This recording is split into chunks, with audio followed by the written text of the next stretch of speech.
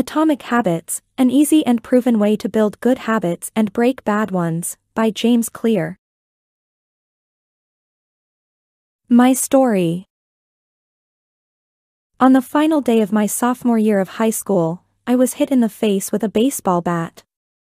As my classmate took a full swing, the bat slipped out of his hands and came flying toward me before striking me directly between the eyes. I have no memory of the moment of impact. The bat smashed into my face with such force that it crushed my nose into a distorted U shape. The collision sent the soft tissue of my brain slamming into the inside of my skull. Immediately, a wave of swelling surged throughout my head. In a fraction of a second, I had a broken nose, multiple skull fractures, and two shattered eye sockets. When I opened my eyes, I saw people staring at me and running over to help. I looked down and noticed spots of red on my clothes. One of my classmates took the shirt off his back and handed it to me. I used it to plug the stream of blood rushing from my broken nose. Shocked and confused, I was unaware of how seriously I had been injured. My teacher looped his arm around my shoulder and we began the long walk to the nurse's office, across the field, down the hill, and back into school. Random hands touched my sides, holding me upright. We took our time and walked slowly. Nobody realized that every minute mattered. When we arrived at the nurse's office, she asked me a series of questions. What year is it? 1998, I answered. It was actually 2002. Who is the President of the United States? Bill Clinton, I said. The correct answer was George W. Bush. What is your mom's name? Uh, um. Dot. I stalled. Ten seconds passed.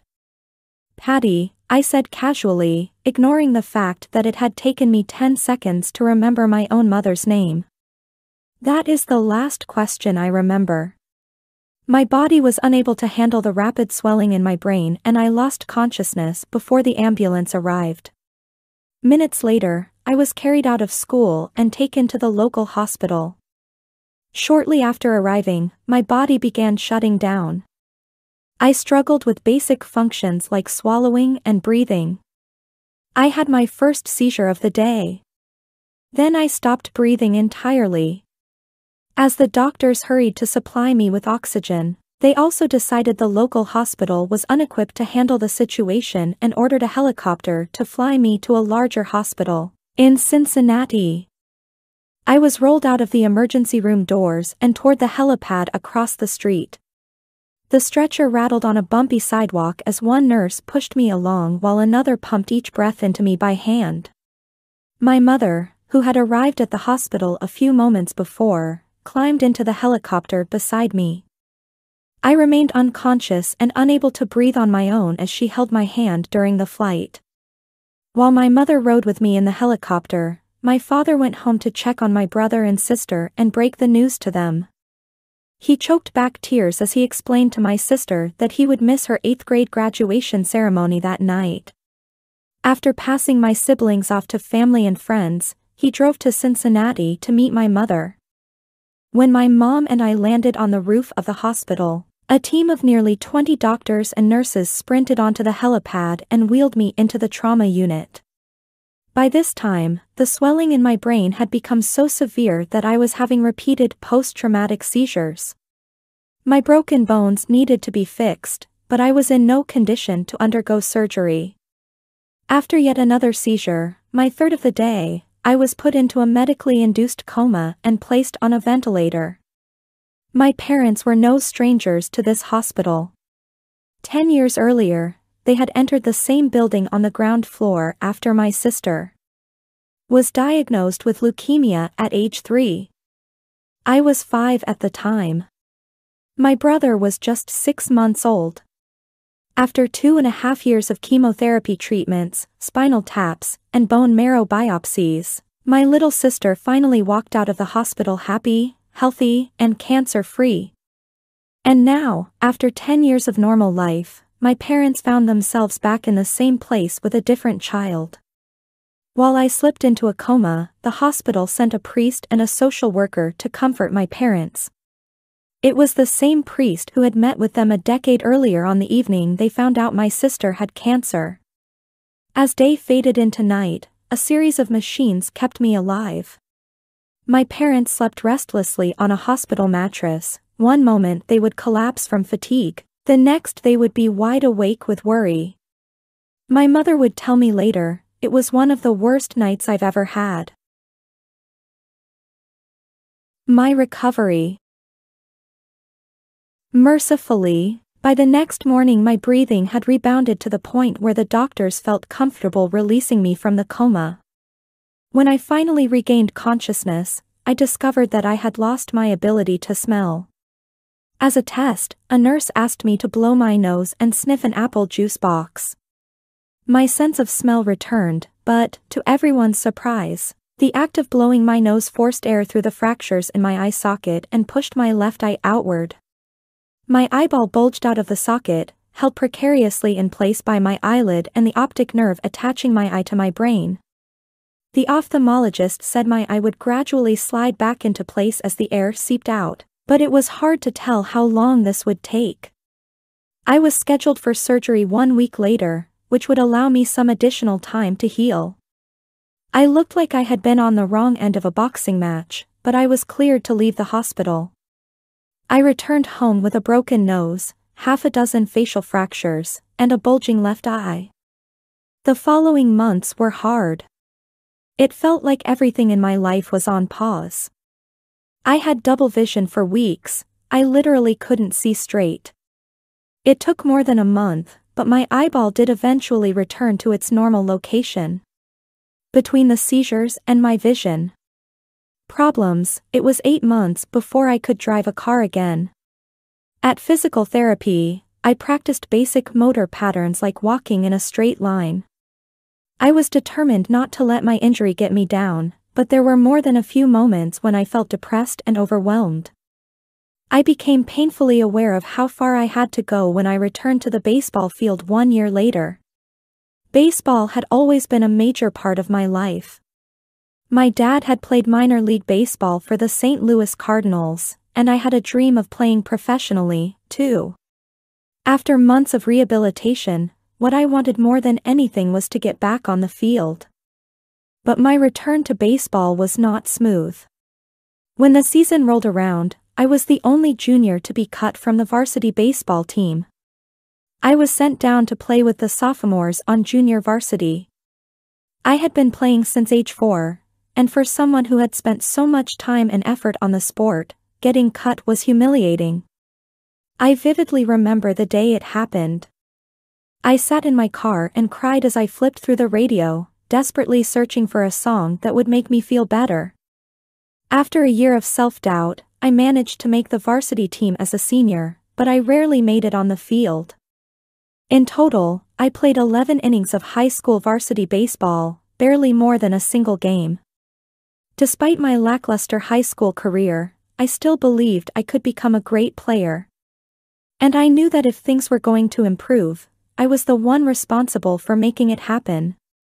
The turning point came two years after my injury, when I began college at Denison University. It was a new beginning, and it was the place where I would discover the surprising power of small habits for the first time. How I learned about habits. Attending Denison was one of the best decisions of my life. I earned a spot on the baseball team and, although I was at the bottom of the roster as a freshman, I was thrilled. Despite the chaos of my high school years, I had managed to become a college athlete. I wasn't going to be starting on the baseball team anytime soon, so I focused on getting my life in order. While my peers stayed up late and played video games, I built good sleep habits and went to bed early each night. In the messy world of a college dorm, I made a point to keep my room neat and tidy. These improvements were minor, but they gave me a sense of control over my life. I started to feel confident again. And this growing belief in myself rippled into the classroom as I improved my study habits and managed to earn straight A's during my first year. A habit is a routine or behavior that is performed regularly, and, in many cases, automatically. As each semester passed, I accumulated small but consistent habits that ultimately led to results that were unimaginable to me when I started. For example, for the first time in my life, I made it a habit to lift weights multiple times per week, and in the years that followed, my 6 foot 4 inch frame bulked up from a featherweight 170 to a lean 200 pounds. When my sophomore season arrived, I earned a starting role on the pitching staff. By my junior year, I was voted team captain and at the end of the season, I was selected for the all-conference team. But it was not until my senior season that my sleep habits, study habits, and strength training habits really began to pay off. Six years after I had been hit in the face with a baseball bat, flown to the hospital, and placed into a coma, I was selected as the top male athlete at Denison University and named to the ESPN Academic All-America team, an honor given to just 33 players across the country. By the time I graduated, I was listed in the school record books in eight different categories. That same year, I was awarded the university's highest academic honor, the President's Medal. I hope you'll forgive me if this sounds boastful. To be honest, there was nothing legendary or historic about my athletic career. I never ended up playing professionally. However, looking back on those years, I believe I accomplished something just as rare, I fulfilled my potential. And I believe the concepts in this book can help you fulfill your potential as well. We all face challenges in life. This injury was one of mine, and the experience taught me a critical lesson. Changes that seem small and unimportant at first will compound into remarkable results if you're willing to stick with them for years. We all deal with setbacks, but in the long run, the quality of our lives often depends on the quality of our habits. With the same habits, you'll end up with the same results. But with better habits, anything is possible. Maybe there are people who can achieve incredible success overnight. I don't know any of them, and I'm certainly not one of them. There wasn't one defining moment on my journey from medically induced coma to academic All-American, there were many. It was a gradual evolution, a long series of small wins and tiny breakthroughs. The only way I made progress, the only choice I had, was to start small. And I employed this same strategy a few years later when I started my own business and began working on this book. How and why I wrote this book. In November 2012, I began publishing articles at jamesclear.com. For years, I had been keeping notes about my personal experiments with habits and I was finally ready to share some of them publicly. I began by publishing a new article every Monday and Thursday. Within a few months, this simple writing habit led to my first 1,000 email subscribers, and by the end of 2013 that number had grown to more than 30,000 people. In 2014, my email list expanded to over 100,000 subscribers, which made it one of the fastest growing newsletters on the internet. I had felt like an imposter when I began writing two years earlier, but now I was becoming known as an expert on habits, a new label that excited me but also felt uncomfortable. I had never considered myself a master of the topic, but rather someone who was experimenting alongside my readers. In 2015, I reached 200,000 email subscribers and signed a book deal with Penguin Random House to begin writing the book you are reading now. As my audience grew, so did my business opportunities. I was increasingly asked to speak at top companies about the science of habit formation, behavior change, and continuous improvement. I found myself delivering keynote speeches at conferences in the United States and Europe. In 2016, my articles began to appear regularly in major publications like Time, Entrepreneur, and Forbes. Incredibly, my writing was read by over 8 million people that year. coaches in the NFL, NBA, and MLB began reading my work and sharing it with their teams. At the start of 2017, I launched the Habits Academy, which became the premier training platform for organizations and individuals interested in building better habits in life. And work, asterisk Fortune 500 companies and growing startups began to enroll their leaders and train their staff. In total, over 10,000 leaders, managers, coaches, and teachers have graduated from the Habits Academy, and my work with them has taught me an incredible amount about what it takes to make habits work in the real world. As I put the finishing touches on this book in 2018, JamesClear.com is receiving millions of visitors per month, and nearly 500,000 people subscribe to my weekly email newsletter, a number that is so far beyond my expectations when I began that I'm not even sure what to think of it. How this book will benefit you. The entrepreneur and investor Naval Ravikant has said, to write a great book, you must first become the book. I originally learned about the ideas mentioned here because I had to live them. I had to rely on small habits to rebound from my injury, to get stronger in the gym, to perform at a high level on the field, to become a writer, to build a successful business, and simply to develop into a responsible adult. Small habits helped me fulfill my potential, and since you picked up this book, I'm guessing you'd like to fulfill yours as well. In the pages that follow, I will share a step-by-step plan for building better habits, not for days or weeks, but for a lifetime. While science supports everything I've written, this book is not an academic research paper, it's an operating manual. You'll find wisdom and practical advice front and center as I explain the science of how to create and change your habits in a way that is easy to understand and apply. The fields I draw on, biology, neuroscience, philosophy, psychology, and more, have been around for many years. What I offer you is a synthesis of the best ideas smart people figured out a long time ago as well as the most compelling discoveries scientists have made recently. My contribution, I hope, is to find the ideas that matter most and connect them in a way that is highly actionable.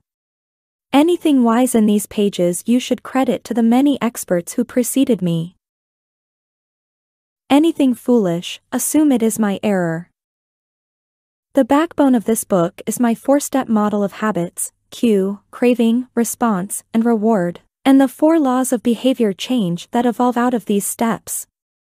Readers with a psychology background may recognize some of these terms from operant conditioning, which was first proposed as stimulus, response, reward by B. F. Skinner in the 1930s and has been popularized more recently as cue. Routine, Reward in the Power of Habit by Charles Duhigg.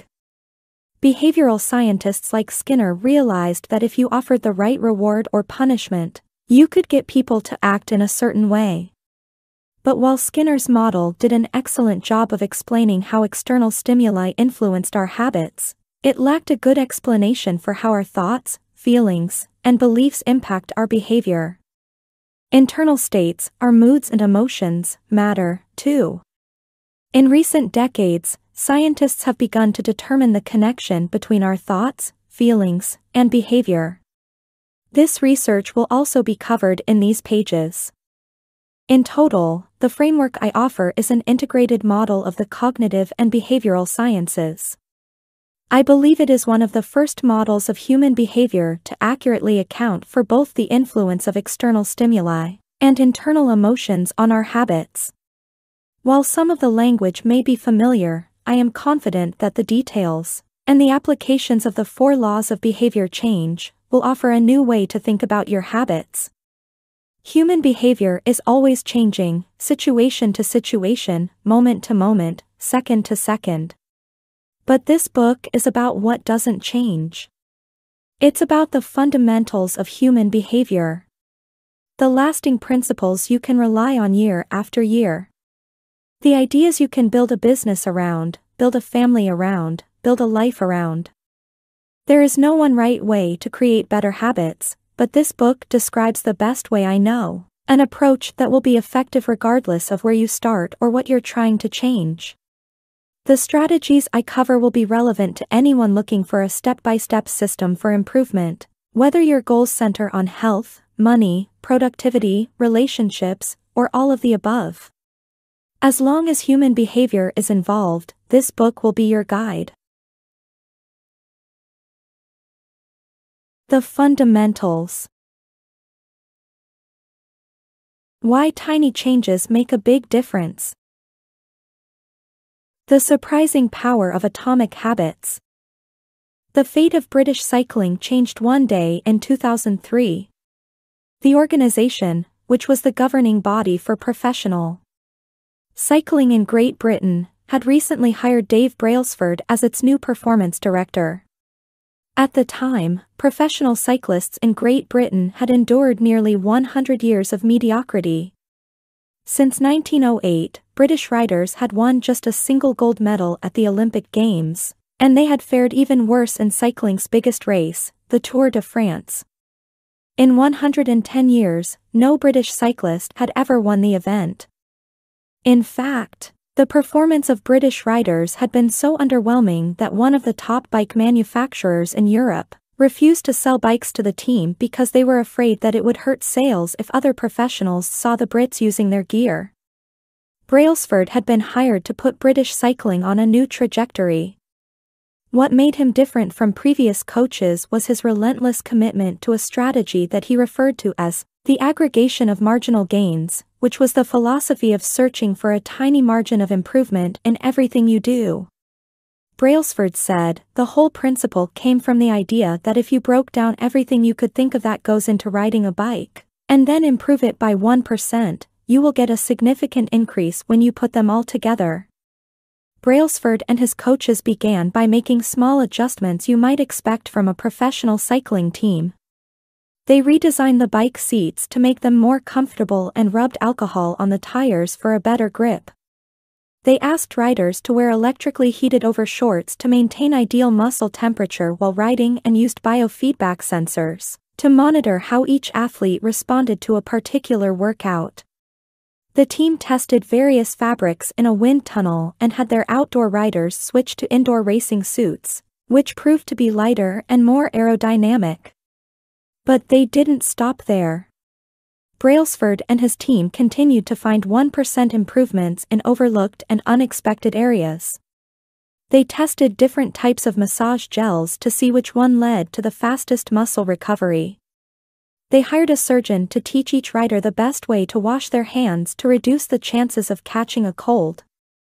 They determined the type of pillow and mattress that led to the best night's sleep for each rider. They even painted the inside of the team truck white, which helped them spot little bits of dust that would normally slip by unnoticed but could degrade the performance of the finely tuned bikes. As these and hundreds of other small improvements accumulated, the results came faster than anyone could have imagined. Just five years after Brailsford took over, the British cycling team dominated the road and track cycling events at the 2008 Olympic Games in Beijing, where they won an astounding 60% of the gold medals available. For years later, when the Olympic Games came to London, the Brits raised the bar as they set nine Olympic records and seven world records. That same year, Bradley Wiggins became the first British cyclist to win the Tour de France.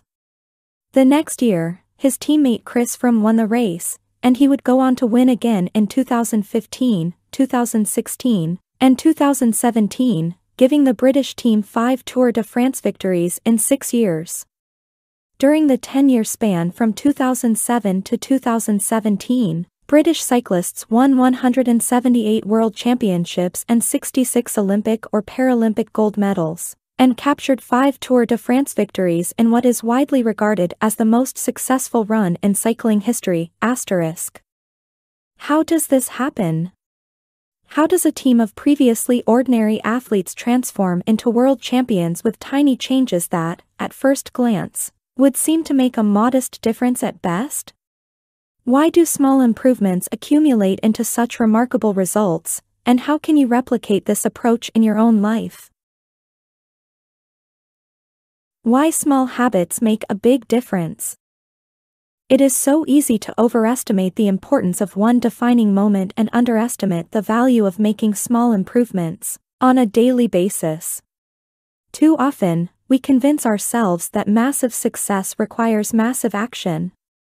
Whether it is losing weight, building a business, writing a book, winning a championship, or achieving any other goal, we put pressure on ourselves to make some earth-shattering improvement that everyone will talk about.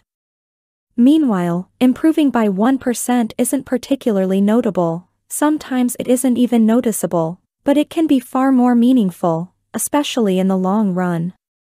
The difference a tiny improvement can make over time is astounding. Here's how the math works out, if you can get 1% better each day for one year, you'll end up 37 times better by the time you're done. Conversely, if you get 1% worse each day for one year, you'll decline nearly down to zero. What starts as a small win or a minor setback accumulates into something much more. 1% better every day. 1% worse every day for one year. 0.99365 is equal to 0.031% better every day for one year. 1.01365 is equal to 37.78. Figure 1 The effects of small habits compound over time. For example, if you can get just 1% better each day, You'll end up with results that are nearly 37 times better after one year. Habits are the compound interest of self-improvement. The same way that money multiplies through compound interest, the effects of your habits multiply as you repeat them. They seem to make little difference on any given day and yet the impact they deliver over the months and years can be enormous. It is only when looking back two, five, or perhaps 10 years later that the value of good habits and the cost of bad ones becomes strikingly apparent. This can be a difficult concept to appreciate in daily life. We often dismiss small changes because they don't seem to matter very much in the moment.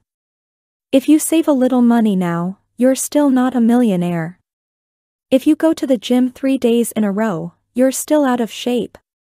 If you study Mandarin for an hour tonight, you still haven't learned the language. We make a few changes, but the results never seem to come quickly and so we slide back into our previous routines. Unfortunately, the slow pace of transformation also makes it easy to let a bad habit slide. If you eat an unhealthy meal today, the scale doesn't move much. If you work late tonight and ignore your family, they will forgive you. If you procrastinate and put your project off until tomorrow, there will usually be time to finish it later. A single decision is easy to dismiss. But when we repeat 1% errors, day after day, by replicating poor decisions, duplicating tiny mistakes, and rationalizing little excuses, our small choices compound into toxic results. It's the accumulation of many missteps, a 1% decline here and there, that eventually leads to a problem. The impact created by a change in your habits is similar to the effect of shifting the route of an airplane by just a few degrees. Imagine you are flying from Los Angeles to New York City.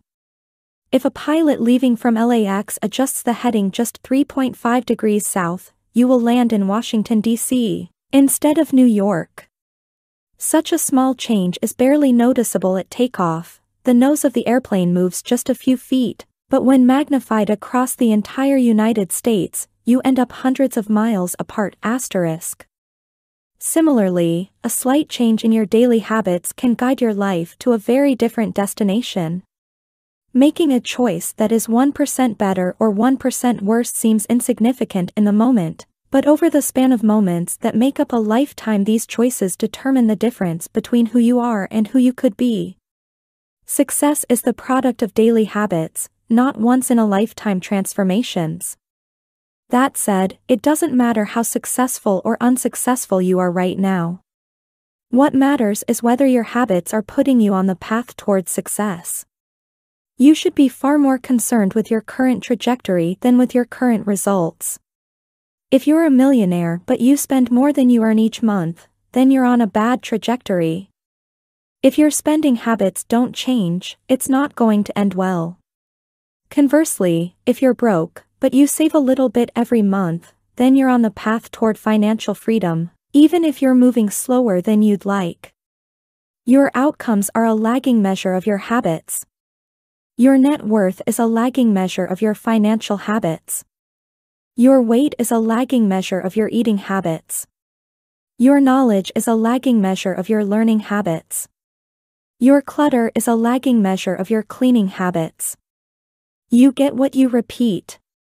If you want to predict where you'll end up in life, all you have to do is follow the curve of tiny gains or tiny losses, and see how your daily choices will compound 10 or 20 years down the line. Are you spending less than you earn each month? Are you making it into the gym each week? Are you reading books and learning something new each day? Tiny battles like these are the ones that will define your future self. Time magnifies the margin between success and failure. It will multiply whatever you feed it. Good habits make time your ally. Bad habits make time your enemy. Habits are a double-edged sword. Bad habits can cut you down just as easily as good habits can build you up, which is why understanding the details is crucial. You need to know how habits work and how to design them to your liking, so you can avoid the dangerous half of the blade. Your habits can compound for you or against you. Positive compounding. Productivity compounds. Accomplishing one extra task is a small feat on any given day, but it counts for a lot over an entire career. The effect of automating an old task or mastering a new skill can be even greater.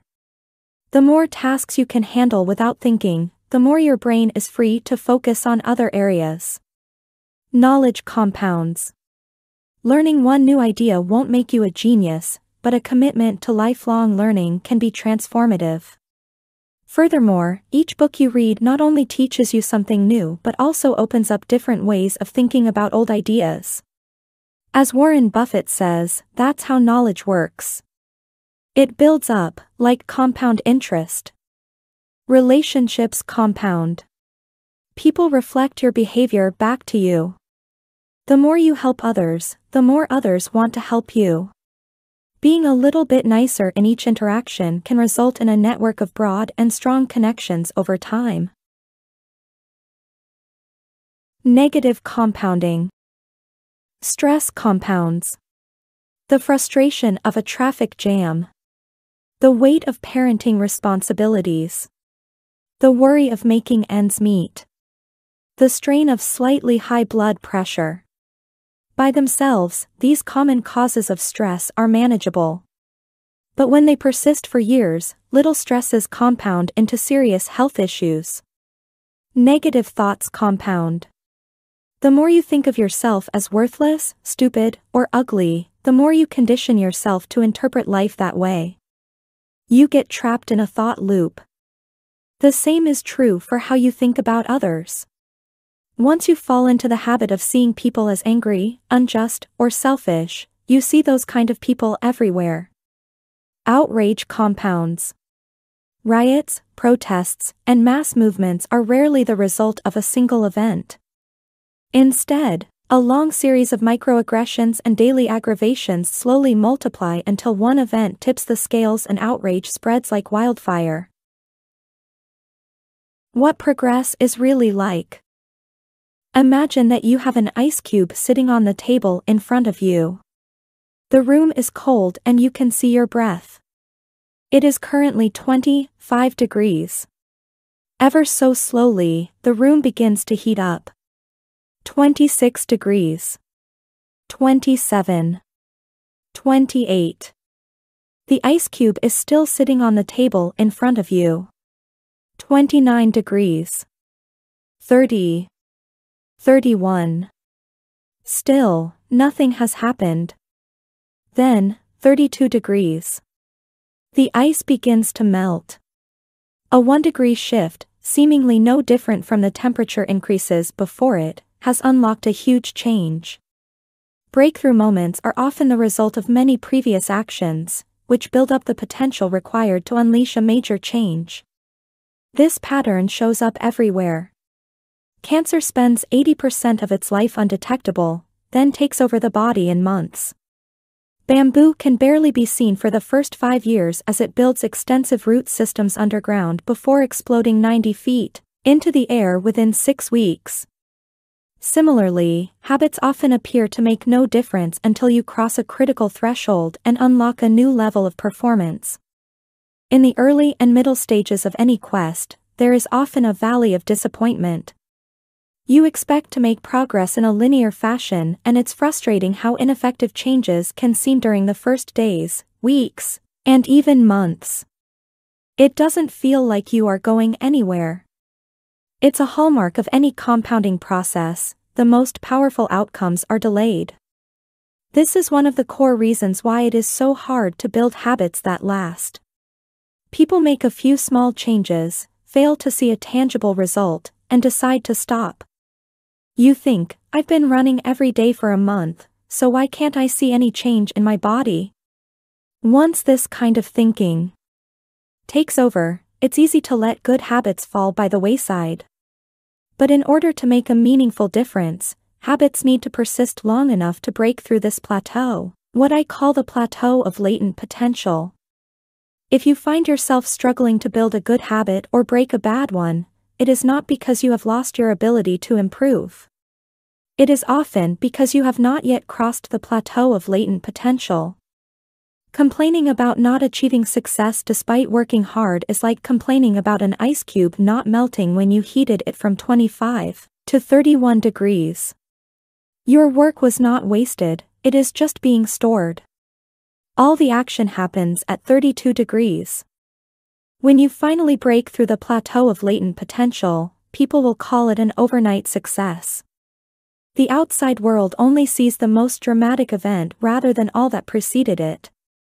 But you know that it's the work you did long ago, when it seemed that you weren't making any progress, that makes the jump today possible. It is the human equivalent of geological pressure.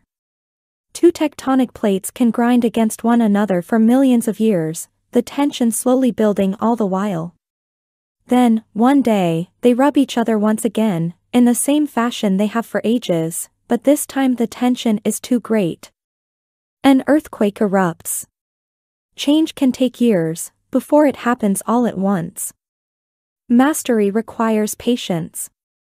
The San Antonio Spurs, one of the most successful teams in NBA history, have a quote from social reformer Jacob Riis hanging in their locker room When nothing seems to help, I go and look at a stonecutter hammering away at his rock, perhaps a hundred times without as much as a crack showing in it. Yet at the hundred and first blow it will split in two, and I know it was not that last blow that did it, but all that had gone before. The Plateau of Latent Potential Figure 2, we often expect progress to be linear. At the very least, we hope it will come quickly. In reality, the results of our efforts are often delayed. It is not until months or years later that we realize the true value of the previous work we have done. This can result in a valley of disappointment, where people feel discouraged after putting in weeks or months of hard work without experiencing any results. However, this work was not wasted. It was simply being stored. It is not until much later that the full value of previous efforts is revealed. All big things come from small beginnings. The seed of every habit is a single, tiny decision, but as that decision is repeated, a habit sprouts and grows stronger. Roots entrench themselves and branches grow. The task of breaking a bad habit is like uprooting a powerful oak within us. And the task of building a good habit is like cultivating a delicate flower one day at a time. But what determines whether we stick with a habit long enough to survive the plateau of latent potential and break through to the other side? What is it that causes some people to slide into unwanted habits and enables others to enjoy the compounding effects of good ones? Forget about goals, focus on systems instead. Prevailing wisdom claims that the best way to achieve what we want in life, getting into better shape, building a successful business, relaxing more and worrying less, spending more time with friends and family, is to set specific, actionable goals. For many years, this was how I approached my habits, too. Each one was a goal to be reached. I set goals for the grades I wanted to get in school, for the weights I wanted to lift in the gym, for the profits I wanted to earn in business. I succeeded at a few, but I failed at a lot of them. Eventually, I began to realize that my results had very little to do with the goals I set and nearly everything to do with the systems I followed. What's the difference between systems and goals? It's a distinction I first learned from Scott Adams, the cartoonist behind the Dilbert comic. Goals are about the results you want to achieve. Systems are about the processes that lead to those results. If you're a coach, your goal might be to win a championship, your system is the way you recruit players, manage your assistant coaches, and conduct practice. If you're an entrepreneur, your goal might be to build a million dollar business. Your system is how you test product ideas, hire employees, and run marketing campaigns. If you're a musician, your goal might be to play a new piece. Your system is how often you practice, how you break down and tackle difficult measures, and your method for receiving feedback from your instructor. Now for the interesting question, if you completely ignored your goals and focused only on your system, would you still succeed? For example, if you were a basketball coach and you ignored your goal to win a championship and focused only on what your team does at practice each day, would you still get results? I think you would.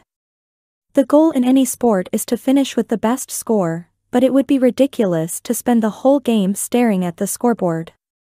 The only way to actually win is to get better each day. In the words of three-time Super Bowl winner Bill Walsh, the score takes care of itself. The same is true for other areas of life. If you want better results, then forget about setting goals. Focus on your system instead. What do I mean by this? Are goals completely useless? Of course not. Goals are good for setting a direction, but systems are best for making progress. A handful of problems arise when you spend too much time thinking about your goals and not enough time designing your systems. Problem number one winners and losers have the same goals. Goal setting suffers from a serious case of survivorship bias. We concentrate on the people who end up winning, the survivors, and mistakenly assume that ambitious goals led to their success while overlooking all of the people who had the same objective, but didn't succeed. Every Olympian wants to win a gold medal. Every candidate wants to get the job. And if successful and unsuccessful people share the same goals, then the goal cannot be what differentiates the winners from the losers. It wasn't the goal of winning the Tour de France that propelled the British cyclists to the top of the sport. Presumably, they had wanted to win the race every year before, just like every other professional team. The goal had always been there. It was only when they implemented a system of continuous small improvements that they achieved a different outcome.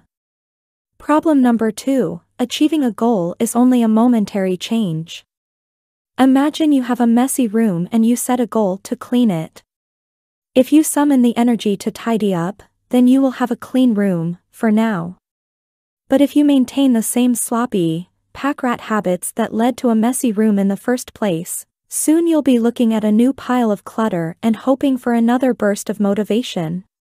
You're left chasing the same outcome because you never changed the system behind it. You treated a symptom without addressing the cause. Achieving a goal only changes your life for the moment. That's the counterintuitive thing about improvement. We think we need to change our results, but the results are not the problem. What we really need to change are the systems that cause those results. When you solve problems at the results level, you only solve them temporarily. In order to improve for good, you need to solve problems at the systems level. Fix the inputs and the outputs will fix themselves. Problem number 3 Goals restrict your happiness. The implicit assumption behind any goal is this once I reach my goal, then I'll be happy. The problem with a goals first mentality is that you're continually putting happiness off until the next milestone. I've slipped into this trap so many times I've lost count. For years, happiness was always something for my future self to enjoy.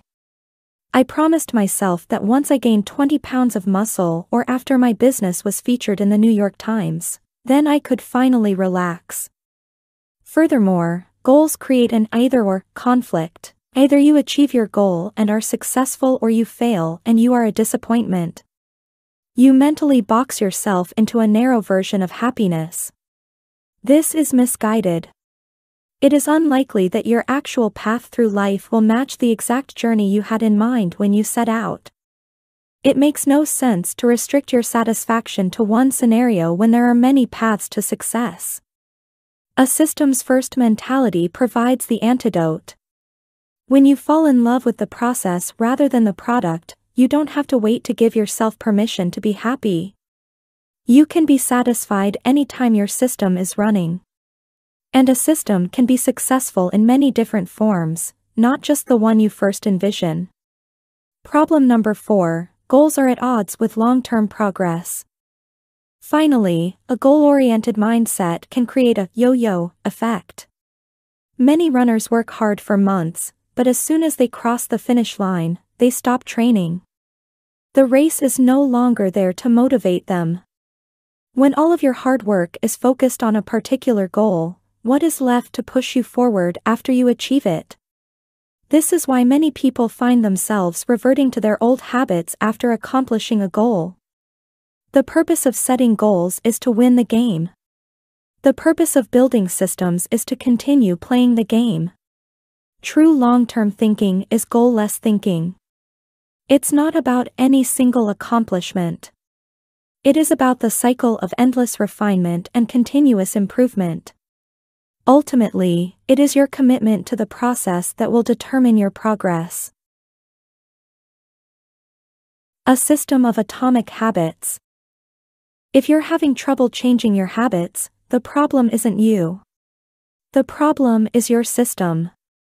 Bad habits repeat themselves again and again not because you don't want to change, but because you have the wrong system for change. You do not rise to the level of your goals. You fall to the level of your systems. Focusing on the overall system, rather than a single goal, is one of the core themes of this book. It is also one of the deeper meanings behind the word atomic. By now, you've probably realized that an atomic habit refers to a tiny change, a marginal gain, a 1% improvement. But atomic habits are not just any old habits, however small. They are little habits that are part of a larger system. Just as atoms are the building blocks of molecules, atomic habits are the building blocks of remarkable results. Habits are like the atoms of our lives. Each one is a fundamental unit that contributes to your overall improvement. At first, these tiny routines seem insignificant, but soon they build on each other and fuel bigger wins that multiply to a degree that far outweighs the cost of their initial investment. They are both small and mighty. This is the meaning of the phrase atomic habits, a regular practice or routine that is not only small and easy to do, but also the source of incredible power, a component of the system of compound growth. Chapter Summary Habits are the compound interest of self-improvement. Getting 1% better every day counts for a lot in the long run. Habits are a double-edged sword. They can work for you or against you, which is why understanding the details is essential. Small changes often appear to make no difference until you cross a critical threshold. The most powerful outcomes of any compounding process are delayed. You need to be patient. An atomic habit is a little habit that is part of a larger system. Just as atoms are the building blocks of molecules, atomic habits are the building blocks of remarkable results. If you want better results, then forget about setting goals.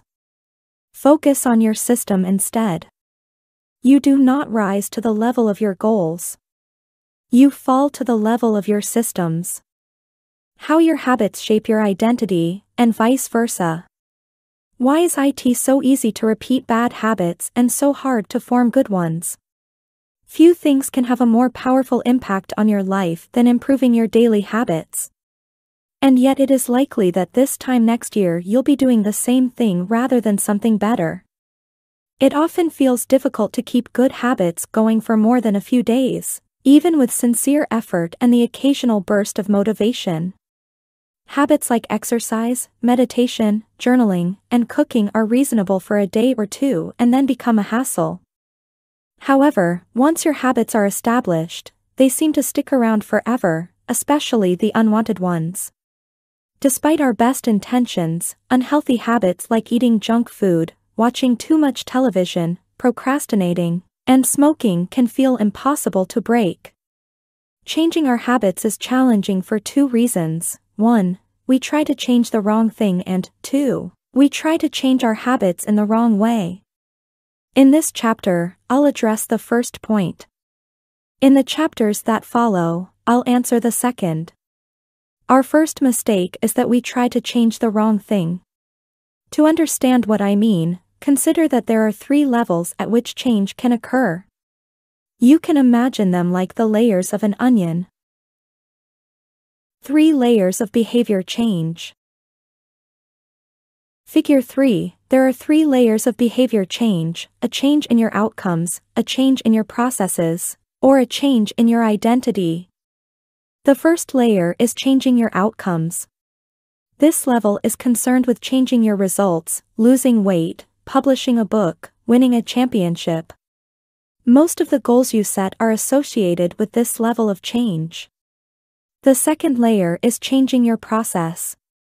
This level is concerned with changing your habits and systems, implementing a new routine at the gym, decluttering your desk for better workflow, developing a meditation practice. Most of the habits you build are associated with this level. The third and deepest layer is changing your identity. This level is concerned with changing your beliefs, your worldview, your self-image, your judgments about yourself and others. Most of the beliefs, assumptions, and biases you hold are associated with this level. Outcomes are about what you get. Processes are about what you do. Identity is about what you believe. When it comes to building habits that last, when it comes to building a system of 1% improvements, the problem is not that one level is better or worse than another. All levels of change are useful in their own way. The problem is the direction of change. Many people begin the process of changing their habits by focusing on what they want to achieve. This leads us to outcome based habits. The alternative is to build identity based habits. With this approach, we start by focusing on who we wish to become. Outcome based habits, Identity based habits. Figure 4 With outcome based habits, the focus is on what you want to achieve. With identity based habits, the focus is on who you wish to become. Imagine two people resisting a cigarette. When offered a smoke, the first person says, No thanks. I'm trying to quit. It sounds like a reasonable response, but this person still believes they are a smoker who is trying to be something else. They are hoping their behavior will change while carrying around the same beliefs. The second person declines by saying, no thanks. I'm not a smoker. It's a small difference, but this statement signals a shift in identity. Smoking was part of their former life, not their current one. They no longer identify as someone who smokes. Most people don't even consider identity change when they set out to improve. They just think, I want to be skinny, outcome, and if I stick to this diet, then I'll be skinny, process. They set goals and determine the actions they should take to achieve those goals without considering the beliefs that drive their actions. They never shift the way they look at themselves, and they don't realize that their old identity can sabotage their new plans for change. Behind every system of actions are a system of beliefs. The system of a democracy is founded on beliefs like freedom, majority rule, and social equality. The system of a dictatorship has a very different set of beliefs like absolute authority and strict obedience. You can imagine many ways to try to get more people to vote in a democracy, but such behavior change would never get off the ground in a dictatorship. That's not the identity of the system. Voting is a behavior that is impossible under a certain set of beliefs. A similar pattern exists whether we are discussing individuals, organizations, or societies. There are a set of beliefs and assumptions that shape the system, an identity behind the habits. Behavior that is incongruent with the self will not last. You may want more money, but if your identity is someone who consumes rather than creates, then you'll continue to be pulled toward spending rather than earning. You may want better health, but if you continue to prioritize comfort over accomplishment, you'll be drawn to relaxing rather than training. It's hard to change your habits if you never change the underlying beliefs that led to your past behavior. You have a new goal and a new plan, but you haven't changed who you are. The story of Brian Clark, an entrepreneur from Boulder, Colorado, provides a good example. For as long as I can remember, I've chewed my fingernails, Clark told me. It started as a nervous habit when I was young, and then morphed into an undesirable grooming ritual. One day, I resolved to stop chewing my nails until they grew out a bit. Through mindful willpower alone, I managed to do it. Then, Clark did something surprising. I asked my wife to schedule my first ever manicure, he said. My thought was that if I started paying to maintain my nails, I wouldn't chew them. And it worked, but not for the monetary reason. What happened was the manicure made my fingers look really nice for the first time. The manicurist even said that, other than the chewing, I had really healthy, attractive nails. Suddenly, I was proud of my fingernails. And even though that's something I had never aspired to, it made all the difference. I've never chewed my nails since, not even a single close call. And it's because I now take pride in properly caring for them. The ultimate form of intrinsic motivation is when a habit becomes part of your identity. It's one thing to say I'm the type of person who wants this. It's something very different to say I'm the type of person who is this. The more pride you have in a particular aspect of your identity, the more motivated you will be to maintain the habits associated with it. If you're proud of how your hair looks, you'll develop all sorts of habits to care for and maintain it. If you're proud of the size of your biceps, you'll make sure you never skip an upper body workout. If you're proud of the scarves you knit, you'll be more likely to spend hours knitting each week. Once your pride gets involved, you'll fight tooth and nail to maintain your habits. True behavior change is identity change. You might start a habit because of motivation, but the only reason you'll stick with one is that it becomes part of your identity. Anyone can convince themselves to visit the gym or eat healthy once or twice, but if you don't shift the belief behind the behavior, then it is hard to stick with long-term changes. Improvements are only temporary until they become part of who you are. The goal is not to read a book, the goal is to become a reader. The goal is not to run a marathon, the goal is to become a runner. The goal is not to learn an instrument, the goal is to become a musician. Your behaviors are usually a reflection of your identity. What you do is an indication of the type of person you believe that you are either consciously or non-consciously. Asterisk research has shown that once a person believes in a particular aspect of their identity, they are more likely to act in alignment with that belief.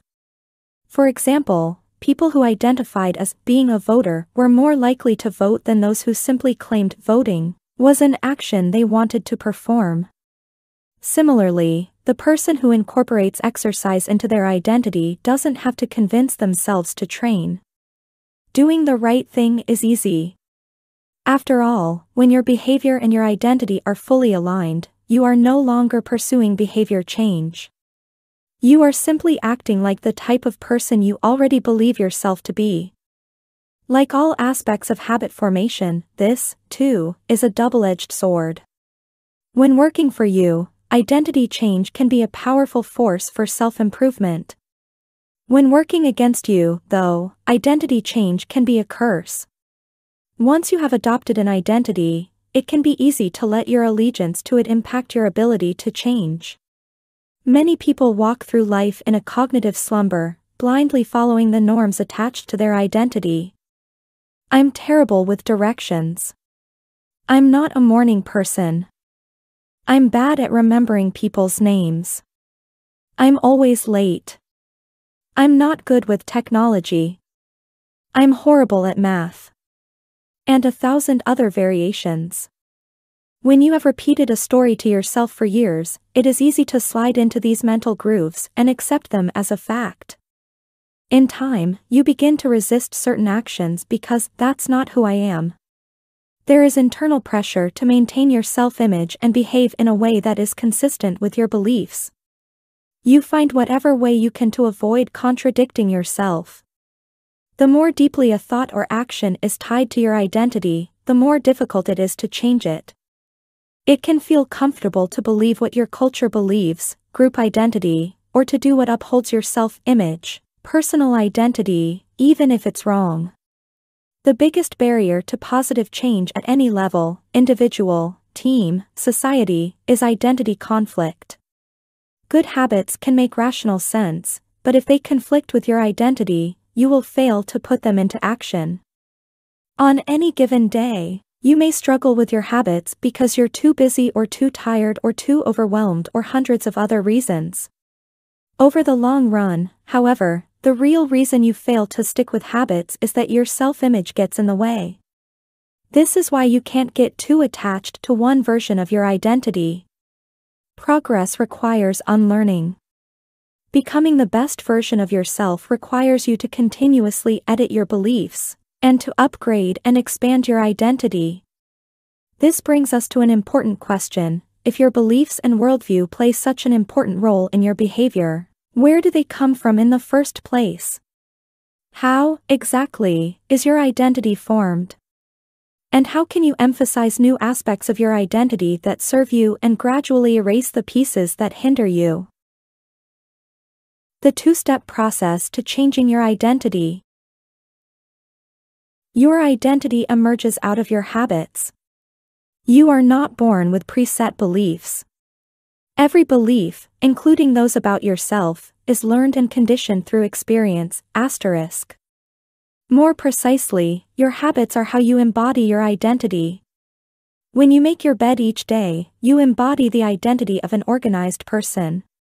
When you write each day, you embody the identity of a creative person. When you train each day, you embody the identity of an athletic person. The more you repeat a behavior, the more you reinforce the identity associated with that behavior. In fact, the word identity was originally derived from the Latin words essentitas, which means being, and identidem, which means repeatedly. Your identity is literally your repeated beingness. Whatever your identity is right now, you only believe it because you have proof of it. If you go to church every Sunday for 20 years, you have evidence that you are religious. If you study biology for one hour every night, you have evidence that you are studious. If you go to the gym even when it's snowing, you have evidence that you are committed to fitness. The more evidence you have for a belief, the more strongly you will believe it. For most of my early life, I didn't consider myself a writer. If you were to ask any of my high school teachers or college professors, they would tell you I was an average writer at best certainly not a standout. When I began my writing career, I published a new article every Monday and Thursday for the first few years. As the evidence grew, so did my identity as a writer. I didn't start out as a writer. I became one through my habits. Of course, your habits are not the only actions that influence your identity, but by virtue of their frequency they are usually the most important ones. Each experience in life modifies your self-image, but it's unlikely you would consider yourself a soccer player because you kicked a ball once or an artist because you scribbled a picture. As you repeat these actions, however, the evidence accumulates and your self-image begins to change. The effect of one-off experiences tends to fade away while the effect of habits gets reinforced with time, which means your habits contribute most of the evidence that shapes your identity. In this way, the process of building habits is actually the process of becoming yourself. This is a gradual evolution. We do not change by snapping our fingers and deciding to be someone entirely new. We change bit by bit, day by day, habit by habit. We are continually undergoing microevolutions of the self. Each habit is like a suggestion, hey, maybe this is who I am. If you finish a book, then perhaps you are the type of person who likes reading. If you go to the gym, then perhaps you are the type of person who likes exercise. If you practice playing the guitar, perhaps you are the type of person who likes music. Every action you take is a vote for the type of person you wish to become. No single instance will transform your beliefs, but as the votes build up, so does the evidence of your new identity. This is one reason why meaningful change does not require radical change. Small habits can make a meaningful difference by providing evidence of a new identity. And if a change is meaningful, it actually is big. That's the paradox of making small improvements. Putting this all together, you can see that habits are the path to changing your identity. The most practical way to change who you are is to change what you do. Each time you write a page, you are a writer. Each time you practice the violin, you are a musician. Each time you start a workout, you are an athlete. Each time you encourage your employees, you are a leader.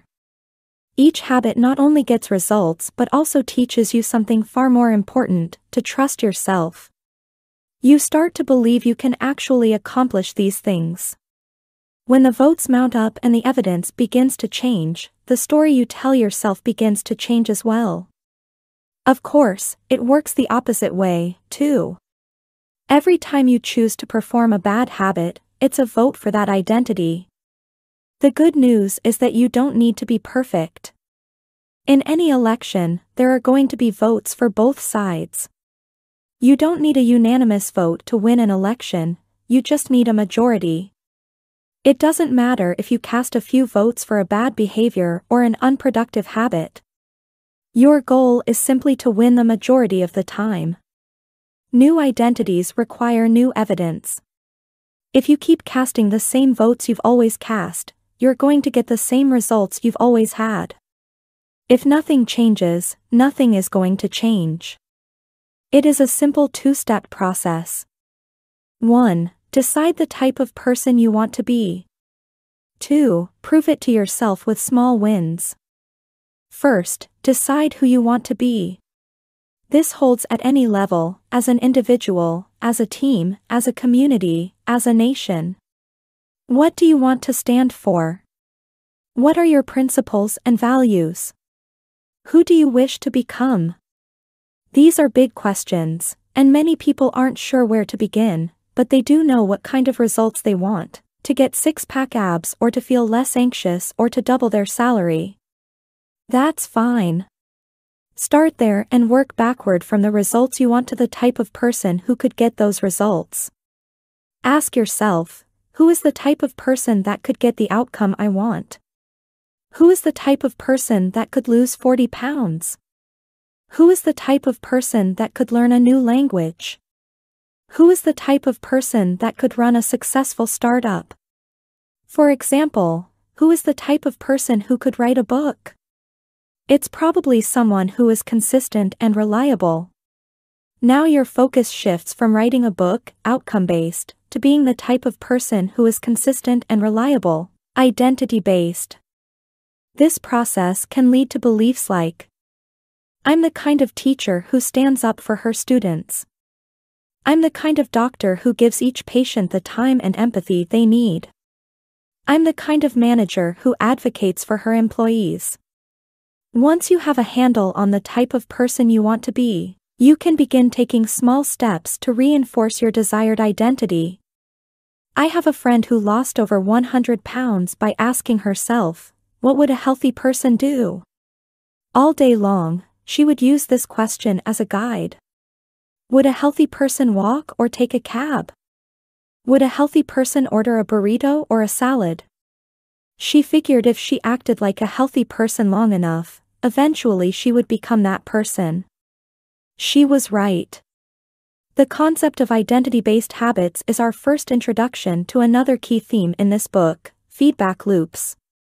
Your habits shape your identity, and your identity shapes your habits. It's a two-way street. The formation of all habits is a feedback loop, a concept we will explore in depth in the next chapter but it's important to let your values, principles, and identity drive the loop rather than your results. The focus should always be on becoming that type of person, not getting a particular outcome. The real reason habits matter. Identity change is the North Star of habit change. The remainder of this book will provide you with step by step instructions on how to build better habits in yourself, your family, your team, your company, and anywhere else you wish. But the true question is, are you becoming the type of person you want to become? The first step is not what or how, but who. You need to know who you want to be. Otherwise, your quest for change is like a boat without a rudder. And that's why we are starting here. You have the power to change your beliefs about yourself. Your identity is not set in stone. You have a choice in every moment. You can choose the identity you want to reinforce today with the habits you choose today. And this brings us to the deeper purpose of this book and the real reason habits matter. Building better habits isn't about littering your day with life hacks. It's not about flossing one tooth each night or taking a cold shower each morning or wearing the same outfit each day. It's not about achieving external measures of success like earning more money, losing weight, or reducing stress. Habits can help you achieve all of these things, but fundamentally they are not about having something. They are about becoming someone. Ultimately, your habits matter because they help you become the type of person you wish to be. They are the channel through which you develop your deepest beliefs about yourself. Quite literally, you become your habits. Chapter Summary There are three levels of change outcome change, process change, and identity change. The most effective way to change your habits is to focus not on what you want to achieve, but on who you wish to become. Your identity emerges out of your habits. Every action is a vote for the type of person you wish to become. Becoming the best version of yourself requires you to continuously edit your beliefs, and to upgrade and expand your identity. The real reason habits matter is not because they can get you better results, although they can do that, but because they can change your beliefs about yourself. How to build better habits in four simple steps. In 1898, a psychologist named Edward Thorndike conducted an experiment that would lay the foundation for our understanding of how habits form and the rules that guide our behavior. Thorndike was interested in studying the behavior of animals, and he started by working with cats. He would place each cat inside a device known as a puzzle box. The box was designed so that the cat could escape through a door by some simple act, such as pulling at a loop of cord pressing a lever, or stepping on a platform. For example, one box contained a lever that, when pressed, would open a door on the side of the box. Once the door had been opened, the cat could dart out and run over to a bowl of food. Most cats wanted to escape as soon as they were placed inside the box. They would poke their nose into the corners, stick their paws through openings, and claw at loose objects. After a few minutes of exploration, the cats would happen to press the magical lever, the door would open, and they would escape. Thorndike tracked the behavior of each cat across many trials. In the beginning, the animals moved around the box at random. But as soon as the lever had been pressed and the door opened, the process of learning began. Gradually, each cat learned to associate the action of pressing the lever with the reward of escaping the box and getting to the food. After 20 to 30 trials, this behavior became so automatic and habitual that the cat could escape within a few seconds. For example, Thorndike noted, Cat 12 took the following times to perform the act. 160 seconds, 30 seconds, 90 seconds, 60, 15, 28, 20, 30, 22, 11, 15, 20, 12, 10, 14, 10, 8, 8, 5, 10, 8, 6, 6, 7. During the first three trials, the cat escaped in an average of 1.5 minutes. During the last three trials, it escaped in an average of 6.3 seconds. With practice, each cat made fewer errors and their actions became quicker and more automatic. Rather than repeat the same mistakes, the cat began to cut straight to the solution. From his studies, Thorndike described the learning process by stating, Behaviors followed by satisfying consequences tend to be repeated and those that produce unpleasant consequences are less likely to be repeated. His work provides the perfect starting point for discussing how habits form in our own lives. It also provides answers to some fundamental questions like, what are habits? And why does the brain bother building them at all? Why your brain builds habits. A habit is a behavior that has been repeated enough times to become automatic. The process of habit formation begins with trial and error. Whenever you encounter a new situation in life, your brain has to make a decision. How do I respond to this? The first time you come across a problem, you're not sure how to solve it. Like Thorndike's cat, you're just trying things out to see what works. Neurological activity in the brain is high during this period. You are carefully analyzing the situation and making conscious decisions about how to act. You're taking in tons of new information and trying to make sense of it all. The brain is busy learning the most effective course of action.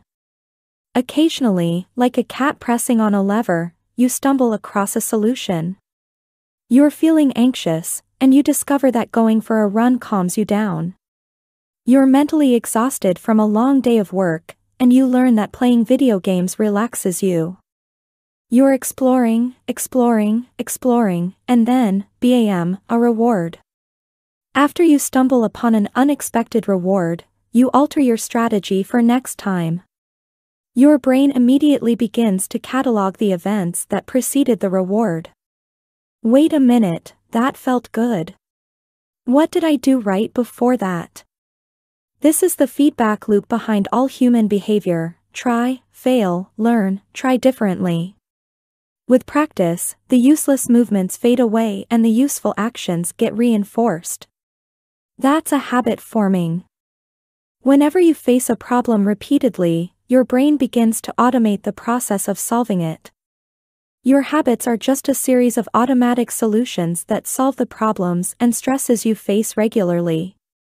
As behavioral scientist Jason Hreha writes, habits are, simply, reliable solutions to recurring problems in our environment. As habits are created, the level of activity in the brain decreases. You learn to lock in on the cues that predict success and tune out everything else. When a similar situation arises in the future, you know exactly what to look for. There is no longer a need to analyze every angle of a situation. Your brain skips the process of trial and error and creates a mental rule, if this, then that.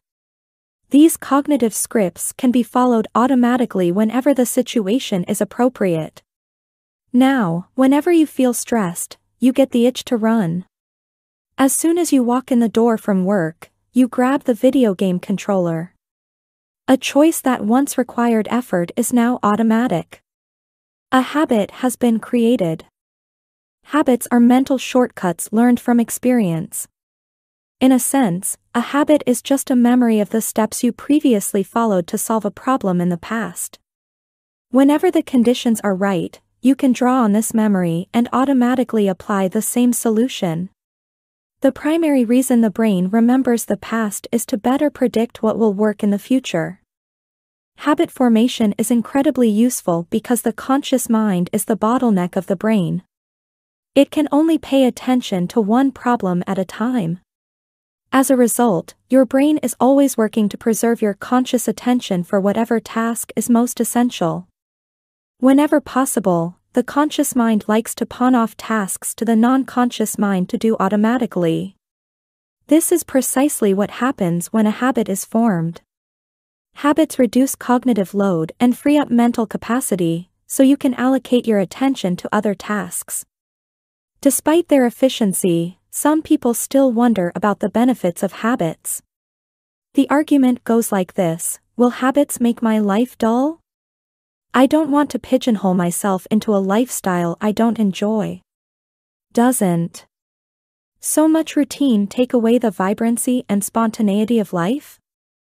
Hardly. Such questions set up a false dichotomy. They make you think that you have to choose between building habits and attaining freedom. In reality, the two complement each other. Habits do not restrict freedom. They create it. In fact, the people who don't have their habits handled are often the ones with the least amount of freedom. Without good financial habits, you will always be struggling for the next dollar. Without good health habits, you will always seem to be short on energy. Without good learning habits, you will always feel like you're behind the curve.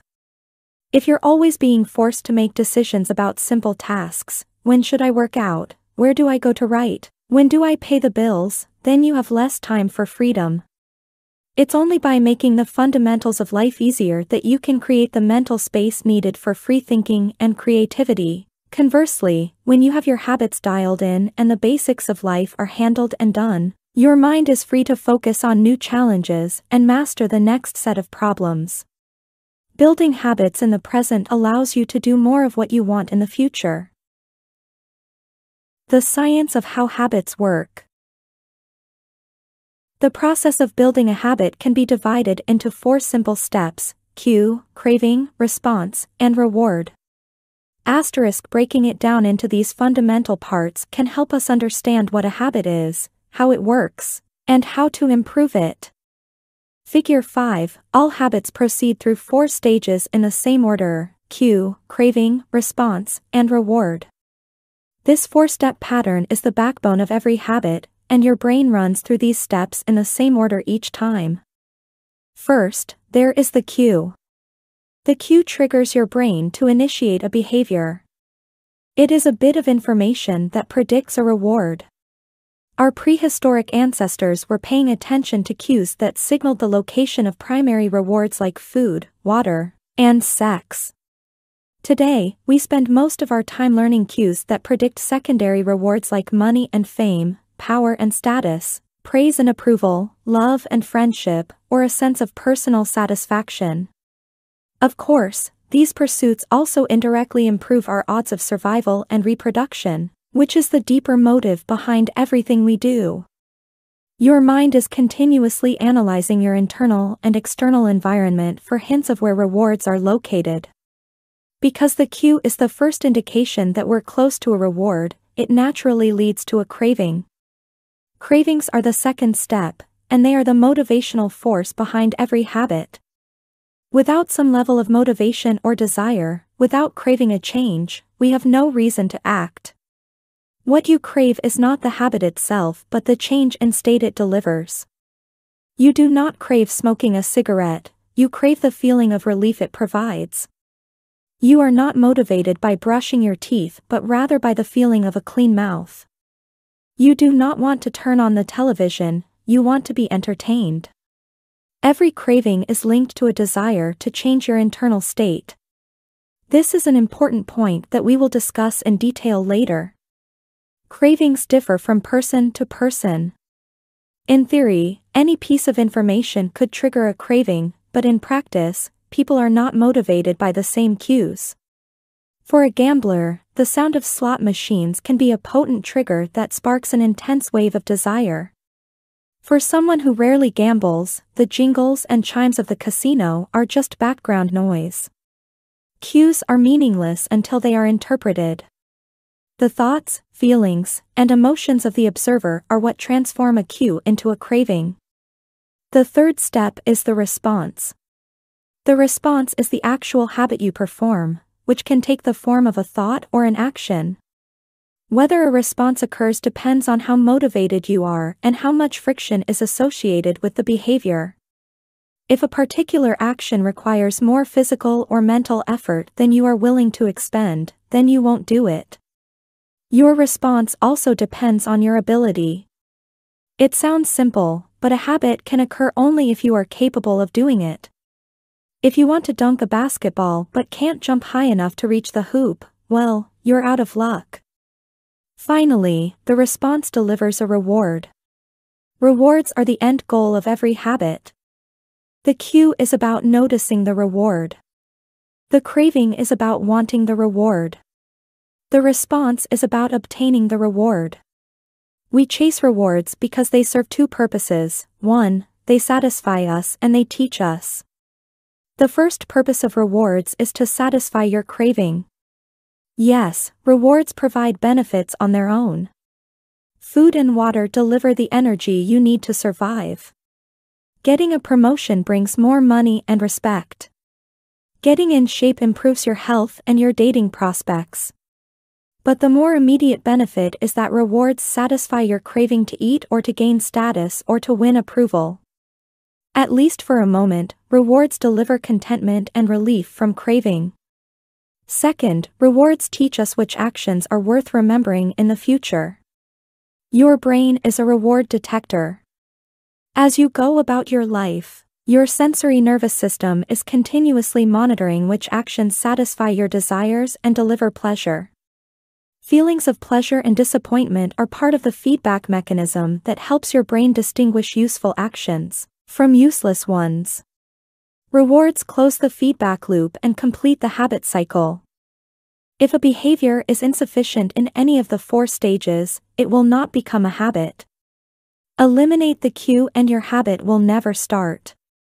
Reduce the craving and you won't experience enough motivation to act. Make the behavior difficult and you won't be able to do it.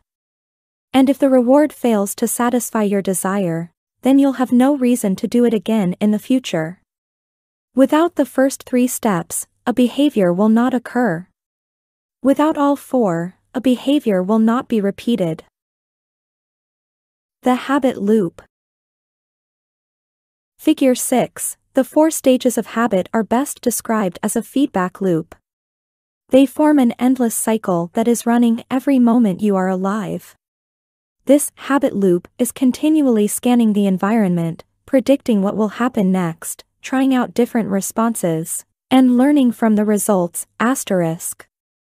In summary, the cue triggers a craving, which motivates a response, which provides a reward, which satisfies the craving and, ultimately, becomes associated with the cue.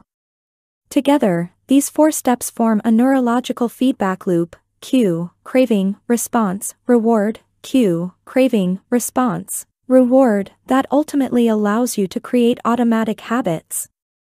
This cycle is known as the habit loop. This four step process is not something that happens occasionally, but rather it is an endless feedback loop that is running and active during every moment you are alive, even now. The brain is continually scanning the environment, predicting what will happen next, trying out different responses, and learning from the results. The entire process is completed in a split second, and we use it again and again without realizing everything that has been packed into the previous moment. We can split these four steps into two phases, the problem phase and the solution phase. The problem phase includes the cue and the craving, and it is when you realize that something needs to change. The solution phase includes the response and the reward, and it is when you take action and achieve the change you desire. Problem phase. Cue. Craving. Solution phase. Response. Reward. All behavior is driven by the desire to solve a problem. Sometimes the problem is that you notice something good and you want to obtain it. Sometimes the problem is that you are experiencing pain and you want to relieve it. Either way, the purpose of every habit is to solve the problems you face. In the table on the following page, you can see a few examples of what this looks like in real life. Imagine walking into a dark room and flipping on the light switch. You have performed this simple habit so many times that it occurs without thinking. You proceed through all four stages in the fraction of a second. The urge to act strikes you without thinking. Problem phase. Cue. Your phone buzzes with a new text message. Craving, you want to learn the contents of the message. Solution phase. Response, you grab your phone and read the text. Reward, you satisfy your craving to read the message. Grabbing your phone becomes associated with your phone buzzing. Problem phase. Cue, you are answering emails. Craving, you begin to feel stressed and overwhelmed by work. You want to feel in control. Solution phase. Response, you bite your nails. Reward, you satisfy your craving to reduce stress. Biting your nails becomes associated with answering email. Problem phase. Cue, you wake up. Craving, you want to feel alert. Solution phase. Response, you drink a cup of coffee. Reward, you satisfy your craving to feel alert. Drinking coffee becomes associated with waking up. Problem phase. Cue. You smell a donut shop as you walk down the street near your office. Craving, you begin to crave a donut. Solution phase. Response, you buy a donut and eat it. Reward, you satisfy your craving to eat a donut. Buying a donut becomes associated with walking down the street near your office. Problem phase. Cue. You hit a stumbling block on a project at work. Craving, you feel stuck and want to relieve your frustration. Solution phase. Response, you pull out your phone and check social media. Reward, you satisfy your craving to feel relieved. Checking social media becomes associated with feeling stalled at work. Problem phase. Cue. You walk into a dark room. Craving, you want to be able to see. Solution phase. Response, you flip the light switch. Reward, you satisfy your craving to see. Turning on the light switch becomes associated with being in a dark room. By the time we become adults, we rarely notice the habits that are running our lives. Most of us never give a second thought to the fact that we tie the same shoe first each morning, or unplug the toaster after each use, or always change into comfortable clothes after getting home from work. After decades of mental programming, we automatically slip into these patterns of thinking and acting. The Four Laws of Behavior Change In the following chapters, we will see time and again how the four stages of cue, craving, response, and reward influence nearly everything we do each day. But before we do that, we need to transform these four steps into a practical framework that we can use to design good habits and eliminate bad ones. I refer to this framework as the four laws of behavior change, and it provides a simple set of rules for creating good habits and breaking bad ones. You can think of each law as a lever that influences human behavior. When the levers are in the right positions, creating good habits is effortless. When they are in the wrong positions, it is nearly impossible. How to create a good habit? The first law, cue make it obvious. The second law, craving make it attractive. The third law, response make it easy. The fourth law, reward make it satisfying. We can invert these laws to learn how to break a bad habit. How to break a bad habit. Inversion of the first law, cue make it invisible. Inversion of the second law, craving make it unattractive. Inversion of the third law, response make it difficult. Inversion of the fourth law, reward make it unsatisfying. It would be irresponsible for me to claim that these four laws are an exhaustive framework for changing any human behavior, but I think they're close. As you will soon see, the four laws of behavior change apply to nearly every field, from sports to politics, art to medicine, comedy to management. These laws can be used no matter what challenge you are facing. There is no need for completely different strategies for each habit. Whenever you want to change your behavior, you can simply ask yourself 1. How can I make it obvious? 2. How can I make it attractive? 3. How can I make it easy? 4. How can I make it satisfying? If you have ever wondered, why don't I do what I say I'm going to do? Why don't I lose the weight or stop smoking or save for retirement or start that side business? Why do I say something is important but never seem to make time for it?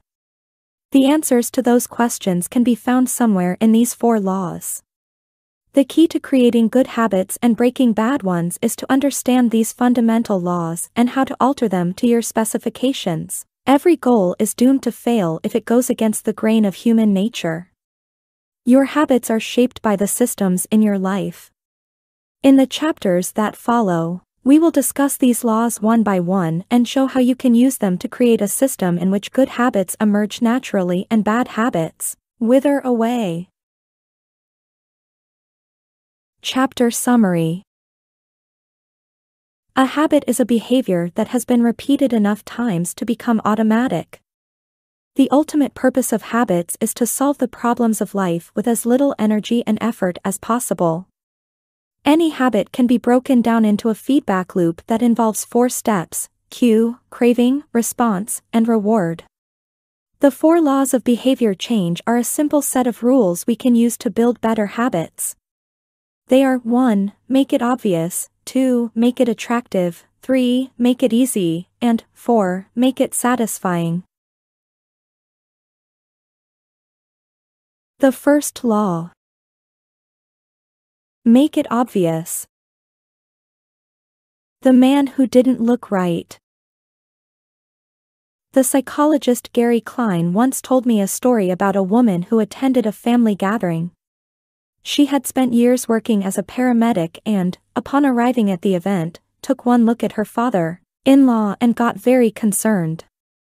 I don't like the way you look, she said. Her father in law, who was feeling perfectly fine, jokingly replied, Well, I don't like your looks either. No, she insisted. You need to go to the hospital now. A few hours later, the man was undergoing life-saving surgery after an examination had revealed that he had a blockage to a major artery, and was at immediate risk of a heart attack. Without his daughter-in-law's intuition, he could have died.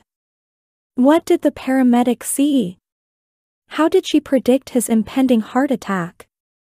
When major arteries are obstructed, the body focuses on sending blood to critical organs and away from peripheral locations near the surface of the skin.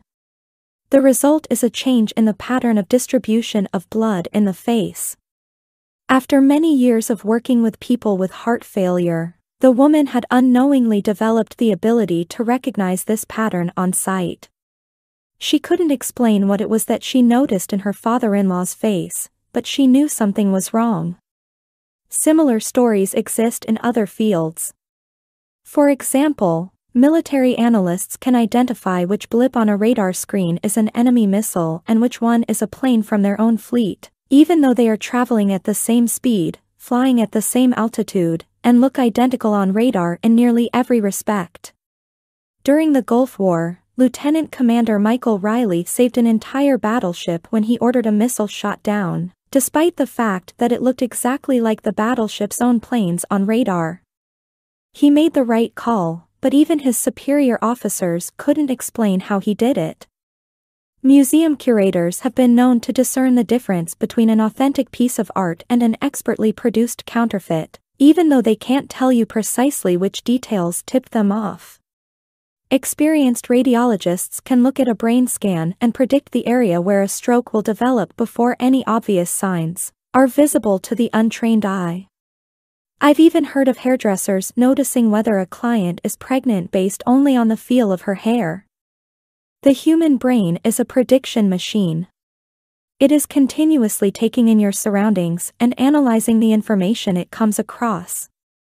Whenever you experience something repeatedly, like a paramedic seeing the face of a heart attack patient or a military analyst seeing a missile on a radar screen, your brain begins noticing what is important, sorting through the details and highlighting the relevant cues, and cataloging that information for future use.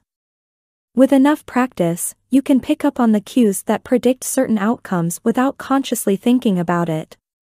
Automatically, your brain encodes the lessons learned through experience. We can't always explain what it is we are learning, but learning is happening all along the way, and your ability to notice the relevant cues in a given situation is the foundation for every habit you have. We underestimate how much our brains and bodies can do without thinking. You do not tell your hair to grow, your heart to pump, your lungs to breathe, or your stomach to digest. And yet your body handles all this and more on autopilot. You are much more than your conscious self. Consider hunger. How do you know when you're hungry? You don't necessarily have to see a cookie on the counter to realize that it is time to eat. Appetite and hunger are governed non-consciously. Your body has a variety of feedback loops that gradually alert you when it is time to eat again and that track what is going on around you and within you. Cravings can arise thanks to hormones and chemicals circulating through your body. Suddenly, you're hungry even though you're not quite sure what tipped you off. This is one of the most surprising insights about our habits, you don't need to be aware of the cue for a habit to begin. You can notice an opportunity and take action without dedicating conscious attention to it. This is what makes habits useful. It's also what makes them dangerous. As habits form, your actions come under the direction of your automatic and non-conscious mind. You fall into old patterns before you realize what's happening. Unless someone points it out, you may not notice that you cover your mouth with your hand whenever you laugh, that you apologize before asking a question, or that you have a habit of finishing other people's sentences. And the more you repeat these patterns, the less likely you become to question what you're doing and why you're doing it. I once heard of a retail clerk who was instructed to cut up empty gift cards after customers had used up the balance on the card. One day, the clerk cashed out a few customers in a row who purchased with gift cards. When the next person walked up, the clerk swiped the customer's actual credit card, picked up the scissors, and then cut it in half, entirely on autopilot, before looking up at the stunned customer and realizing what had just happened. Another woman I came across in my research was a former preschool teacher who had switched to a corporate job. Even though she was now working with adults, her old habits would kick in and she kept asking coworkers if they had washed their hands after going to the bathroom. I also found the story of a man who had spent years working as a lifeguard and would occasionally yell, walk. Whenever he saw a child running. Over time, the cues that spark our habits become so common that they are essentially invisible, the treats on the kitchen counter, the remote control next to the couch, the phone in our pocket. Our responses to these cues are so deeply encoded that it may feel like the urge to act comes from nowhere. For this reason, we must begin the process of behavior change with awareness. Before we can effectively build new habits, we need to get a handle on our current ones. This can be more challenging than it sounds because once a habit is firmly rooted in your life, it is mostly non-conscious and automatic. If a habit remains mindless, you can't expect to improve it. As the psychologist Carl Jung said, until you make the unconscious conscious, it will direct your life and you will call it fate. The Habits Scorecard the Japanese railway system is regarded as one of the best in the world. If you ever find yourself riding a train in Tokyo, you'll notice that the conductors have a peculiar habit. As each operator runs the train, they proceed through a ritual of pointing at different objects and calling out commands. When the train approaches a signal, the operator will point at it and say, signal is green. As the train pulls into and out of each station, the operator will point at the speedometer and call out the exact speed. When it's time to leave, the operator will point at the timetable and state the time. Out on the platform, other employees are performing similar actions. Before each train departs, staff members will point along the edge of the platform and declare, all clear. Every detail is identified, pointed at, and named aloud, asterisk. This process, known as pointing and calling, is a safety system designed to reduce mistakes. It seems silly, but it works incredibly well. Pointing and calling reduces errors by up to 85% and cuts accidents by 30%. The MTA subway system in New York City adopted a modified version that is point only, and, within two years of implementation, incidents of incorrectly berthed subways fell 57%. Pointing and calling is so effective because it raises the level of awareness from a non-conscious habit to a more conscious level. Because the train operators must use their eyes, hands, mouth, and ears, they are more likely to notice problems before something goes wrong. My wife does something similar. Whenever we are preparing to walk out the door for a trip, she verbally calls out the most essential items in her packing list. I've got my keys. I've got my wallet. I've got my glasses. I've got my husband.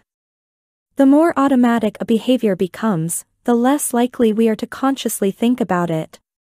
And when we've done something a thousand times before, we begin to overlook things. We assume that the next time will be just like the last. We're so used to doing what we've always done that we don't stop to question whether it's the right thing to do at all. Many of our failures in performance are largely attributable to a lack of self-awareness.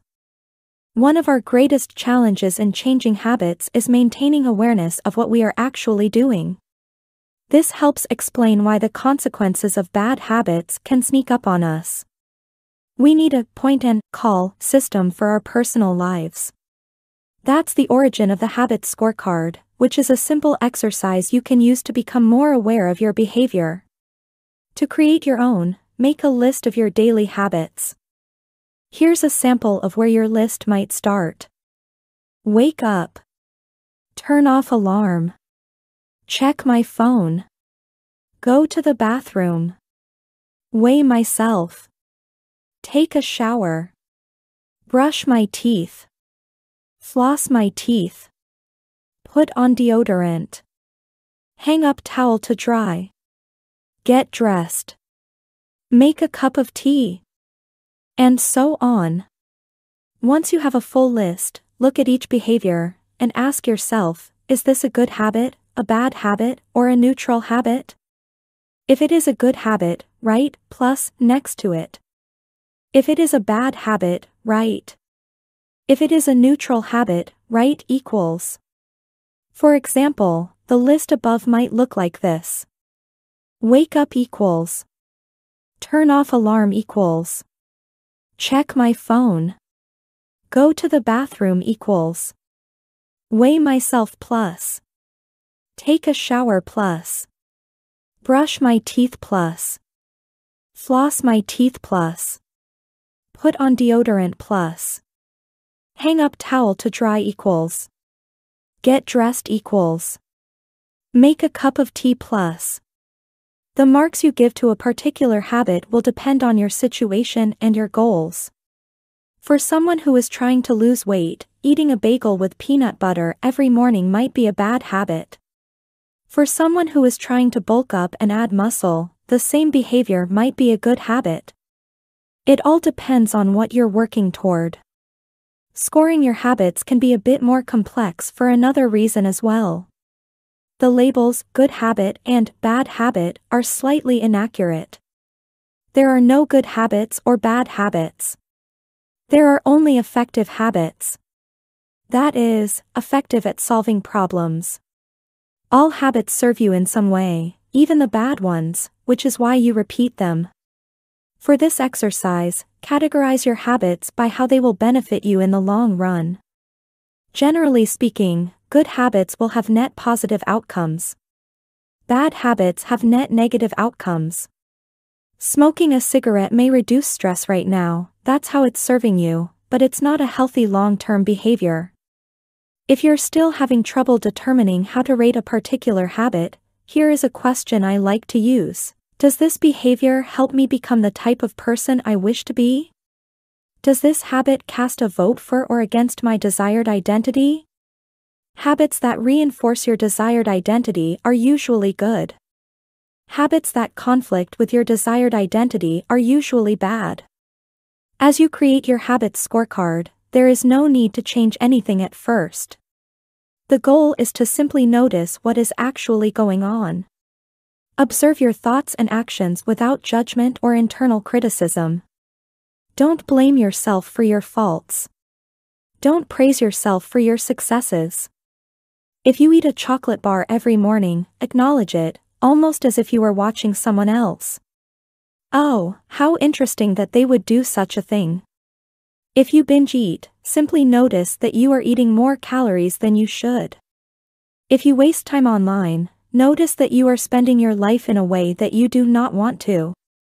The first step to changing bad habits is to be on the lookout for them. If you feel like you need extra help, then you can try pointing and calling in your own life. Say out loud the action that you are thinking of taking and what the outcome will be. If you want to cut back on your junk food habit but notice yourself grabbing another cookie, say out loud, I'm about to eat this cookie, but I don't need it. Eating it will cause me to gain weight and hurt my health. Hearing your bad habits spoken aloud makes the consequences seem more real. It adds weight to the action rather than letting yourself mindlessly slip into an old routine. This approach is useful even if you're simply trying to remember a task on your to-do list. Just saying out loud, tomorrow, I need to go to the post office after lunch, increases the odds that you'll actually do it. You're getting yourself to acknowledge the need for action, and that can make all the difference. The process of behavior change always starts with awareness. Strategies like pointing and calling and the habits scorecard are focused on getting you to recognize your habits and acknowledge the cues that trigger them, which makes it possible to respond in a way that benefits you. Chapter Summary With enough practice, your brain will pick up on the cues that predict certain outcomes without consciously thinking about it. Once our habits become automatic, we stop paying attention to what we are doing. The process of behavior change always starts with awareness. You need to be aware of your habits before you can change them. Pointing and calling raises your level of awareness from a non-conscious habit to a more conscious level by verbalizing your actions. The habit scorecard is a simple exercise you can use to become more aware of your behavior. The best way to start a new habit. In 2001, researchers in Great Britain began working with 248 people to build better exercise habits over the course of two weeks. The subjects were divided into three groups. The first group was the control group. They were simply asked to track how often they exercised. The second group was the motivation group. They were asked not only to track their workouts but also to read some material on the benefits of exercise. The researchers also explained to the group how exercise could reduce the risk of coronary heart disease and improve heart health. Finally, there was the third group. These subjects received the same presentation as the second group, which ensured that they had equal levels of motivation. However, they were also asked to formulate a plan for when and where they would exercise over the following week. Specifically, each member of the third group completed the following sentence During the next week, I will partake in at least 20 minutes of vigorous exercise on day, at time, in place. In the first and second groups, 35 to 38% of people exercised at least once per week. Interestingly, the motivational presentation given to the second group seemed to have no meaningful impact on behavior. But 91% of the third group exercised at least once per week, more than double the normal rate. The sentence they filled out is what researchers refer to as an implementation intention, which is a plan you make beforehand about when and where to act. That is, how you intend to implement a particular habit. The cues that can trigger a habit come in a wide range of forms the feel of your phone buzzing in your pocket, the smell of chocolate chip cookies, the sound of ambulance sirens, but the two most common cues are time and location. Implementation intentions leverage both of these cues. Broadly speaking, the format for creating an implementation intention is When situation X arises, I will perform response Y. Hundreds of studies have shown that implementation intentions are effective for sticking to our goals. Whether it's writing down the exact time and date of when you will get a flu shot or recording the time of your colonoscopy appointment, they increase the odds that people will stick with habits like recycling, studying, going to sleep early, and stopping smoking.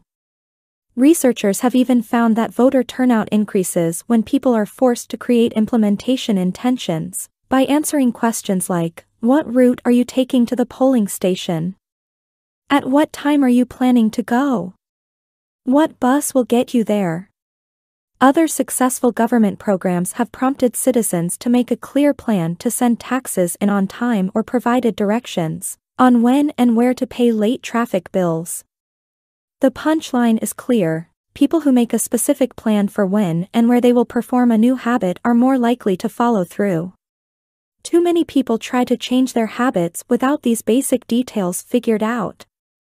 We tell ourselves, I'm going to eat healthier, or I'm going to write more, but we never say when and where these habits are going to happen. We leave it up to chance and hope that we will just remember to do it or feel motivated at the right time. An implementation intention sweeps away foggy notions like, I want to work out more, or, I want to be more productive, or, I should vote, and transforms them into a concrete plan of action. Many people think they lack motivation when what they really lack is clarity. It is not always obvious when and where to take action. Some people spend their entire lives waiting for the time to be right to make an improvement.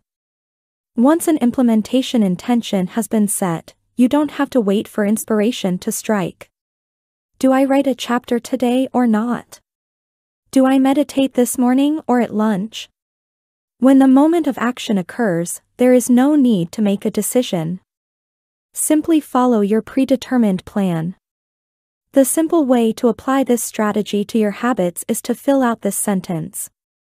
I will, behavior, at, time, in, location. Meditation. I will meditate for one minute at 7 a.m. in my kitchen. Studying. I will study Spanish for 20 minutes at 6 p.m. in my bedroom. Exercise. I will exercise for one hour at 5 p.m. in my local gym. Marriage.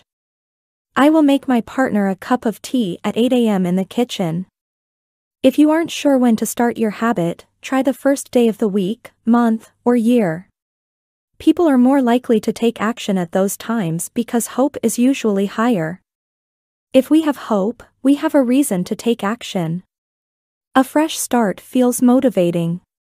There is another benefit to implementation intentions. Being specific about what you want and how you will achieve it helps you say no to things that derail progress, distract your attention, and pull you off course. We often say yes to little requests because we are not clear enough about what we need to be doing instead. When your dreams are vague, it's easy to rationalize little exceptions all day long and never get around to the specific things you need to do to succeed. Give your habits a time and a space to live in the world. The goal is to make the time and location so obvious that, with enough repetition, you get an urge to do the right thing at the right time, even if you can't say why. As the writer Jason Zweig noted, obviously you're never going to just work out without conscious thought. But like a dog salivating at a bell, maybe you start to get antsy around the time of day you normally work out. There are many ways to use implementation intentions in your life and work. My favorite approach is one I learned from Stanford professor BJ Fogg and it is a strategy one refer to as habit stacking. Habit stacking, a simple plan to overhaul your habits. The French philosopher Denis Diderot lived nearly his entire life in poverty, but that all changed one day in 1765. Diderot's daughter was about to be married and he could not afford to pay for the wedding. Despite his lack of wealth, Diderot was well known for his role as the co-founder and writer of Encyclopédie, one of the most comprehensive encyclopedias of the time. When Catherine the Great, the Empress of Russia, heard of Diderot's financial troubles, her heart went out to him. She was a book lover and greatly enjoyed his encyclopedia. She offered to buy Diderot's personal library for £1,000, more than $150,000 today. Asterisk suddenly, Diderot had money to spare. With his new wealth, he not only paid for the wedding but also acquired a scarlet robe for himself. Diderot's scarlet robe was beautiful. So beautiful, in fact, that he immediately noticed how out of place it seemed when surrounded by his more common possessions. He wrote that there was no more coordination, no more unity, no more beauty, between his elegant robe and the rest of his stuff. Diderot soon felt the urge to upgrade his possessions. He replaced his rug with one from Damascus. He decorated his home with expensive sculptures. He bought a mirror to place above the mantel, and a better kitchen table. He tossed aside his old straw chair for a leather one. Like falling dominoes, one purchase led to the next. Diderot's behavior is not uncommon. In fact, the tendency for one purchase to lead to another one has a name, the Diderot effect. The Diderot effect states that obtaining a new possession often creates a spiral of consumption that leads to additional purchases. You can spot this pattern everywhere. You buy a dress and have to get new shoes and earrings to match. You buy a couch and suddenly question the layout of your entire living room. You buy a toy for your child and soon find yourself purchasing all of the accessories that go with it. It's a chain reaction of purchases. Many human behaviors follow this cycle. You often decide what to do next based on what you have just finished doing. Going to the bathroom leads to washing and drying your hands, which reminds you that you need to put the dirty towels in the laundry, so you add laundry detergent to the shopping list, and so on. No behavior happens in isolation. Each action becomes a cue that triggers the next behavior. Why is this important? When it comes to building new habits, you can use the connectedness of behavior to your advantage. One of the best ways to build a new habit is to identify a current habit you already do each day, and then stack your new behavior on top. This is called habit stacking. Habit stacking is a special form of an implementation intention. Rather than pairing your new habit with a particular time and location, you pair it with a current habit. This method, which was created by BJ Fogg as part of his Tiny Habits program, can be used to design an obvious cue for nearly any habit asterisk. The habit stacking formula is after current habit, I will new habit. For example, meditation. After I pour my cup of coffee each morning, I will meditate for one minute. Exercise. After I take off my work shoes, I will immediately change into my workout clothes. Gratitude. After I sit down to dinner, I will say one thing I'm grateful for that happened today. Marriage. After I get into bed at night, I will give my partner a kiss. Safety. After I put on my running shoes, I will text a friend or family member where I am running and how long it will take. The key is to tie your desired behavior into something you already do each day. Once you have mastered this basic structure, you can begin to create larger stacks by chaining small habits together. This allows you to take advantage of the natural momentum that comes from one behavior leading into the next, a positive version of the Diderot effect. Habit stacking. Figure 7. Habit stacking increases the likelihood that you'll stick with a habit by stacking your new behavior on top of an old one. This process can be repeated to chain numerous habits together, each one acting as the cue for the next. Your morning routine habit stack might look like this. 1. After I pour my morning cup of coffee, I will meditate for 60 seconds. 2. After I meditate for 60 seconds, I will write my to-do list for the day. 3. After I write my to-do list for the day, I will immediately begin my first task. Or, consider this habit stack in the evening. 1. After I finish eating dinner, I will put my plate directly into the dishwasher. 2. After I put my dishes away, I will immediately wipe down the counter. 3. After I wipe down the counter, I will set out my coffee mug for tomorrow morning. You can also insert new behaviors into the middle of your current routines. For example, you may already have a morning routine that looks like this wake up, make my bed, take a shower. Let's say you want to develop the habit of reading more each night. You can expand your habit stack and try something like wake up, make my bed, place a book on my pillow, take a shower. Now, when you climb into bed each night, a book will be sitting there waiting for you to enjoy. Overall, habit stacking allows you to create a set of simple rules that guide your future behavior. It's like you always have a game plan for which action should come next. Once you get comfortable with this approach, you can develop general habit stacks to guide you whenever the situation is appropriate. Exercise. When I see a set of stairs, I will take them instead of using the elevator. Social skills. When I walk into a party, I will introduce myself to someone I don't know yet. Finances. When I want to buy something over $100, I will wait 24 hours before purchasing. Healthy eating. When I serve myself a meal, I will always put veggies on my plate first. Minimalism. When I buy a new item, I will give something away. One in, one out. Mood. When the phone rings, I will take one deep breath and smile before answering. Forgetfulness. When I leave a public place, I will check the table and chairs to make sure I don't leave anything behind. No matter how you use this strategy, the secret to creating a successful habit stack is selecting the right cue to kick things off. Unlike an implementation intention, which specifically states the time and location for a given behavior, habit stacking implicitly has the time and location built into it. When and where you choose to insert a habit into your daily routine can make a big difference. If you're trying to add meditation into your morning routine but mornings are chaotic and your kids keep running into the room, then that may be the wrong place and time. Consider when you are most likely to be successful.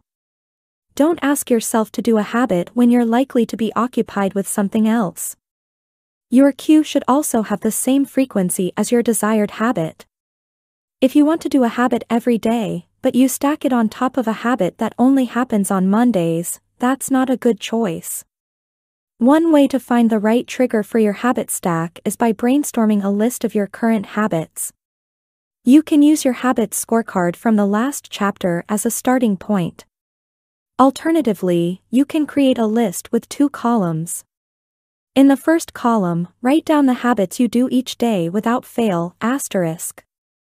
For example, get out of bed, take a shower, brush your teeth, get dressed, brew a cup of coffee, eat breakfast, take the kids to school, start the work day, eat lunch, end the work day, change out of work clothes, sit down for dinner. Turn off the lights. Get into bed. Your list can be much longer, but you get the idea. In the second column, write down all of the things that happen to you each day without fail. For example, the sun rises. You get a text message. The song you are listening to ends. The sun sets. Armed with these two lists, you can begin searching for the best place to layer your new habit into your lifestyle. Habit stacking works best when the cue is highly specific and immediately actionable.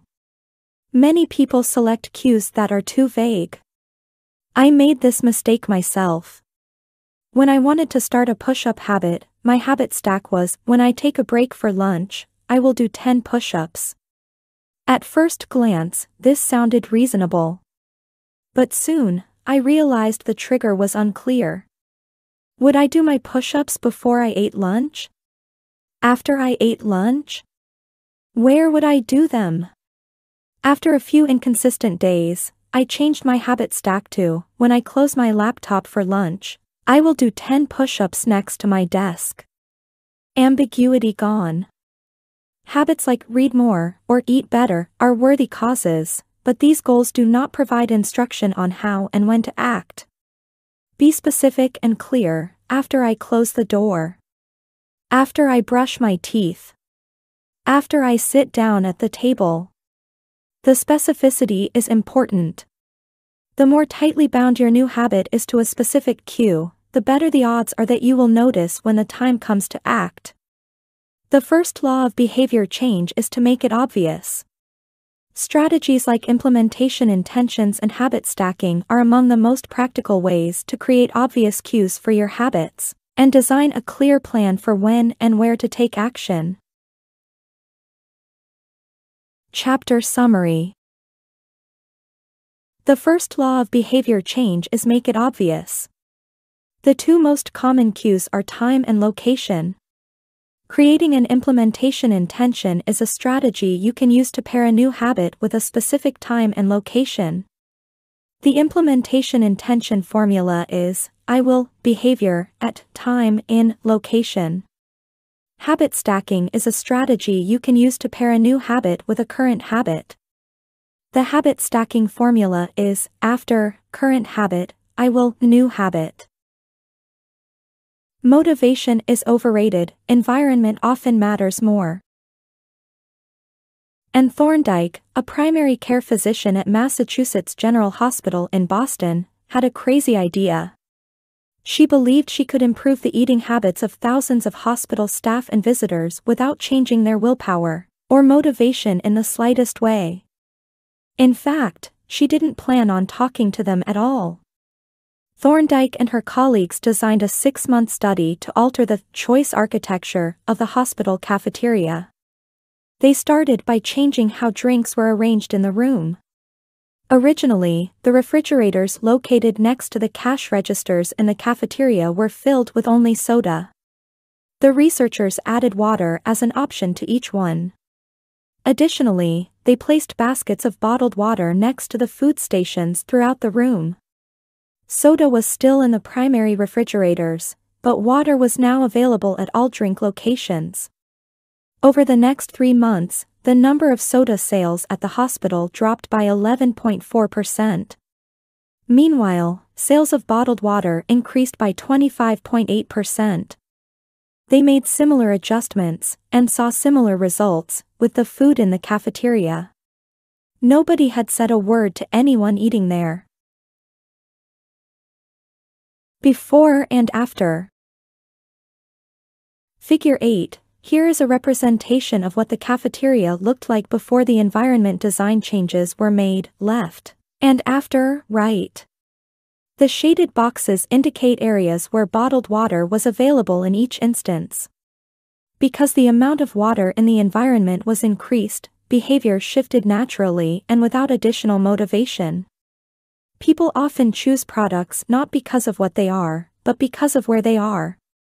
If I walk into the kitchen and see a plate of cookies on the counter, I'll pick up half a dozen and start eating, even if I hadn't been thinking about them beforehand and didn't necessarily feel hungry.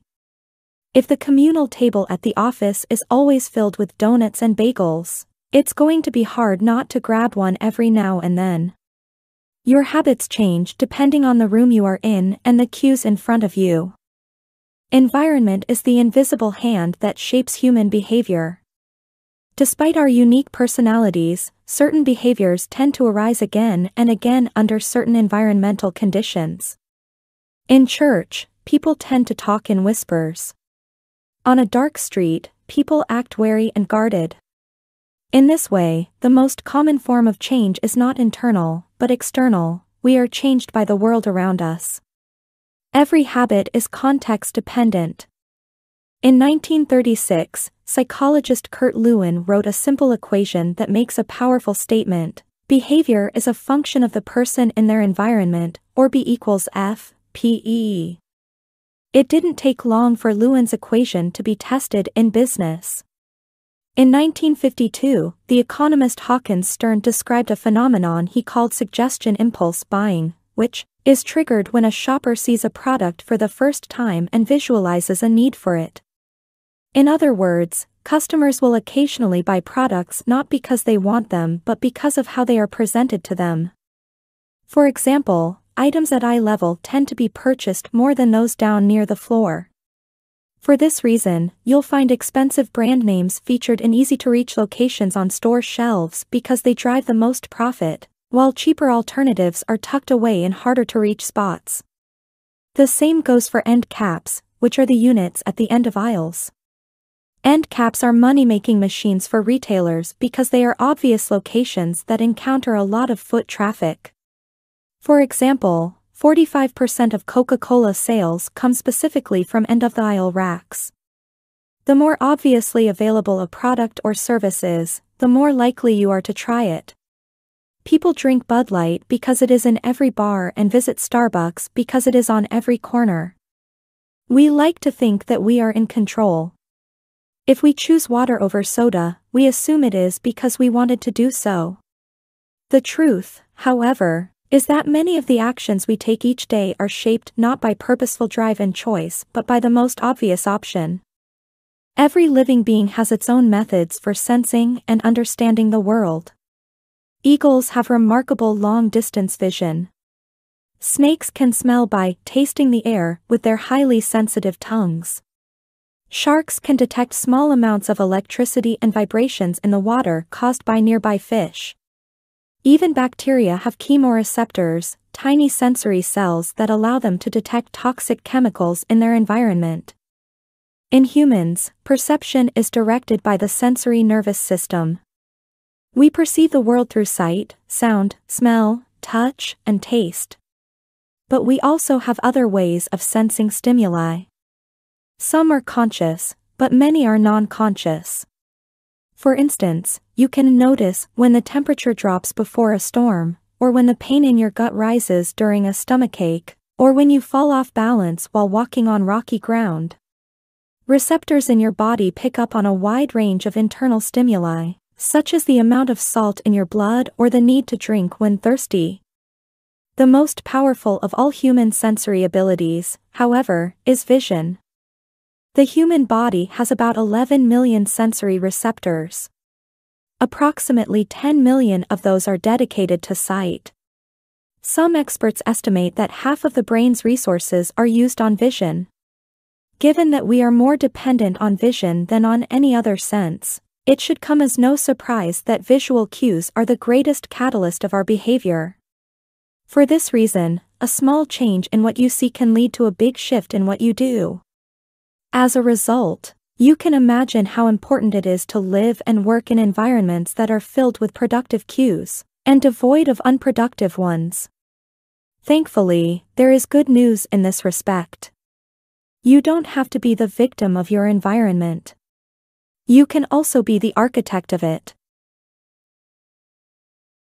How to design your environment for success. During the energy crisis and oil embargo of the 1970s, Dutch researchers began to pay close attention to the country's energy usage. In one suburb near Amsterdam, they found that some homeowners used 30% less energy than their neighbors, despite the homes being of similar size and getting electricity for the same price. It turned out the houses in this neighborhood were nearly identical except for one feature, the location of the electrical meter.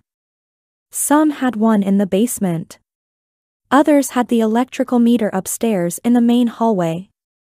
As you may guess, the homes with the meters located in the main hallway used less electricity. When their energy use was obvious and easy to track, people changed their behavior. Every habit is initiated by a cue, and we are more likely to notice cues that stand out. Unfortunately, the environments where we live and work often make it easy not to do certain actions because there is no obvious cue to trigger the behavior. It's easy not to practice the guitar when it's tucked away in the closet. It's easy not to read a book when the bookshelf is in the corner of the guest room. It's easy not to take your vitamins when they are out of sight in the pantry. When the cues that spark a habit are subtle or hidden, they are easy to ignore. By comparison, creating obvious visual cues can draw your attention toward a desired habit.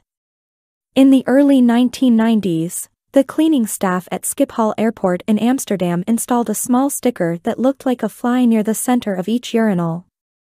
Apparently, when men stepped up to the urinals, they aimed for what they thought was a bug. The stickers improved their aim and significantly reduced spillage around the urinals. Further analysis determined that the stickers cut bathroom cleaning costs by 8% per year. I've experienced the power of obvious cues in my own life. I used to buy apples from the store, put them in the crisper in the bottom of the refrigerator, and forget all about them. By the time I remembered, the apples would have gone bad. I never saw them, so I never ate them. Eventually, I took my own advice and redesigned my environment. I bought a large display bowl and placed it in the middle of the kitchen counter. The next time I bought apples, that was where they went, out in the open where I could see them. Almost like magic, I began eating a few apples each day simply because they were obvious rather than out of sight. Here are a few ways you can redesign your environment and make the cues for your preferred habits more obvious. If you want to remember to take your medication each night, put your pill bottle directly next to the faucet on the bathroom counter. If you want to practice guitar more frequently, place your guitar stand in the middle of the living room. If you want to remember to send more thank you notes, keep a stack of stationery on your desk. If you want to drink more water, fill up a few water bottles each morning and place them in common locations around the house. If you want to make a habit a big part of your life, make the cue a big part of your environment. The most persistent behaviors usually have multiple cues. Consider how many different ways a smoker could be prompted to pull out a cigarette, driving in the car, seeing a friend smoke, feeling stressed at work, and so on. The same strategy can be employed for good habits. By sprinkling triggers throughout your surroundings, you increase the odds that you'll think about your habit throughout the day. Make sure the best choice is the most obvious one. Making a better decision is easy and natural when the cues for good habits are right in front of you. Environment design is powerful not only because it influences how we engage with the world but also because we rarely do it. Most people live in a world others have created for them but you can alter the spaces where you live and work to increase your exposure to positive cues and reduce your exposure to negative ones. Environment design allows you to take back control and become the architect of your life. Be the designer of your world and not merely the consumer of it. The context is the cue. The cues that trigger a habit can start out very specific, but over time your habits become associated not with a single trigger but with the entire context surrounding the behavior. For example, many people drink more in social situations than they would ever drink alone. The trigger is rarely a single cue, but rather the whole situation, watching your friends order drinks, hearing the music at the bar, seeing the beers on tap. We mentally assign our habits to the locations in which they occur, the home, the office, the gym. Each location develops a connection to certain habits and routines. You establish a particular relationship with the objects on your desk, the items on your kitchen counter, The things in your bedroom. Our behavior is not defined by the objects in the environment but by our relationship to them. In fact, this is a useful way to think about the influence of the environment on your behavior. Stop thinking about your environment as filled with objects.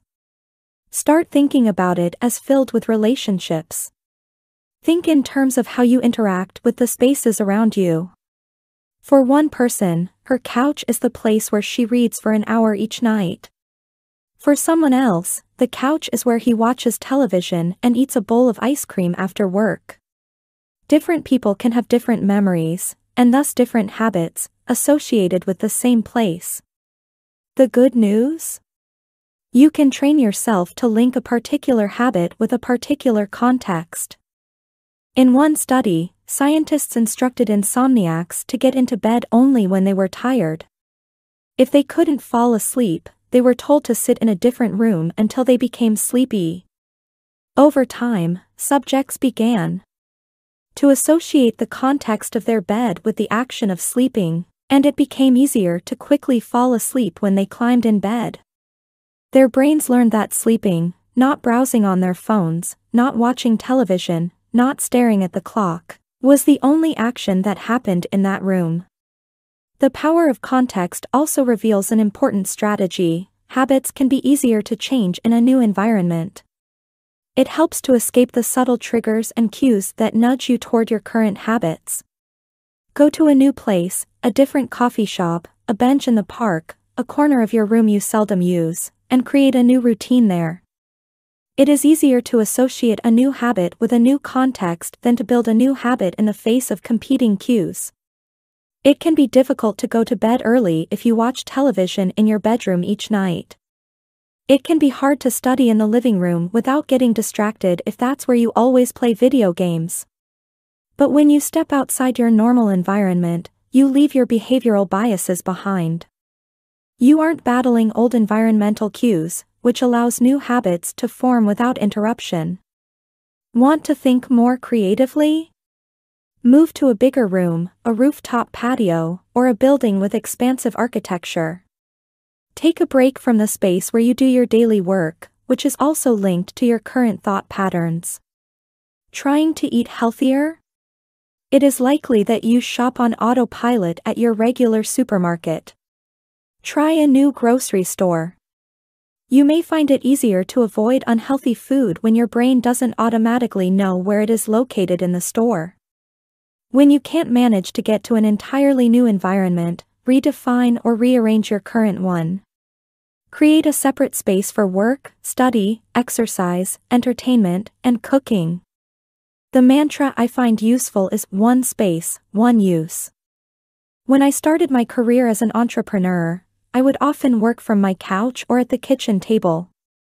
In the evenings, I found it very difficult to stop working.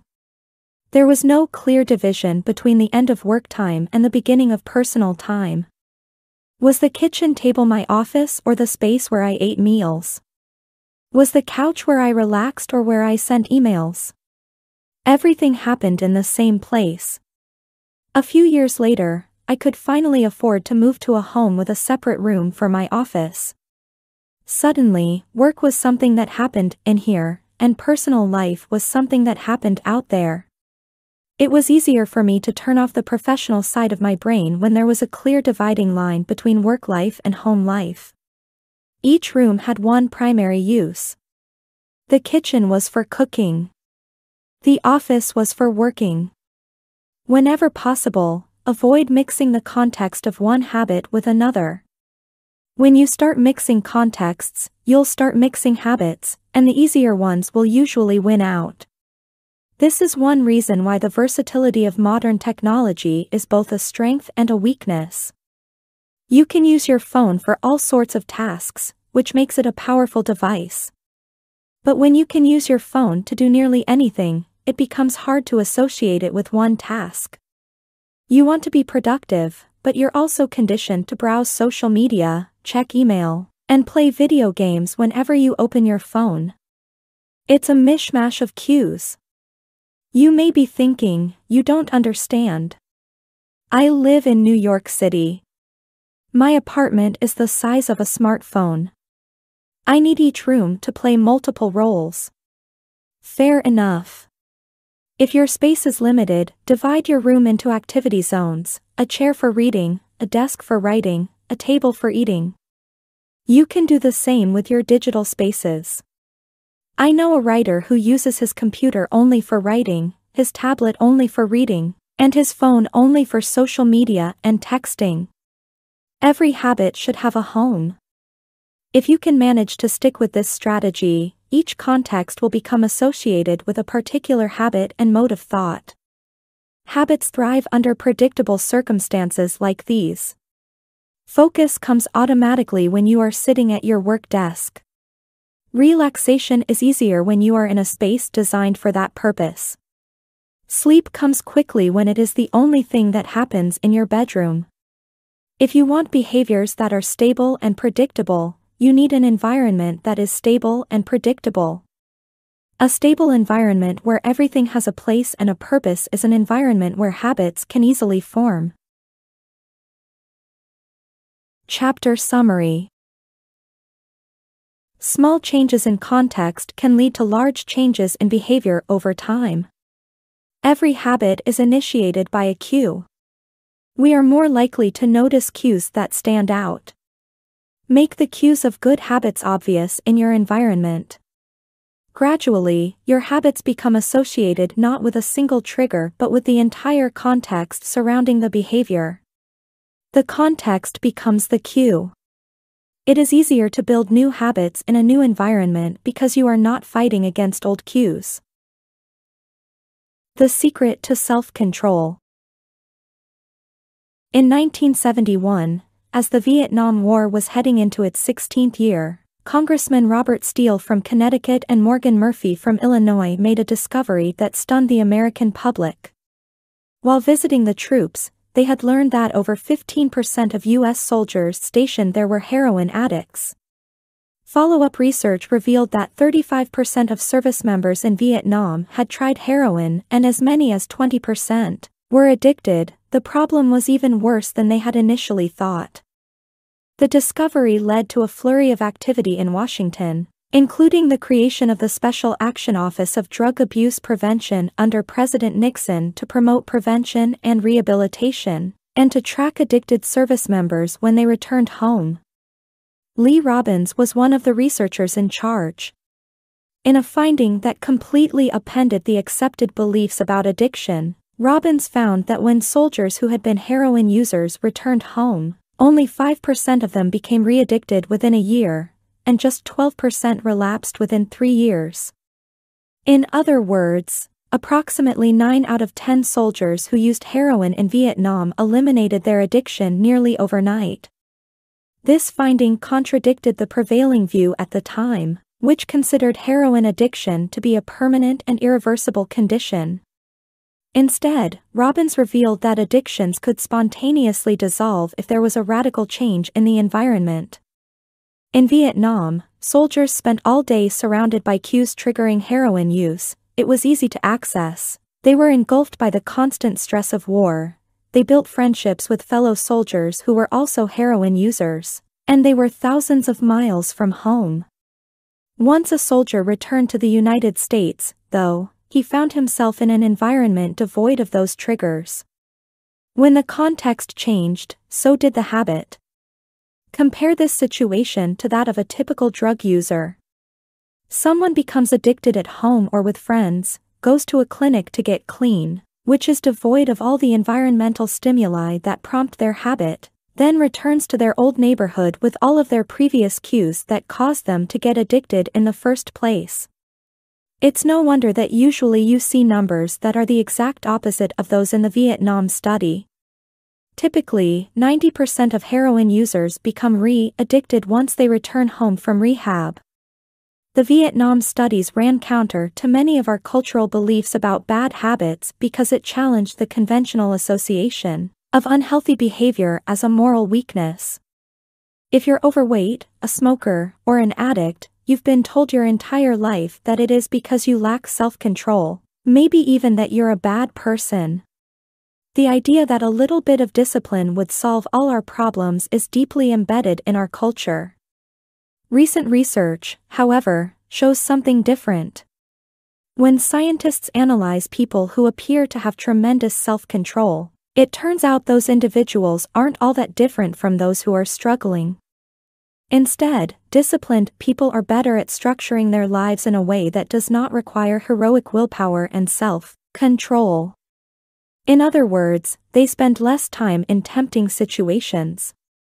The people with the best self-control are typically the ones who need to use it the least. It's easier to practice self-restraint when you don't have to use it very often. So, yes, perseverance, grit, and willpower are essential to success. But the way to improve these qualities is not by wishing you were a more disciplined person, but by creating a more disciplined environment. This counterintuitive idea makes even more sense once you understand what happens when a habit is formed in the brain. A habit that has been encoded in the mind is ready to be used whenever the relevant situation arises. When Patty Olwell, a therapist from Austin, Texas, started smoking, she would often light up while riding horses with a friend. Eventually, she quit smoking and avoided it for years. She had also stopped riding. Decades later, she hopped on a horse again and found herself craving a cigarette for the first time in forever. The cues were still internalized, she just hadn't been exposed to them in a long time. Once a habit has been encoded, the urge to act follows whenever the environmental cues reappear. This is one reason behavior change techniques can backfire. Shaming obese people with weight loss presentations can make them feel stressed, and as a result many people return to their favorite coping strategy, overeating. Showing pictures of blackened lungs to smokers leads to higher levels of anxiety, which drives many people to reach for a cigarette. If you're not careful about cues, you can cause the very behavior you want to stop. Bad habits are autocatalytic, the process feeds itself. They foster the feelings they try to numb. You feel bad, so you eat junk food. Because you eat junk food, you feel bad. Watching television makes you feel sluggish, so you watch more television because you don't have the energy to do anything else. Worrying about your health makes you feel anxious, which causes you to smoke to ease your anxiety, which makes your health even worse and soon you're feeling more anxious. It's a downward spiral, a runaway train of bad habits. Researchers refer to this phenomenon as cue-induced wanting. An external trigger causes a compulsive craving to repeat a bad habit. Once you notice something, you begin to want it. This process is happening all the time, often without us realizing it. Scientists have found that showing addicts a picture of cocaine for just 33 milliseconds stimulates the reward pathway in the brain and sparks desire. This speed is too fast for the brain to consciously register. The addicts couldn't even tell you what they had seen, but they craved the drug all the same. Here's the punchline you can break a habit, but you're unlikely to forget it. Once the mental grooves of habit have been carved into your brain, they are nearly impossible to remove entirely, even if they go unused for quite a while. And that means that simply resisting temptation is an ineffective strategy.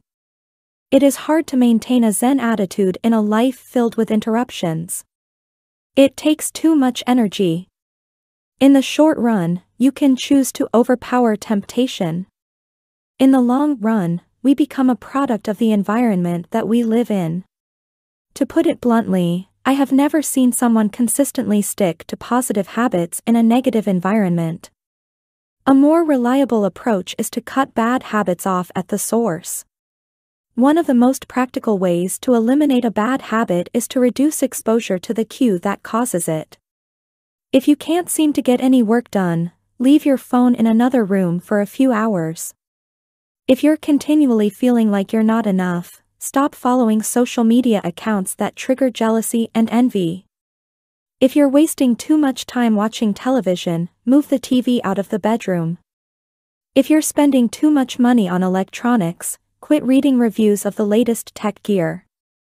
If you're playing too many video games, unplug the console and put it in a closet after each use.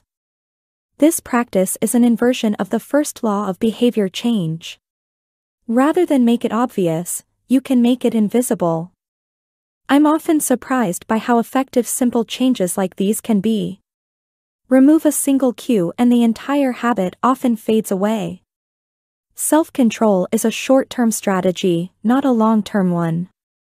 You may be able to resist temptation once or twice, but it's unlikely you can muster the willpower to override your desires every time.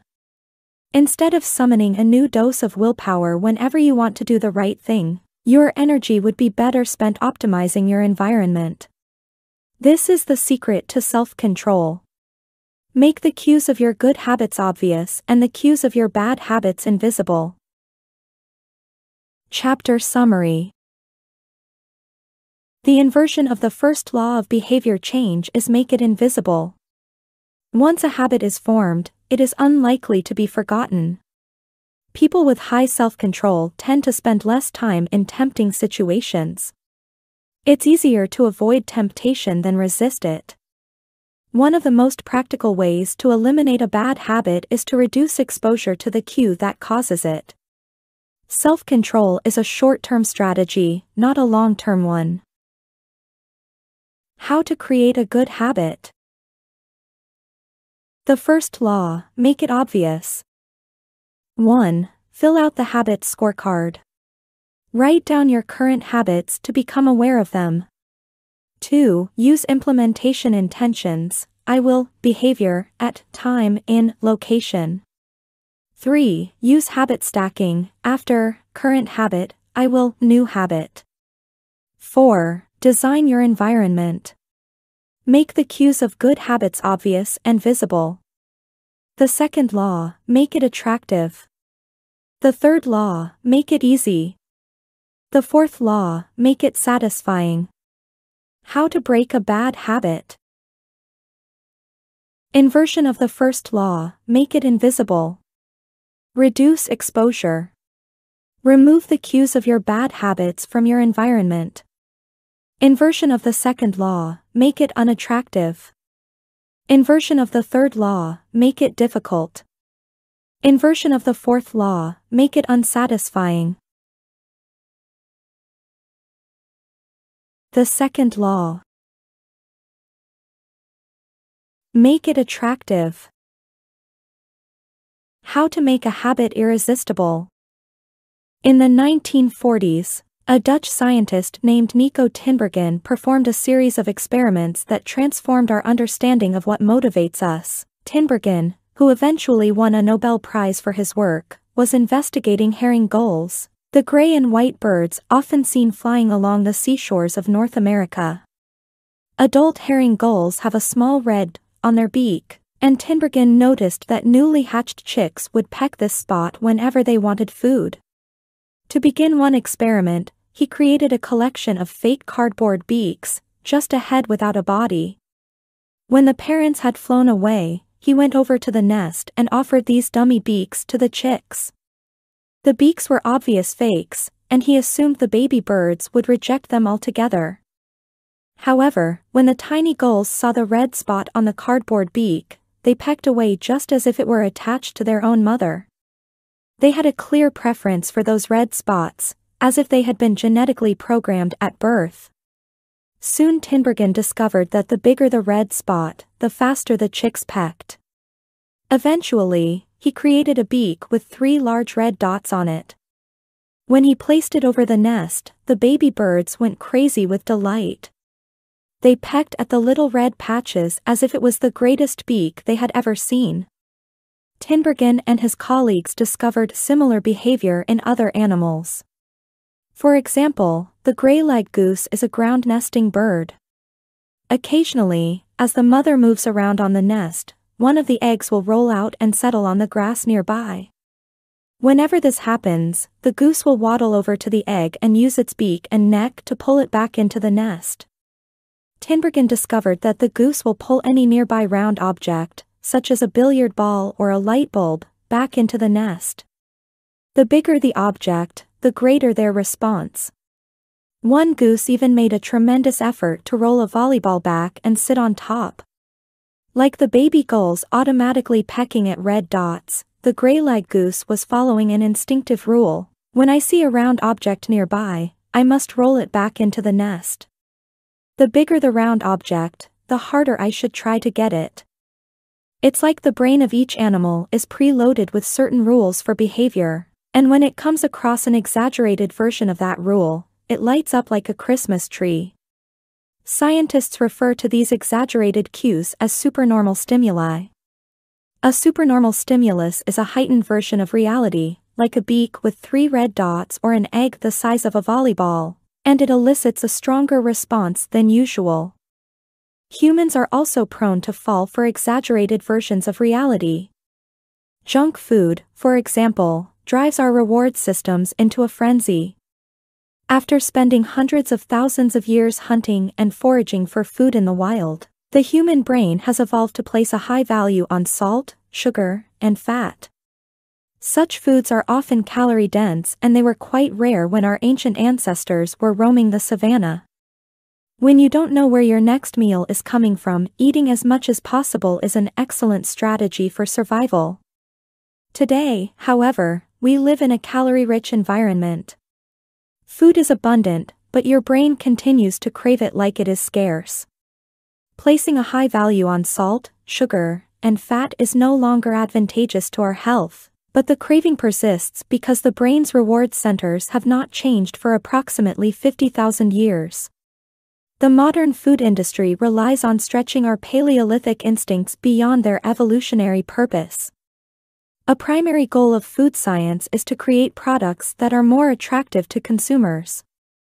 Nearly every food in a bag, box, or jar has been enhanced in some way, if only with additional flavoring. Companies spend millions of dollars to discover the most satisfying level of crunch in a potato chip, or the perfect amount of fizz in a soda.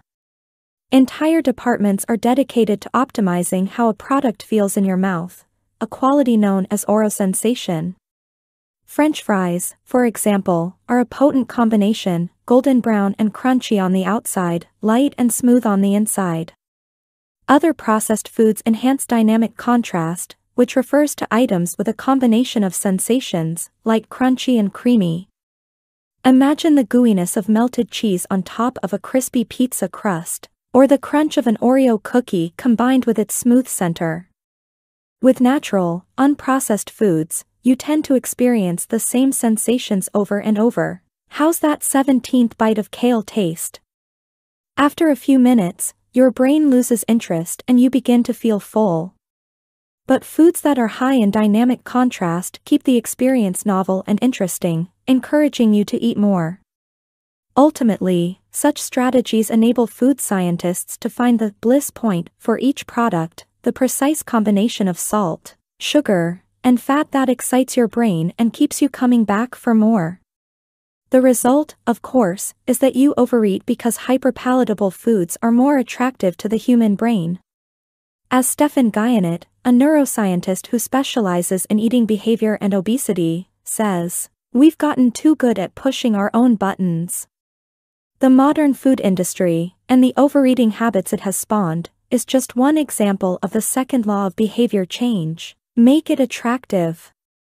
The more attractive an opportunity is, the more likely it is to become habit forming. Look around.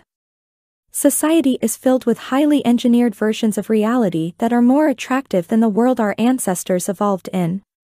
Stores feature mannequins with exaggerated hips and breasts to sell clothes social media delivers more likes and praise in a few minutes than we could ever get in the office or at home. Online porn splices together stimulating scenes at a rate that would be impossible to replicate in real life. Advertisements are created with a combination of ideal lighting, professional makeup, and photoshopped edits. Even the model doesn't look like the person in the final image. These are the supernormal stimuli of our modern world. They exaggerate features that are naturally attractive to us, and our instincts go wild as a result, driving us into excessive shopping habits, social media habits, porn habits, eating habits, and many others. If history serves as a guide, the opportunities of the future will be more attractive than those of today. The trend is for rewards to become more concentrated and stimuli to become more enticing. Junk food is a more concentrated form of calories than natural foods. Hard liquor is a more concentrated form of alcohol than beer. Video games are a more concentrated form of play than board games. Compared to nature, these pleasure-packed experiences are hard to resist. We have the brains of our ancestors but temptations they never had to face. If you want to increase the odds that a behavior will occur, then you need to make it attractive. Throughout our discussion of the second law, our goal is to learn how to make our habits irresistible. While it is not possible to transform every habit into a supernormal stimulus, we can make any habit more enticing. To do this, we must start by understanding what a craving is and how it works. We begin by examining a biological signature that all habits share, the dopamine spike. The dopamine-driven feedback loop. Scientists can track the precise moment a craving occurs by measuring a neurotransmitter called dopamine. Asterisk the importance of dopamine became apparent in 1954 when the neuroscientists James Olds and Peter Milner ran an experiment that revealed the neurological processes behind craving and desire. By implanting electrodes in the brains of rats, the researchers blocked the release of dopamine. To the surprise of the scientists, the rats lost all will to live. They wouldn't eat. They wouldn't have sex. They didn't crave anything. Within a few days, the animals died of thirst. In follow-up studies, other scientists also inhibited the dopamine releasing parts of the brain, but this time, they squirted little droplets of sugar into the mouths of the dopamine-depleted rats. Their little rat faces lit up with pleasurable grins from the tasty substance. Even though dopamine was blocked, they liked the sugar just as much as before, they just didn't want it anymore. The ability to experience pleasure remained, but without dopamine, desire died. And without desire, action stopped. When other researchers reversed this process and flooded the reward system of the brain with dopamine, animals performed habits at breakneck speed. In one study, mice received a powerful hit of dopamine each time they poked their nose in a box. Within minutes, the mice developed a craving so strong they began poking their nose into the box 800 times per hour. Humans are not so different, the average slot machine player will spin the wheel 600 times per hour. Habits are a dopamine-driven feedback loop. Every behavior that is highly habit-forming, taking drugs, eating junk food, playing video games, browsing social media, is associated with higher levels of dopamine. The same can be said for our most basic habitual behaviors like eating food, drinking water, having sex, and interacting socially. For years, scientists assumed dopamine was all about pleasure, but now we know it plays a central role in many neurological processes, including motivation, learning and memory, punishment and aversion, and voluntary movement. When it comes to habits, the key takeaway is this dopamine is released not only when you experience pleasure, but also when you anticipate it. Gambling addicts have a dopamine spike right before they place a bet, not after they win. Cocaine addicts get a surge of dopamine when they see the powder, not after they take it. Whenever you predict that an opportunity will be rewarding, your levels of dopamine spike in anticipation. And whenever dopamine rises, so does your motivation to act. It is the anticipation of a reward, not the fulfillment of it, that gets us to take action. Interestingly, the reward system that is activated in the brain when you receive a reward is the same system that is activated when you anticipate a reward. This is one reason the anticipation of an experience can often feel better than the attainment of it. As a child, thinking about Christmas morning can be better than opening the gifts. As an adult, daydreaming about an upcoming vacation can be more enjoyable than actually being on vacation. Scientists refer to this as the difference between wanting and liking. The dopamine spike. Figure 9. Before a habit is learned, A. Dopamine is released when the reward is experienced for the first time. The next time around, B. Dopamine rises before taking action, immediately after a cue is recognized. This spike leads to a feeling of desire and a craving to take action whenever the cue is spotted. Once a habit is learned, dopamine will not rise when a reward is experienced because you already expect the reward.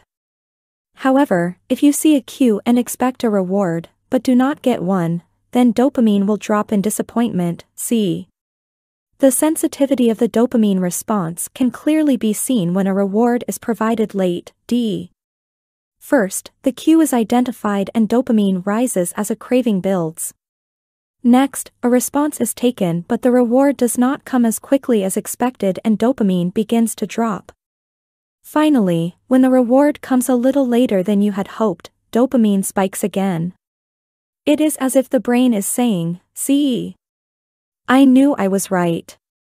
Don't forget to repeat this action next time. Your brain has far more neural circuitry allocated for wanting rewards than for liking them. The wanting centers in the brain are large, the brain stem, the nucleus accumbens, the ventral tegmental area, the dorsal striatum, the amygdala, and portions of the prefrontal cortex. By comparison, the liking centers of the brain are much smaller. They are often referred to as hedonic hotspots and are distributed like tiny islands throughout the brain. For instance, researchers have found that 100% of the nucleus accumbens is activated during wanting. Meanwhile, only 10% of the structure is activated during liking. The fact that the brain allocates so much precious space to the regions responsible for craving and desire provides further evidence of the crucial role these processes play. Desire is the engine that drives behavior. Every action is taken because of the anticipation that precedes it. It is the craving that leads to the response. These insights reveal the importance of the second law of behavior change. We need to make our habits attractive because it is the expectation of a rewarding experience that motivates us to act in the first place. This is where a strategy known as temptation bundling comes into play. How to use temptation bundling to make your habits more attractive. Ronan Byrne, an electrical engineering student in Dublin, Ireland, enjoyed watching Netflix, but he also knew that he should exercise more often than he did. Putting his engineering skills to use, Byrne hacked his stationary bike and connected it to his laptop and television. Then he wrote a computer program that would allow Netflix to run only if he was cycling at a certain speed. If he slowed down for too long, whatever show he was watching would pause until he started pedaling again. He was, in the words of one fan, eliminating obesity one Netflix binge at a time. He was also employing temptation bundling to make his exercise habit more attractive. Temptation bundling works by linking an action you want to do with an action you need to do. In Byrne's case, he bundled watching Netflix, the thing he wanted to do, with riding his stationary bike, the thing he needed to do. Businesses are masters at temptation bundling. For instance, when the American Broadcasting Company, more commonly known as ABC, launched its Thursday night television lineup for the 2014 to 2015 season, they promoted temptation bundling on a massive scale. Every Thursday, the company would air three shows created by screenwriter Shonda Rhimes Grey's Anatomy, Scandal, and How to Get Away with Murder. They branded it as TGIT on ABC, TGIT stands for Thank God It's Thursday. In addition to promoting the shows, ABC encouraged viewers to make popcorn, drink red wine, and enjoy the evening. Andrew Kubitz, head of scheduling for ABC, described the idea behind the campaign. We see Thursday night as a viewership opportunity, with either couples or women by themselves who want to sit down and escape and have fun and drink their red wine and have some popcorn. The brilliance of this strategy is that ABC was associating the thing they needed viewers to do, watch their shows, with activities their viewers already wanted to do relax, drink wine, and eat popcorn. Over time, people began to connect watching ABC with feeling relaxed and entertained. If you drink red wine and eat popcorn at 8 p.m. every Thursday, then eventually 8 p.m. on Thursday means relaxation and entertainment. The reward gets associated with the cue, and the habit of turning on the television becomes more attractive. You're more likely to find a behavior attractive if you get to do one of your favorite things at the same time. Perhaps you want to hear about the latest celebrity gossip, but you need to get in shape. Using temptation bundling, you could only read the tabloids and watch reality shows at the gym. Maybe you want to get a pedicure, but you need to clean out your email inbox. Solution Only get a pedicure while processing overdue work emails. Temptation bundling is one way to apply a psychology theory known as Premack's principle. Named after the work of Professor David Premack, the principle states that more probable behaviors will reinforce less probable behaviors. In other words, even if you don't really want to process overdue work emails, you'll become conditioned to do it if it means you get to do something you really want to do along the way.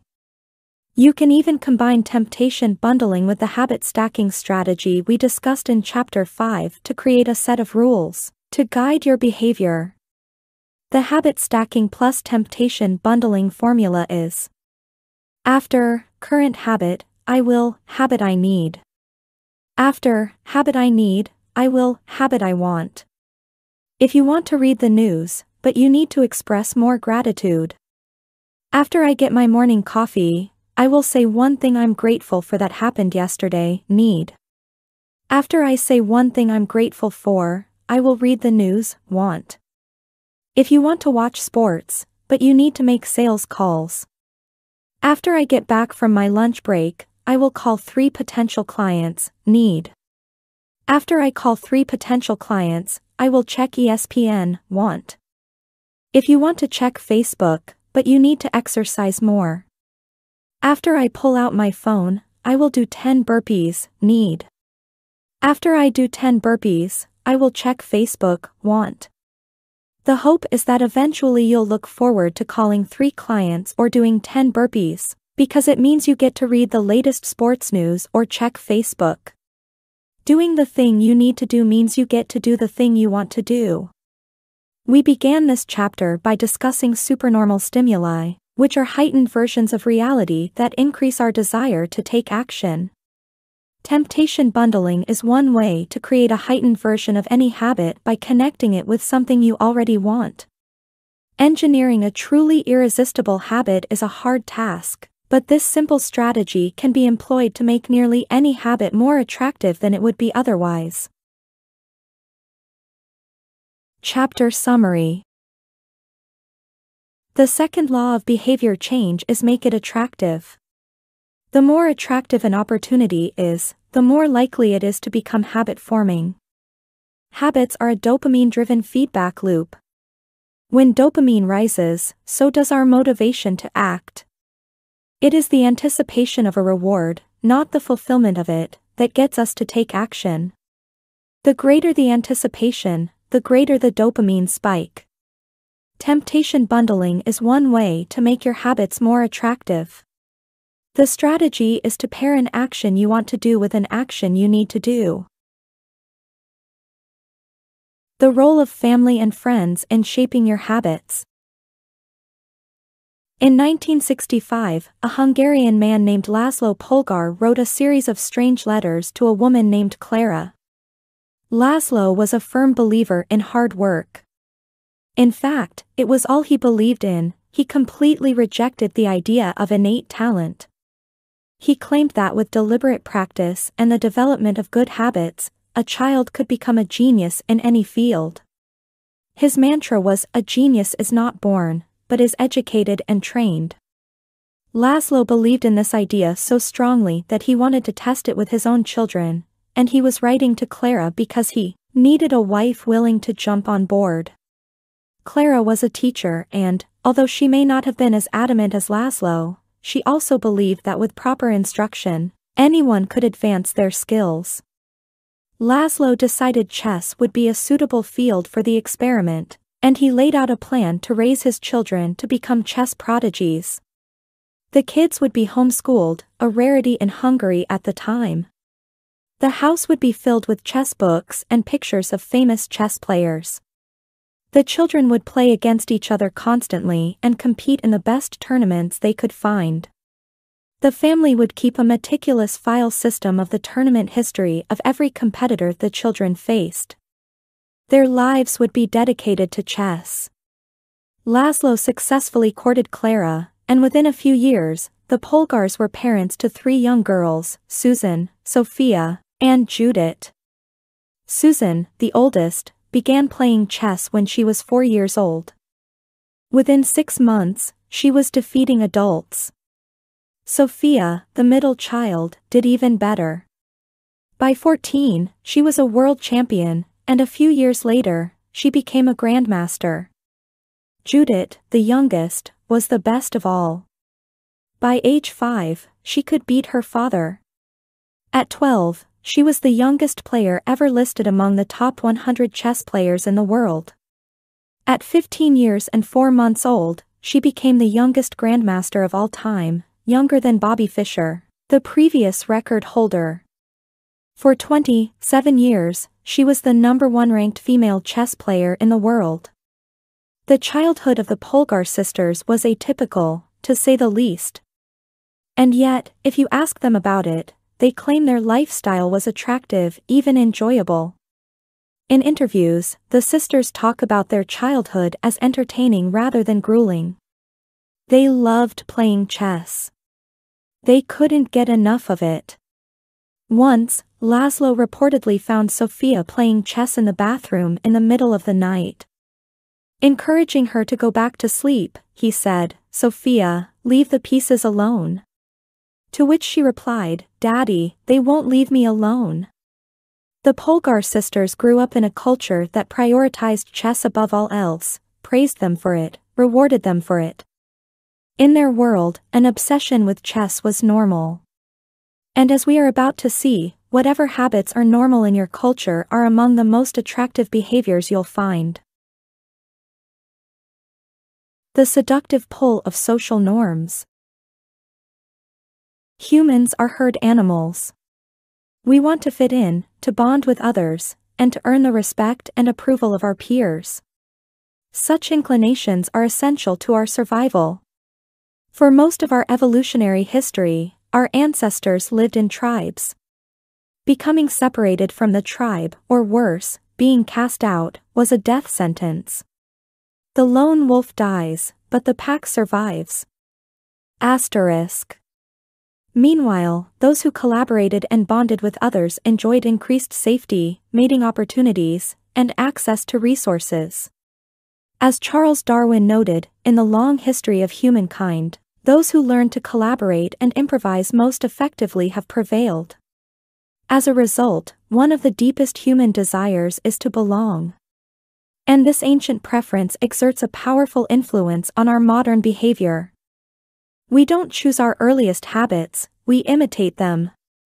We follow the script handed down by our friends and family, our church or school, our local community and society at large.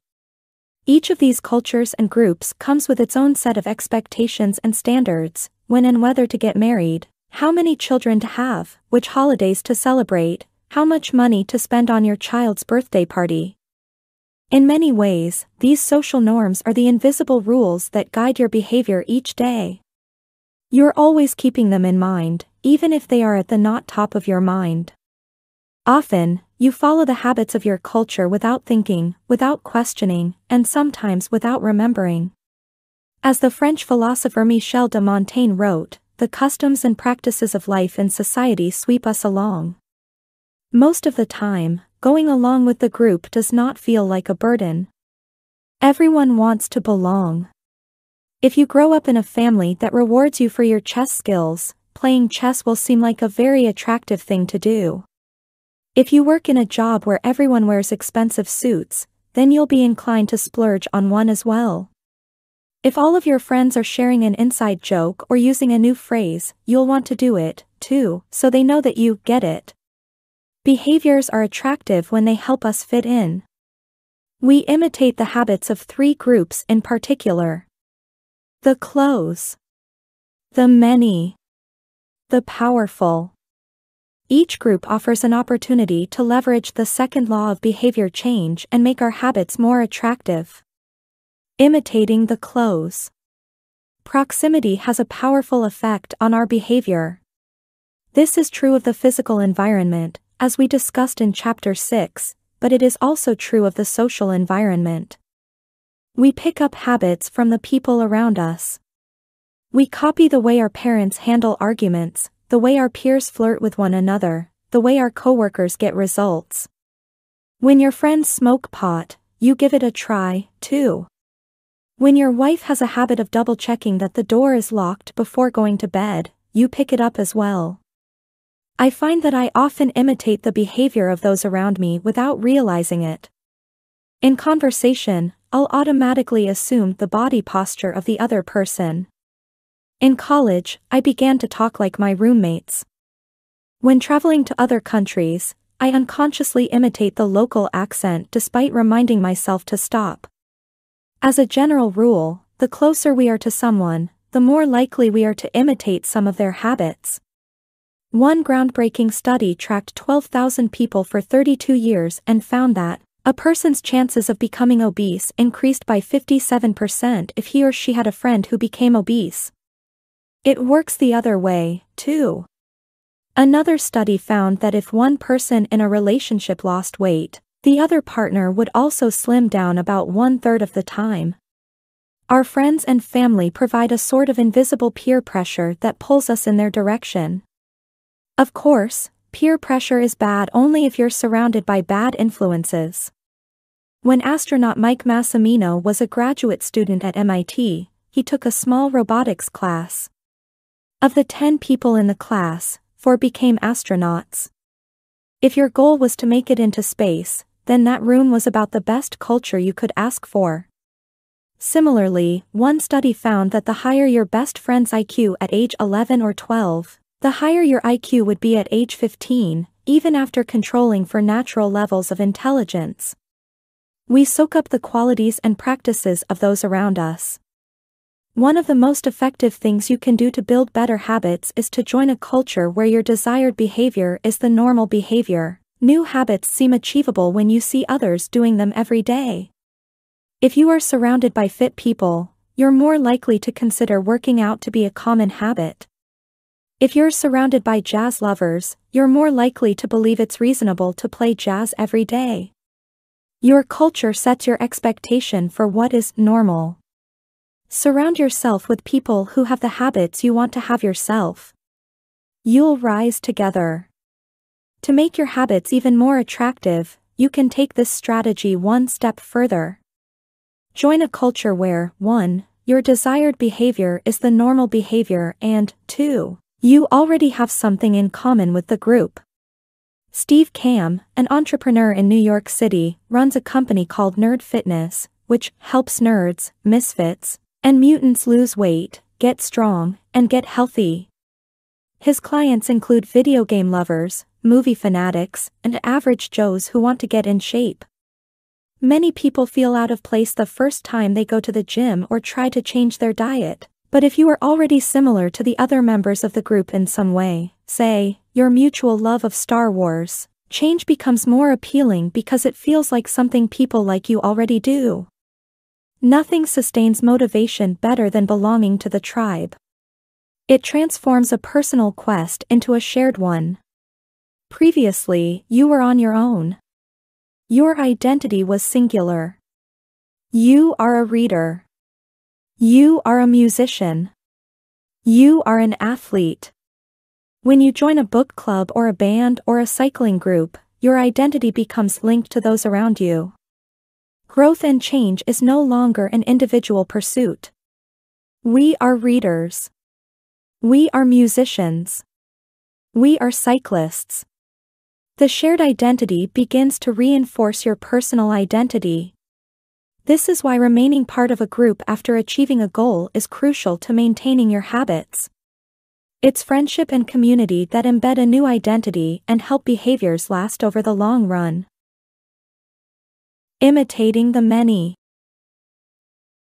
In the 1950s, psychologist Solomon Asch conducted a series of experiments that are now taught to legions of undergrads each year. To begin each experiment, the subject entered the room with a group of strangers. Unbeknownst to them, the other participants were actors planted by the researcher and instructed to deliver scripted answers to certain questions. The group would be shown one card with a line on it and then a second card with a series of lines. Each person was asked to select the line on the second card that was similar in length to the line on the first card. It was a very simple task. Here is an example of two cards used in the experiment. Conforming to social norms. Figure 10 This is a representation of two cards used by Solomon Asch in his famous social conformity experiments. The length of the line on the first card, left, is obviously the same as line C, but when a group of actors claimed it was a different length the research subjects would often change their minds, and go with the crowd rather than believe their own eyes. The experiment always began the same, First, there would be some easy trials where everyone agreed on the correct line. After a few rounds, the participants were shown a test that was just as obvious as the previous ones, except the actors in the room would select an intentionally incorrect answer. For example, they would respond A to the comparison shown in Figure 10. Everyone would agree that the lines were the same even though they were clearly different. The subject, who was unaware of the ruse, would immediately become bewildered. Their eyes would open wide. They would laugh nervously to themselves. They would double check the reactions of other participants. Their agitation would grow as one person after another delivered the same incorrect response. Soon, the subject began to doubt their own eyes. Eventually, they delivered the answer they knew in their heart to be incorrect. Asch ran this experiment many times and in many different ways. What he discovered was that as the number of actors increased, so did the conformity of the subject. If it was just the subject and one actor, then there was no effect on the person's choice. They just assumed they were in the room with a dummy. When two actors were in the room with the subject, there was still little impact. But as the number of people increased to three actors and four and all the way to eight, the subject became more likely to second guess themselves. By the end of the experiment, nearly 75% of the subjects had agreed with the group answer even though it was obviously incorrect. Whenever we are unsure how to act, we look to the group to guide our behavior. We are constantly scanning our environment and wondering, what is everyone else doing? We check reviews on Amazon or Yelp or TripAdvisor because we want to imitate the best buying, eating, and travel habits. It's usually a smart strategy. There is evidence in numbers. But there can be a downside. The normal behavior of the tribe often overpowers the desired behavior of the individual. For example, one study found that when a chimpanzee learns an effective way to crack nuts open as a member of one group and then switches to a new group, that uses a less effective strategy, it will avoid using the superior nut cracking method just to blend in with the rest of the chimps. Humans are similar. There is tremendous internal pressure to comply with the norms of the group. The reward of being accepted is often greater than the reward of winning an argument, looking smart, or finding truth. Most days, we'd rather be wrong with the crowd than be right by ourselves. The human mind knows how to get along with others. It wants to get along with others. This is our natural mode. You can override it, you can choose to ignore the group or to stop caring what other people think, but it takes work. Running against the grain of your culture requires extra effort. When changing your habits means challenging the tribe, change is unattractive. When changing your habits means fitting in with the tribe, change is very attractive. Imitating the powerful. Humans everywhere pursue power, prestige, and status. We want pins and medallions on our jackets. We want president or partner in our titles. We want to be acknowledged, recognized, and praised. This tendency can seem vain, but overall, it's a smart move. Historically, a person with greater power and status has access to more resources, worries less about survival, and proves to be a more attractive mate. We are drawn to behaviors that earn us respect, approval, admiration, and status. We want to be the one in the gym who can do muscle ups or the musician who can play the hardest chord progressions or the parent with the most accomplished children because these things separate us from the crowd. Once we fit in, we start looking for ways to stand out. This is one reason we care so much about the habits of highly effective people. We try to copy the behavior of successful people because we desire success ourselves. Many of our daily habits are imitations of people we admire. You replicate the marketing strategies of the most successful firms in your industry. You make a recipe from your favorite baker. You borrow the storytelling strategies of your favorite writer. You mimic the communication style of your boss. We imitate people we envy. High status people enjoy the approval, respect, and praise of others. And that means if a behavior can get us approval, respect, and praise, we find it attractive. We are also motivated to avoid behaviors that would lower our status. We trim our hedges and mow our lawn because we don't want to be the slob of the neighborhood. When our mother comes to visit, we clean up the house because we don't want to be judged. We are continually wondering, what will others think of me, and altering our behavior based on the answer. The Polgar sisters, the chess prodigies mentioned at the beginning of this chapter, are evidence of the powerful and lasting impact social influences can have on our behavior. The sisters practiced chess for many hours each day and continued this remarkable effort for decades. But these habits and behaviors maintained their attractiveness, in part, because they were valued by their culture. From the praise of their parents to the achievement of different status markers like becoming a grandmaster, they had many reasons to continue their effort. Chapter Summary The culture we live in determines which behaviors are attractive to us. We tend to adopt habits that are praised and approved of by our culture because we have a strong desire to fit in and belong to the tribe. We tend to imitate the habits of three social groups the close, family and friends, the many, the tribe, and the powerful, those with status and prestige. One of the most effective things you can do to build better habits is to join a culture where, 1. Your desired behavior is the normal behavior and, 2. You already have something in common with the group. The normal behavior of the tribe often overpowers the desired behavior of the individual. Most days, we'd rather be wrong with the crowd than be right by ourselves. If a behavior can get us approval, respect, and praise, we find it attractive. How to find and fix the causes of your bad habits. In late 2012, I was sitting in an old apartment just a few blocks from Istanbul's most famous street, Istiklal Caddesi. I was in the middle of a four-day trip to Turkey and my guide, Mike, was relaxing in a worn-out armchair a few feet away. Mike wasn't really a guide. He was just a guy from Maine who had been living in Turkey for five years, but he offered to show me around while I was visiting the country and I took him up on it. On this particular night, I had been invited to dinner with him and a handful of his Turkish friends. There were seven of us, and I was the only one who hadn't, at some point, smoked at least one pack of cigarettes per day. I asked one of the Turks how he got started. Friends, he said. It always starts with your friends.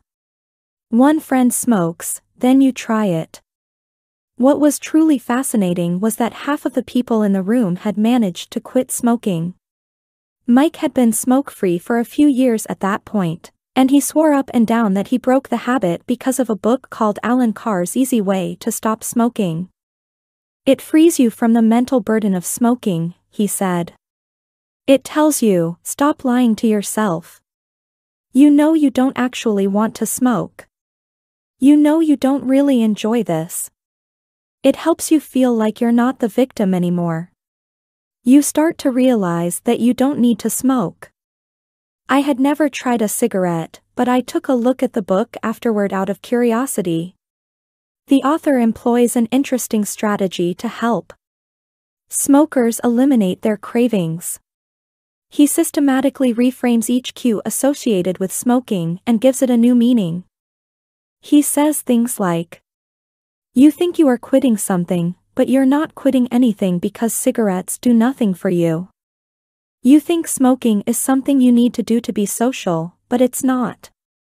You can be social without smoking at all. You think smoking is about relieving stress, but it's not. Smoking does not relieve your nerves, it destroys them. Over and over, he repeats these phrases and others like them. Get it clearly into your mind, he says. You are losing nothing and you are making marvelous positive gains not only in health, energy, and money but also in confidence, self respect, freedom, and, most important of all, in the length and quality of your future life. By the time you get to the end of the book, smoking seems like the most ridiculous thing in the world to do. And if you no longer expect smoking to bring you any benefits, you have no reason to smoke. It is an inversion of the second law of behavior change, make it unattractive. Now, I know this idea might sound overly simplistic. Just change your mind and you can quit smoking. But stick with me for a minute. Where cravings come from. Every behavior has a surface level craving and a deeper, underlying motive. I often have a craving that goes something like this I want to eat tacos. If you were to ask me why I want to eat tacos, I wouldn't say, because I need food to survive. But the truth is, somewhere deep down, I am motivated to eat tacos because I have to eat to survive. The underlying motive is to obtain food and water even if my specific craving is for a taco. Some of our underlying motives include Conserve energy, obtain food and water. Find love and reproduce, connect and bond with others. Win social acceptance and approval, reduce uncertainty. Achieve status and prestige. A craving is just a specific manifestation of a deeper underlying motive.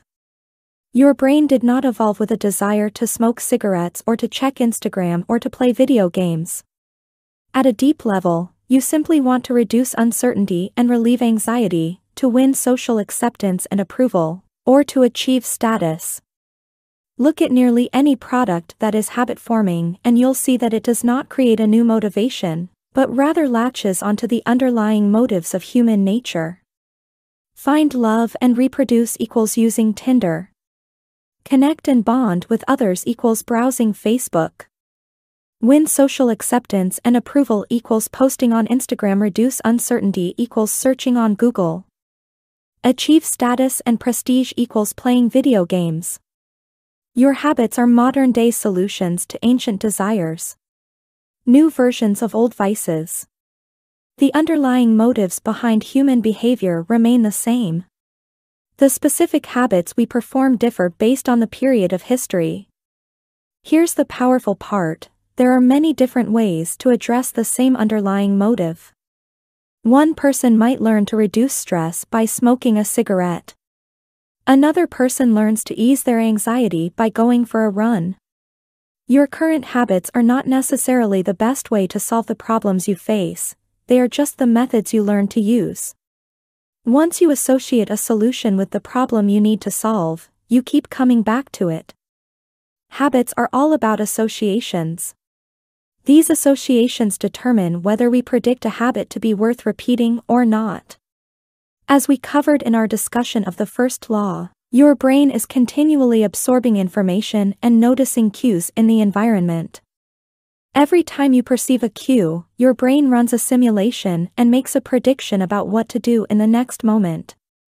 Cue, you notice that the stove is hot. Prediction, if I touch it I'll get burned, so I should avoid touching it. Cue, you see that the traffic light turned green.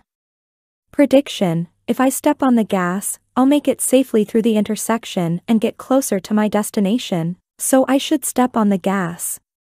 You see a cue, categorize it based on past experience, and determine the appropriate response.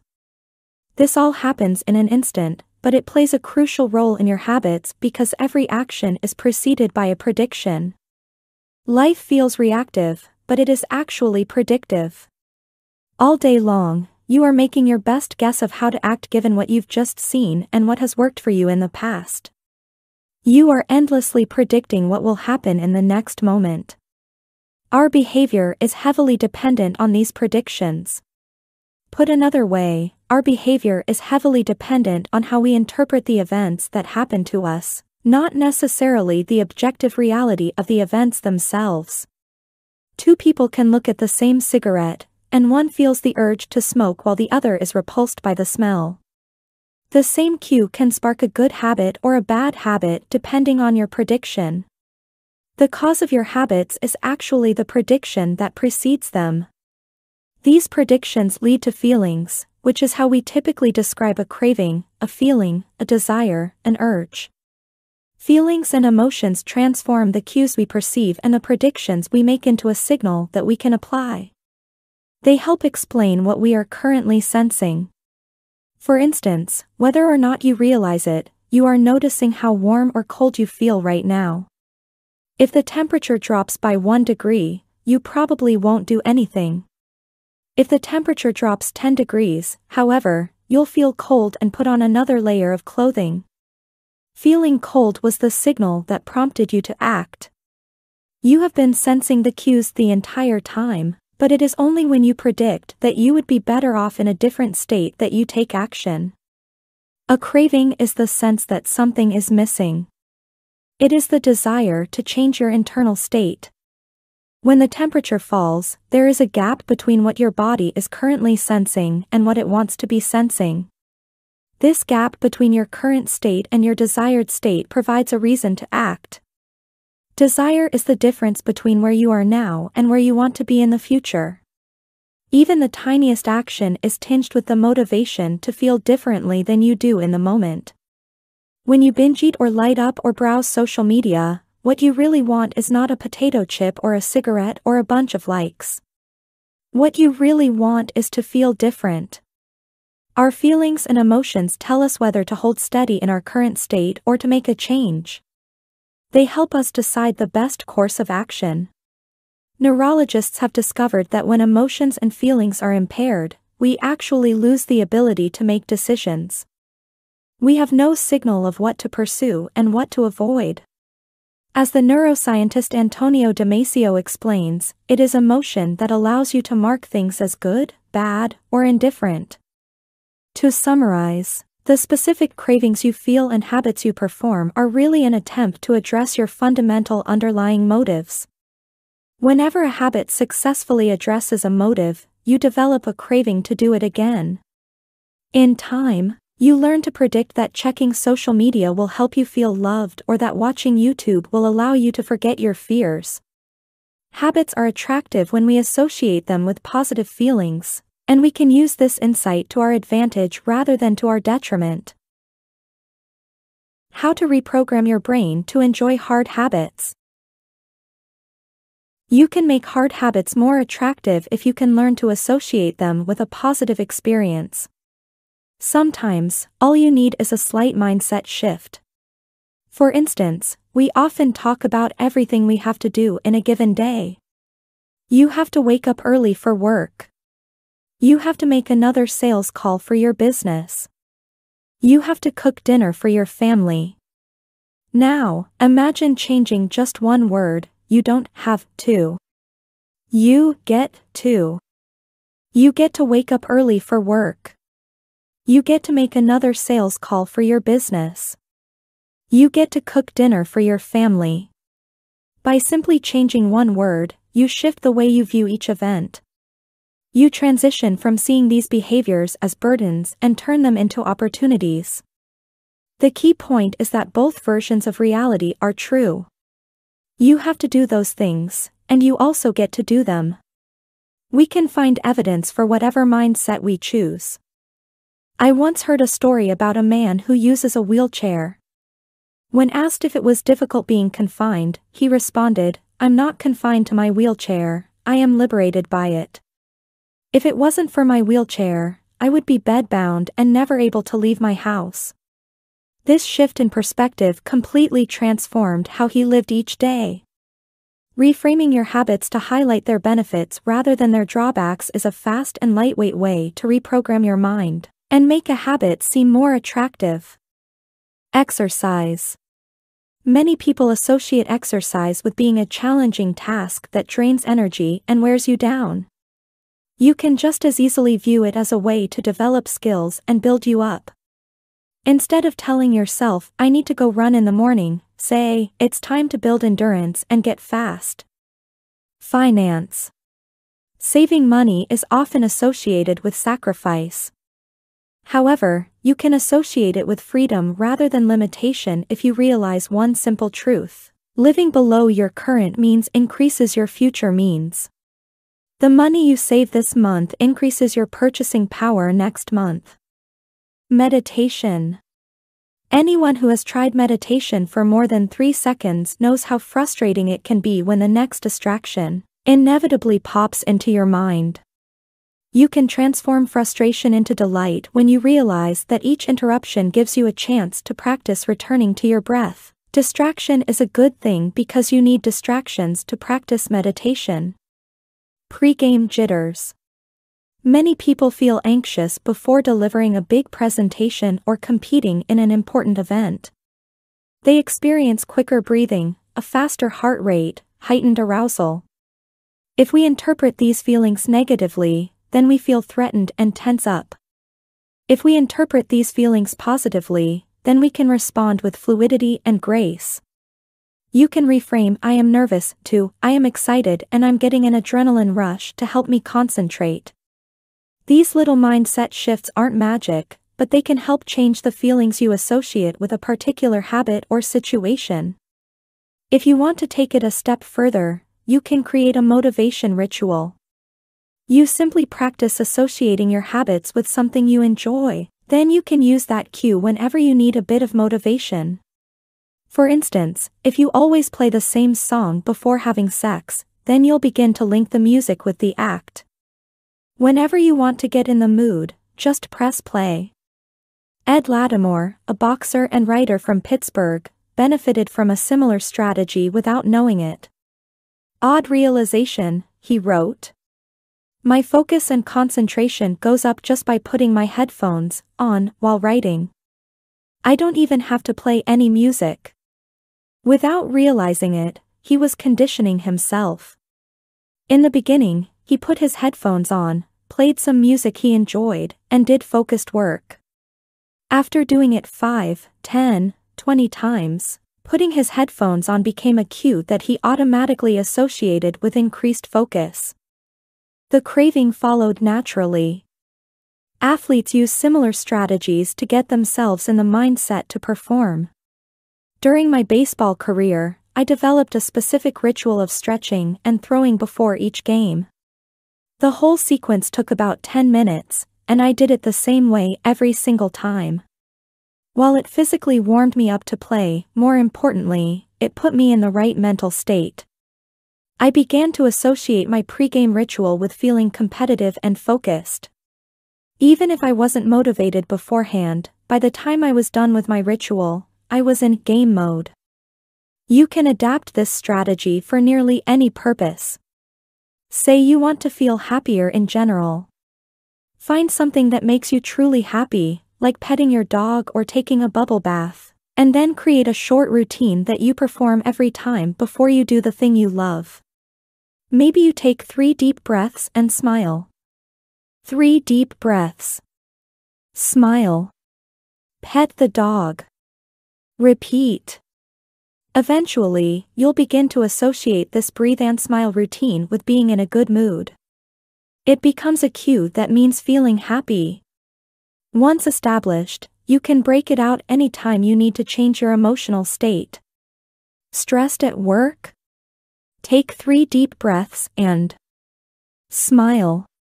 Sad about life? Three deep breaths and smile.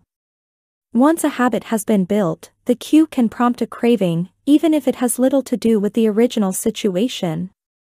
The key to finding and fixing the causes of your bad habits is to reframe the associations you have about them. It's not easy, but if you can reprogram your predictions, you can transform a hard habit into an attractive one.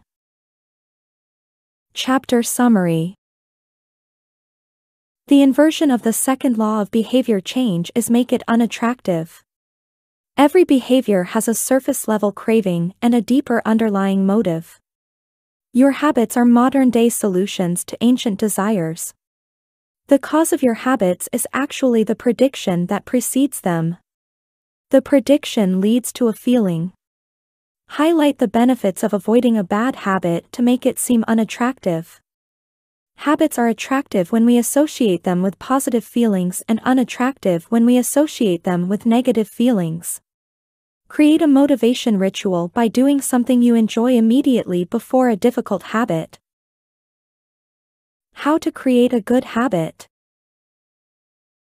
The first law, make it obvious. Fill out the habits scorecard.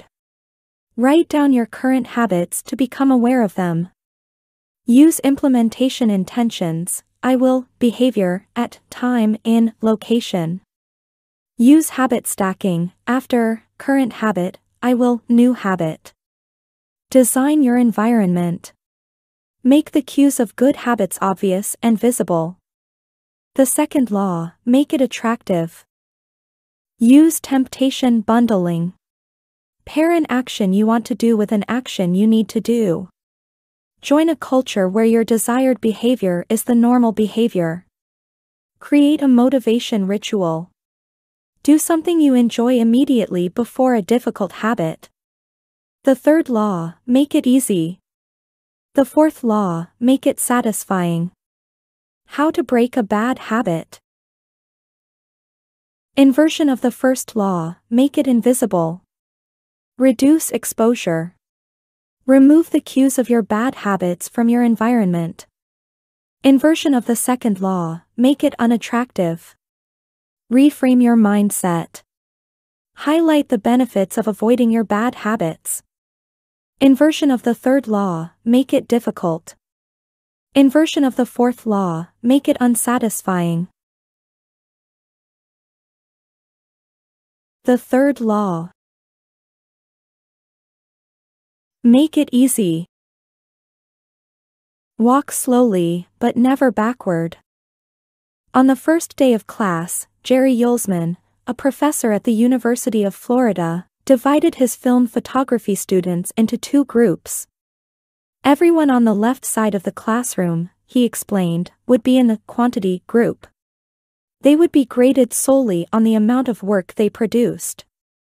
On the final day of class, he would tally the number of photos submitted by each student. 100 photos would rate an A, 90 photos a B, 80 photos a C, and so on. Meanwhile, everyone on the right side of the room would be in the quality group. They would be graded only on the excellence of their work. They would only need to produce one photo during the semester, but to get an A, it had to be a nearly perfect image. At the end of the term, he was surprised to find that all the best photos were produced by the quantity group. During the semester, these students were busy taking photos, experimenting with composition and lighting, testing out various methods in the darkroom, and learning from their mistakes. In the process of creating hundreds of photos, they honed their skills. Meanwhile, the quality group sat around speculating about perfection, in the end, they had little to show for their efforts other than unverified theories and one mediocre photo, asterisk. It is easy to get bogged down trying to find the optimal plan for change, the fastest way to lose weight, the best program to build muscle, the perfect idea for a side hustle. We are so focused on figuring out the best approach that we never get around to taking action. As Voltaire once wrote, the best is the enemy of the good. I refer to this as the difference between being in motion and taking action. The two ideas sound similar, but they're not the same. When you're in motion, you're planning and strategizing and learning. Those are all good things, but they don't produce a result. Action, on the other hand, is the type of behavior that will deliver an outcome. If I outline 20 ideas for articles I want to write, that's motion. If I actually sit down and write an article, that's action. If I search for a better diet plan and read a few books on the topic, that's motion. If I actually eat a healthy meal, that's action. Sometimes motion is useful, but it will never produce an outcome by itself. It doesn't matter how many times you go talk to the personal trainer, that motion will never get you in shape. Only the action of working out will get the result you're looking to achieve. If motion doesn't lead to results, why do we do it? Sometimes we do it because we actually need to plan or learn more. But more often than not, we do it because motion allows us to feel like we're making progress without running the risk of failure. Most of us are experts at avoiding criticism. It doesn't feel good to fail or to be judged publicly, so we tend to avoid situations where that might happen. And that's the biggest reason why you slip into motion rather than taking action, you want to delay failure. It's easy to be in motion and convince yourself that you're still making progress. You think, I've got conversations going with four potential clients right now. This is good. We're moving in the right direction. Or, I brainstormed some ideas for that book I want to write. This is coming together. Motion makes you feel like you're getting things done. But really, you're just preparing to get something done. When preparation becomes a form of procrastination, you need to change something. You don't want to merely be planning. You want to be practicing. If you want to master a habit, the key is to start with repetition, not perfection. You don't need to map out every feature of a new habit. You just need to practice it. This is the first takeaway of the third law, you just need to get your reps in. How long does it actually take to form a new habit? Habit formation is the process by which a behavior becomes progressively more automatic through repetition. The more you repeat an activity, the more the structure of your brain changes to become efficient at that activity. Neuroscientists call this long-term potentiation, which refers to the strengthening of connections between neurons in the brain based on recent patterns of activity. With each repetition, cell-to-cell signaling improves and the neural connections tighten. First described by neuropsychologist Donald Hebb in 1949, this phenomenon is commonly known as Hebb's law. Neurons that fire together wire together. Repeating a habit leads to clear physical changes in the brain. In musicians, the cerebellum, critical for physical movements like plucking a guitar string or pulling a violin bow, is larger than it is in non-musicians. Mathematicians, meanwhile, have increased gray matter in the inferior parietal lobule, which plays a key role in computation and calculation. Its size is directly correlated with the amount of time spent in the field, the older and more experienced the mathematician, the greater the increase in gray matter. When scientists analyzed the brains of taxi drivers in London, they found that the hippocampus, a region of the brain involved in spatial memory, was significantly larger in their subjects than in non-taxi drivers. Even more fascinating, the hippocampus decreased in size when a driver retired. Like the muscles of the body responding to regular weight training, particular regions of the brain adapt as they are used and atrophy as they are abandoned. Of course, the importance of repetition in establishing habits was recognized long before neuroscientists began poking around. In 1860, the English philosopher George H. Lewes noted, in learning to speak a new language, to play on a musical instrument, or to perform unaccustomed movements, great difficulty is felt, because the channels through which each sensation has to pass have not become established, but no sooner has frequent repetition cut a pathway, than this difficulty vanishes. The actions become so automatic that they can be performed while the mind is otherwise engaged. Both common sense and scientific evidence agree, repetition is a form of change. Each time you repeat an action, you are activating a particular neural circuit associated with that habit. This means that simply putting in your reps is one of the most critical steps you can take to encoding a new habit. It is why the students who took tons of photos improved their skills while those who merely theorized about perfect photos did not. One group engaged in active practice, the other in passive learning. One in action, the other in motion. All habits follow a similar trajectory from effortful practice to automatic behavior, a process known as automaticity. Automaticity is the ability to perform a behavior without thinking about each step, which occurs when the non-conscious mind takes over. It looks something like this. The habit line. Figure 11, in the beginning, point A, a habit requires a good deal of effort and concentration to perform. After a few repetitions, point B, it gets easier, but still requires some conscious attention. With enough practice, point C, the habit becomes more automatic than conscious. Beyond this threshold, the habit line, the behavior can be done more or less without thinking. A new habit has been formed. On the following page, you'll see what it looks like when researchers track the level of automaticity for an actual habit like walking for 10 minutes each day. The shape of these charts, which scientists call learning curves, reveals an important truth about behavior change. Habits form based on frequency, not time. Walking 10 minutes per day.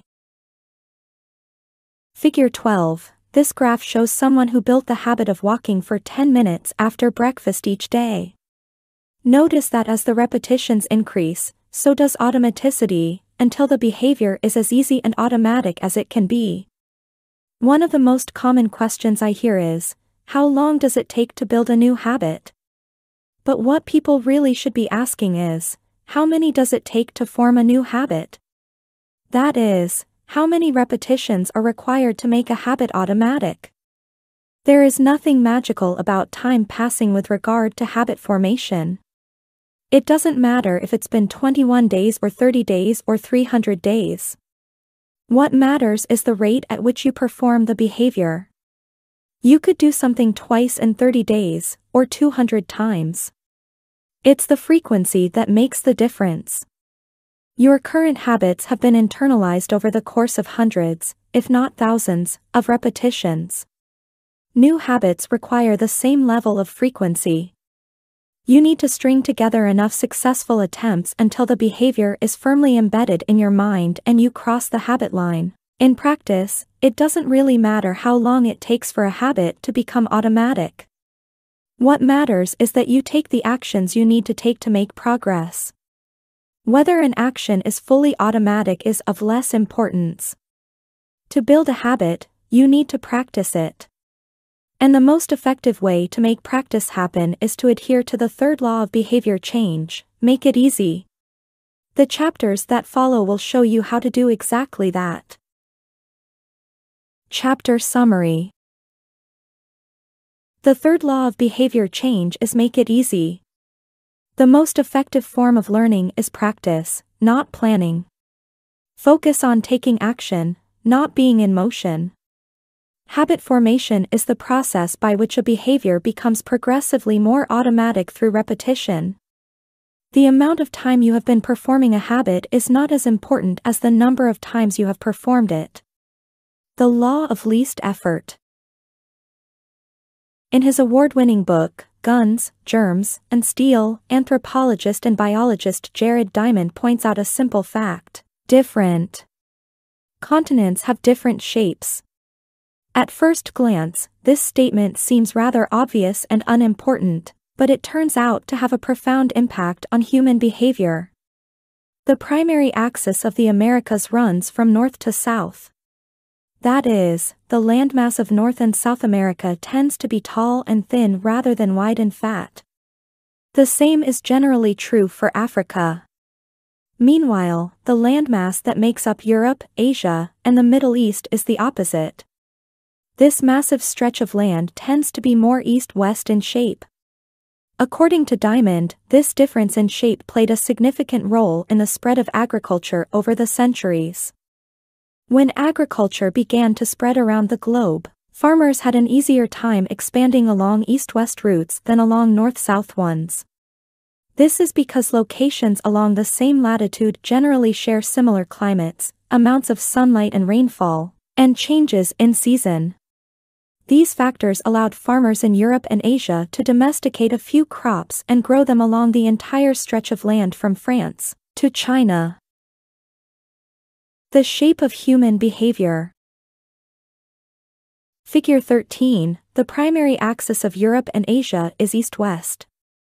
The primary axis of the Americas and Africa is north-south. This leads to a wider range of climates up and down the Americas than across Europe and Asia. As a result, agriculture spread nearly twice as fast across Europe and Asia than it did elsewhere. The behavior of farmers, even across hundreds or thousands of years, was constrained by the amount of friction in the environment. By comparison, the climate varies greatly when traveling from north to south. Just imagine how different the weather is in Florida compared to Canada. You can be the most talented farmer in the world, but it won't help you grow Florida oranges in the Canadian winter. Snow is a poor substitute for soil. In order to spread crops along north-south routes, farmers would need to find and domesticate new plants whenever the climate changed. As a result, agriculture spread two to three times faster across Asia and Europe than it did up and down the Americas. Over the span of centuries, this small difference had a very big impact. Increased food production allowed for more rapid population growth. With more people, these cultures were able to build stronger armies and were better equipped to develop new technologies. The changes started out small, a crop that spread slightly farther, a population that grew slightly faster, but compounded into substantial differences over time. The spread of agriculture provides an example of the third law of behavior change on a global scale. Conventional wisdom holds that motivation is the key to habit change. Maybe if you really wanted it, you'd actually do it. But the truth is, our real motivation is to be lazy and to do what is convenient. And despite what the latest productivity bestseller will tell you, this is a smart strategy, not a dumb one. Energy is precious, and the brain is wired to conserve it whenever possible. It is human nature to follow the law of least effort, which states that when deciding between two similar options, people will naturally gravitate toward the option that requires the least amount of work, asterisk for example, expanding your farm to the east where you can grow the same crops rather than heading north where the climate is different. Out of all the possible actions we could take, the one that is realized is the one that delivers the most value for the least effort. We are motivated to do what is easy. Every action requires a certain amount of energy. The more energy required, the less likely it is to occur. If your goal is to do a 100 push-ups per day, that's a lot of energy. In the beginning, when you're motivated and excited, you can muster the strength to get started. But after a few days, such a massive effort feels exhausting. Meanwhile, sticking to the habit of doing one push-up per day requires almost no energy to get started. And the less energy a habit requires, the more likely it is to occur. Look at any behavior that fills up much of your life and you'll see that it can be performed with very low levels of motivation. Habits like scrolling on our phones, checking email, and watching television steal so much of our time because they can be performed almost without effort. They are remarkably convenient. In a sense, every habit is just an obstacle to getting what you really want. Dieting is an obstacle to getting fit. Meditation is an obstacle to feeling calm. Journaling is an obstacle to thinking clearly. You don't actually want the habit itself. What you really want is the outcome the habit delivers. The greater the obstacle, that is, the more difficult the habit, the more friction there is between you and your desired end state. This is why it is crucial to make your habits so easy that you'll do them even when you don't feel like it. If you can make your good habits more convenient, you'll be more likely to follow through on them. But what about all the moments when we seem to do the opposite?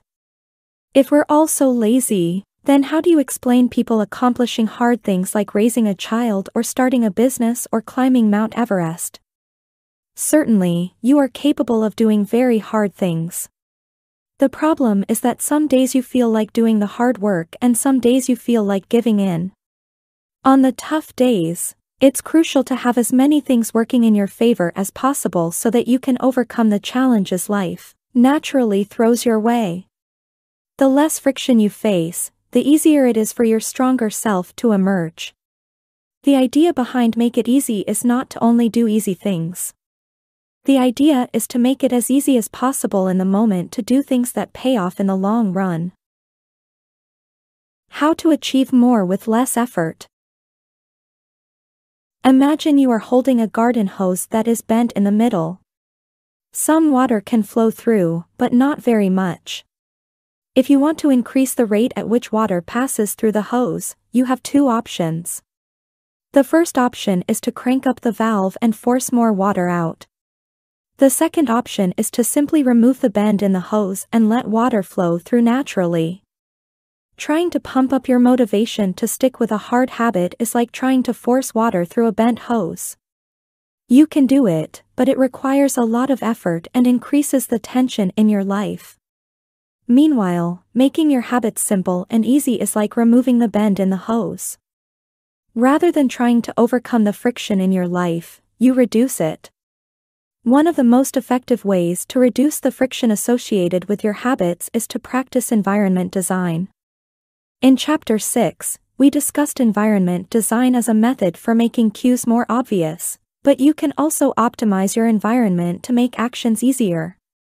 For example, when deciding where to practice a new habit, it is best to choose a place that is already along the path of your daily routine. Habits are easier to build when they fit into the flow of your life. You are more likely to go to the gym if it is on your way to work because stopping doesn't add much friction to your lifestyle. By comparison, if the gym is off the path of your normal commute, even by just a few blocks, now you're going out of your way to get there. Perhaps even more effective is reducing the friction within your home or office. Too often, we try to start habits in high friction environments. We try to follow a strict diet while we are out to dinner with friends. We try to write a book in a chaotic household. We try to concentrate while using a smartphone filled with distractions. It doesn't have to be this way. We can remove the points of friction that hold us back. This is precisely what electronics manufacturers in Japan began to do in the 1970s. In an article published in The New Yorker titled Better All the Time, James Surowiecki writes Japanese firms emphasized what came to be known as lean production, relentlessly looking to remove waste of all kinds from the production process, down to redesigning workspaces, so workers didn't have to waste time twisting and turning to reach their tools. The result was that Japanese factories were more efficient and Japanese products were more reliable than American ones. In 1974, service calls for American-made color televisions were five times as common as for Japanese televisions. By 1979, it took American workers three times as long to assemble their sets. I like to refer to this strategy as addition by subtraction. Asterisk the Japanese companies looked for every point of friction in the manufacturing process and eliminated it. As they subtracted wasted effort, they added customers and revenue. Similarly, when we remove the points of friction that sap our time and energy, we can achieve more with less effort. This is one reason tidying up can feel so good. We are simultaneously moving forward and lightening the cognitive load our environment places on us. If you look at the most habit forming products, you'll notice that one of the things these goods and services do best is remove little bits of friction from your life. Meal delivery services reduce the friction of shopping for groceries. Dating apps reduce the friction of making social introductions. Ride sharing services reduce the friction of getting across town. Text messaging reduces the friction of sending a letter in the mail. Like a Japanese television manufacturer redesigning their workspace to reduce wasted motion, successful companies design their products to automate, eliminate, or simplify as many steps as possible. They reduce the number of fields on each form. They pare down the number of clicks required to create an account. They deliver their products with easy to understand directions or ask their customers to make fewer choices. When the first voice activated speakers were released, products like Google Home, Amazon Echo, and Apple HomePod, I asked a friend what he liked about the product he had purchased. He said it was just easier to say, play some country music, than to pull out his phone, open the music app, and pick a playlist. Of course, just a few years earlier, Having unlimited access to music in your pocket was a remarkably frictionless behavior compared to driving to the store and buying a CD. Business is a never-ending quest to deliver the same result in an easier fashion. Similar strategies have been used effectively by governments. When the British government wanted to increase tax collection rates, they switched from sending citizens to a web page where the tax form could be downloaded to linking directly to the form. Reducing that one step in the process increased the response rate from 19.2% to 23.4%. For a country like the United Kingdom, those percentage points represent millions in tax revenue. The central idea is to create an environment where doing the right thing is as easy as possible. Much of the battle of building better habits comes down to finding ways to reduce the friction associated with our good habits and increase the friction associated with our bad ones. Prime the environment for future use. Oswald Nuckols is an IT developer from Natchez, Mississippi. He is also someone who understands the power of priming his environment. Nuckols dialed in his cleaning habits by following a strategy he refers to as resetting the room. For instance, when he finishes watching television, he places the remote back on the TV stand, arranges the pillows on the couch, and folds the blanket. When he leaves his car, he throws any trash away. Whenever he takes a shower, he wipes down the toilet while the shower is warming up. As he notes, the perfect time to clean the toilet is right before you wash yourself in the shower anyway. The purpose of resetting each room is not simply to clean up after the last action, but to prepare for the next action. When I walk into a room, everything is in its right place, Nuckols wrote. Because I do this every day in every room, stuff always stays in good shape. People think I work hard, but I'm actually really lazy. I'm just proactively lazy. It gives you so much time back. Whenever you organize a space for its intended purpose, you are priming it to make the next action easy. For instance, my wife keeps a box of greeting cards that are pre-sorted by occasion, birthday, sympathy, wedding, graduation, and more. Whenever necessary, she grabs an appropriate card and sends it off. She is incredibly good at remembering to send cards because she has reduced the friction of doing so. For years, I was the opposite. Someone would have a baby and I would think, I should send a card. But then weeks would pass and by the time I remembered to pick one up at the store, it was too late. The habit wasn't easy. There are many ways to prime your environment so it's ready for immediate use. If you want to cook a healthy breakfast, place the skillet on the stove, set the cooking spray on the counter, and lay out any plates and utensils you'll need the night before. When you wake up, making breakfast will be easy. Want to draw more?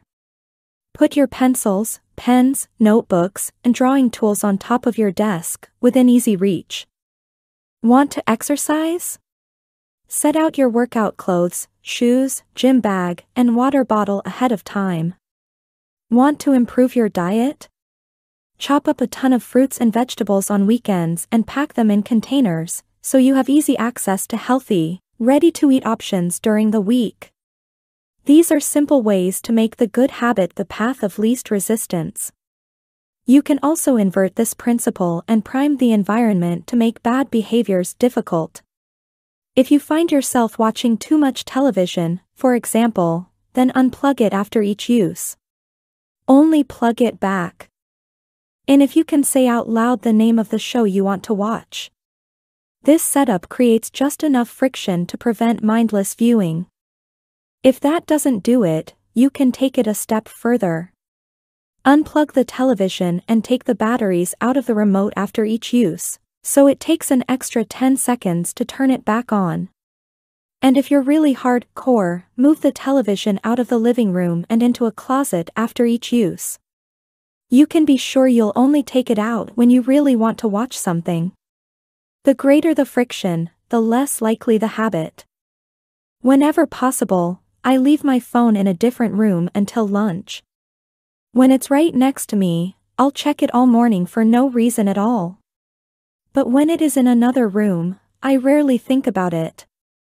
And the friction is high enough that I won't go get it without a reason. As a result, I get 3 to 4 hours each morning when I can work without interruption. If sticking your phone in another room doesn't seem like enough, tell a friend or family member to hide it from you for a few hours. Ask a coworker to keep it at their desk in the morning and give it back to you at lunch. It is remarkable how little friction is required to prevent unwanted behavior. When I hide beer in the back of the fridge where I can't see it, I drink less. When I delete social media apps from my phone, it can be weeks before I download them again and log in. These tricks are unlikely to curb a true addiction, but for many of us, a little bit of friction can be the difference between sticking with a good habit or sliding into a bad one. Imagine the cumulative impact of making dozens of these changes and living in an environment designed to make the good behaviors easier and the bad behaviors harder. Whether we are approaching behavior change as an individual, a parent, a coach, or a leader, we should ask ourselves the same question how can we design a world where it's easy to do what's right? Redesign your life so the actions that matter most are also the actions that are easiest to do. Chapter Summary Human behavior follows the law of least effort we will naturally gravitate toward the option that requires the least amount of work. Create an environment where doing the right thing is as easy as possible. Reduce the friction associated with good behaviors. When friction is low, habits are easy. Increase the friction associated with bad behaviors. When friction is high, habits are difficult. Prime your environment to make future actions easier. How to stop procrastinating by using the 2-minute rule. Twyla Tharp is widely regarded as one of the greatest dancers and choreographers of the modern era. In 1992, she was awarded a MacArthur Fellowship, often referred to as the Genius Grant, and she has spent the bulk of her career touring the globe to perform her original works. She also credits much of her success to simple daily habits, I begin each day of my life with a ritual, she writes. I wake up at 5.30 a.m., put on my workout clothes, my leg warmers, my sweatshirt, and my hat. I walk outside my Manhattan home, hail a taxi, and tell the driver to take me to the Pumping Iron Gym at 91st Street and 1st Avenue, where I work out for two hours. The ritual is not the stretching and weight training I put my body through each morning at the gym, the ritual is the cab.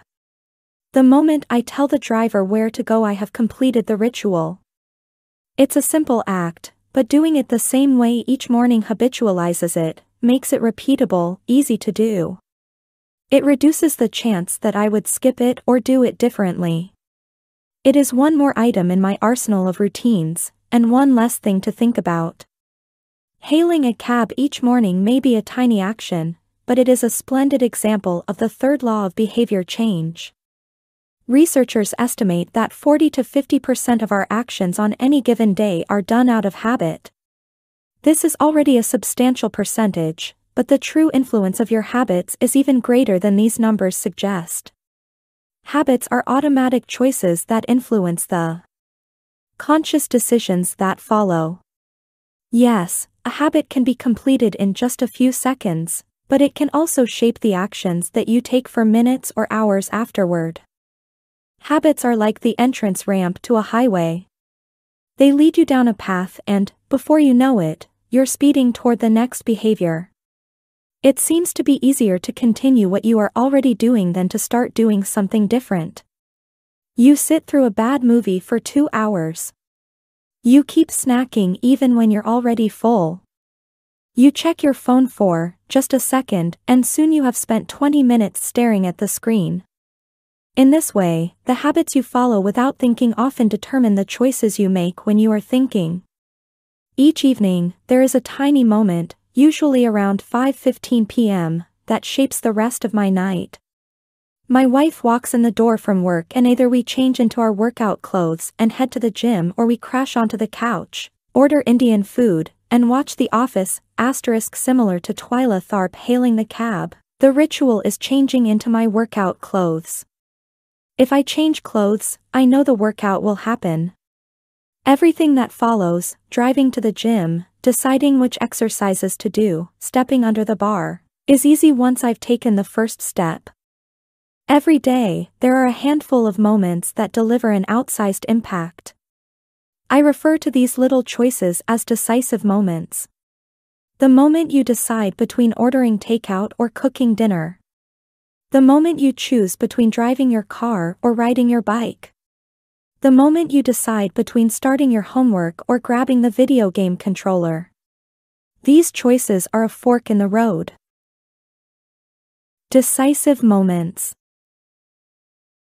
Figure 14 The difference between a good day and a bad day is often a few productive and healthy choices made at decisive moments. Each one is like a fork in the road, and these choices stack up throughout the day and can ultimately lead to very different outcomes. Decisive moments set the options available to your future self. For instance, walking into a restaurant is a decisive moment because it determines what you'll be eating for lunch. Technically, you are in control of what you order, but in a larger sense, you can only order an item if it is on the menu. If you walk into a steakhouse, you can get a sirloin or a ribeye, but not sushi. Your options are constrained by what's available. They are shaped by the first choice. We are limited by where our habits lead us. This is why mastering the decisive moments throughout your day is so important. Each day is made up of many moments, but it is really a few habitual choices that determine the path you take. These little choices stack up, each one setting the trajectory for how you spend the next chunk of time. Habits are the entry point, not the end point. They are the cab, not the gym. The two minute rule. Even when you know you should start small, it's easy to start too big. When you dream about making a change, excitement inevitably takes over and you end up trying to do too much too soon. The most effective way I know to counteract this tendency is to use the two minute rule, which states, when you start a new habit, it should take less than two minutes to do. You'll find that nearly any habit can be scaled down into a two minute version. Read before bed each night becomes read one page. Do 30 minutes of yoga becomes take out my yoga mat. Study for class becomes open my notes. Fold the laundry becomes fold one pair of socks. Run 3 miles becomes tie my running shoes. The idea is to make your habits as easy as possible to start. Anyone can meditate for one minute, read one page, or put one item of clothing away. And, as we have just discussed, this is a powerful strategy because once you've started doing the right thing, it is much easier to continue doing it. A new habit should not feel like a challenge. The actions that follow can be challenging, but the first two minutes should be easy. What you want is a gateway habit that naturally leads you down a more productive path. You can usually figure out the gateway habits that will lead to your desired outcome by mapping out your goals on a scale from very easy to very hard. For instance, running a marathon is very hard. Running a 5K is hard. Walking 10,000 steps is moderately difficult. Walking 10 minutes is easy. And putting on your running shoes is very easy. Your goal might be to run a marathon, but your gateway habit is to put on your running shoes. That's how you follow the two minute rule. Very easy, easy, moderate, hard, very hard. Put on your running shoes. Walk 10 minutes. Walk 10,000 steps. Run a 5K. Run a marathon. Write one sentence. Write one paragraph. Write 1,000 words. Write a 5,000 word article. Write a book. Open your notes. Study for 10 minutes. Study for 3 hours. Get straight A's. Earn a PhD. People often think it's weird to get hyped about reading one page or meditating for one minute or making one sales call. But the point is not to do one thing. The point is to master the habit of showing up. The truth is, a habit must be established before it can be improved. If you can't learn the basic skill of showing up, then you have little hope of mastering the finer details. Instead of trying to engineer a perfect habit from the start, do the easy thing on a more consistent basis. You have to standardize before you can optimize. As you master the art of showing up, the first two minutes simply become a ritual at the beginning of a larger routine. This is not merely a hack to make habits easier but actually the ideal way to master a difficult skill. The more you ritualize the beginning of a process, the more likely it becomes that you can slip into the state of deep focus that is required to do great things. By doing the same warm up before every workout, you make it easier to get into a state of peak performance. By following the same creative ritual, you make it easier to get into the hard work of creating. By developing a consistent power down habit, you make it easier to get to bed at a reasonable time each night. You may not be able to automate the whole process, but you can make the first action mindless. Make it easy to start and the rest will follow. The two minute rule can seem like a trick to some people. You know that the real goal is to do more than just two minutes, so it may feel like you're trying to fool yourself. Nobody is actually aspiring to read one page or do one push up or open their notes. And if you know it's a mental trick, why would you fall for it? If the 2 minute rule feels forced, try this, do it for 2 minutes and then stop. Go for a run, but you must stop after 2 minutes. Start meditating, but you must stop after 2 minutes. Study Arabic, but you must stop after 2 minutes. It's not a strategy for starting, it's the whole thing. Your habit can only last 120 seconds. One of my readers used this strategy to lose over 100 pounds. In the beginning, he went to the gym each day, but he told himself he wasn't allowed to stay for more than 5 minutes. He would go to the gym, exercise for 5 minutes, and leave as soon as his time was up. After a few weeks, he looked around and thought, well, I'm always coming here anyway.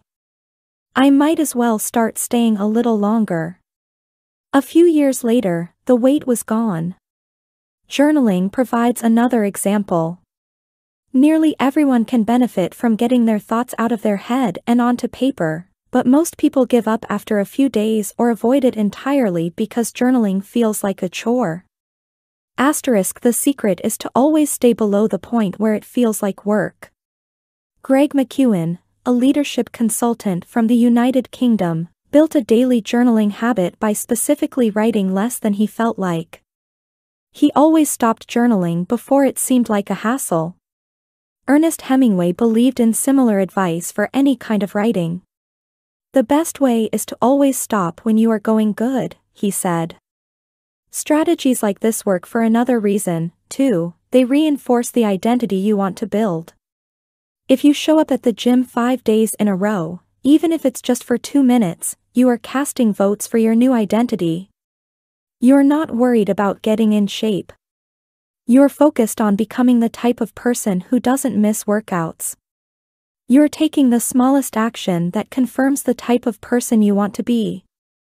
We rarely think about change this way because everyone is consumed by the end goal. But one push up is better than not exercising. One minute of guitar practice is better than none at all.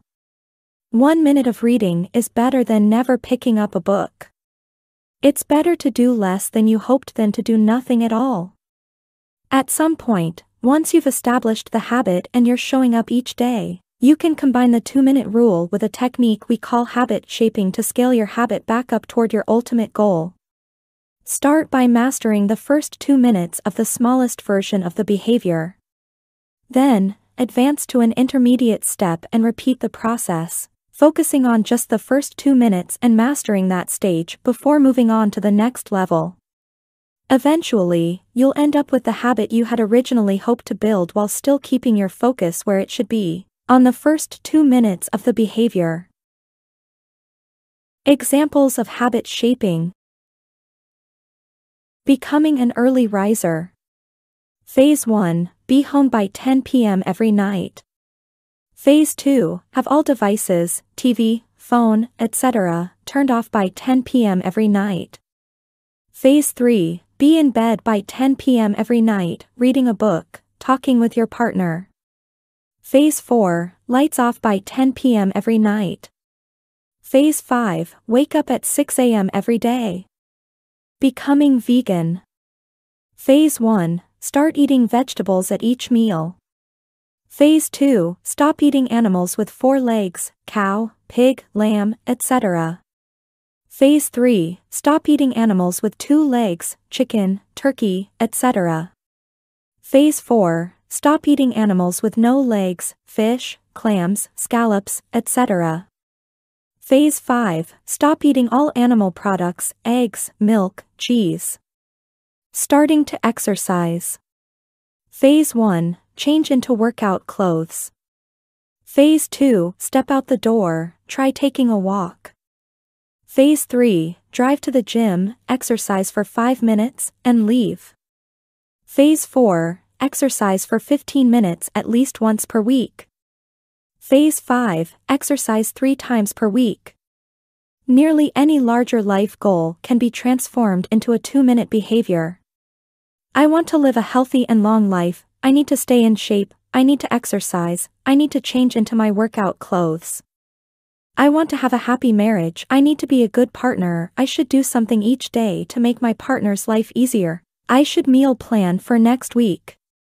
Whenever you are struggling to stick with a habit, you can employ the two minute rule.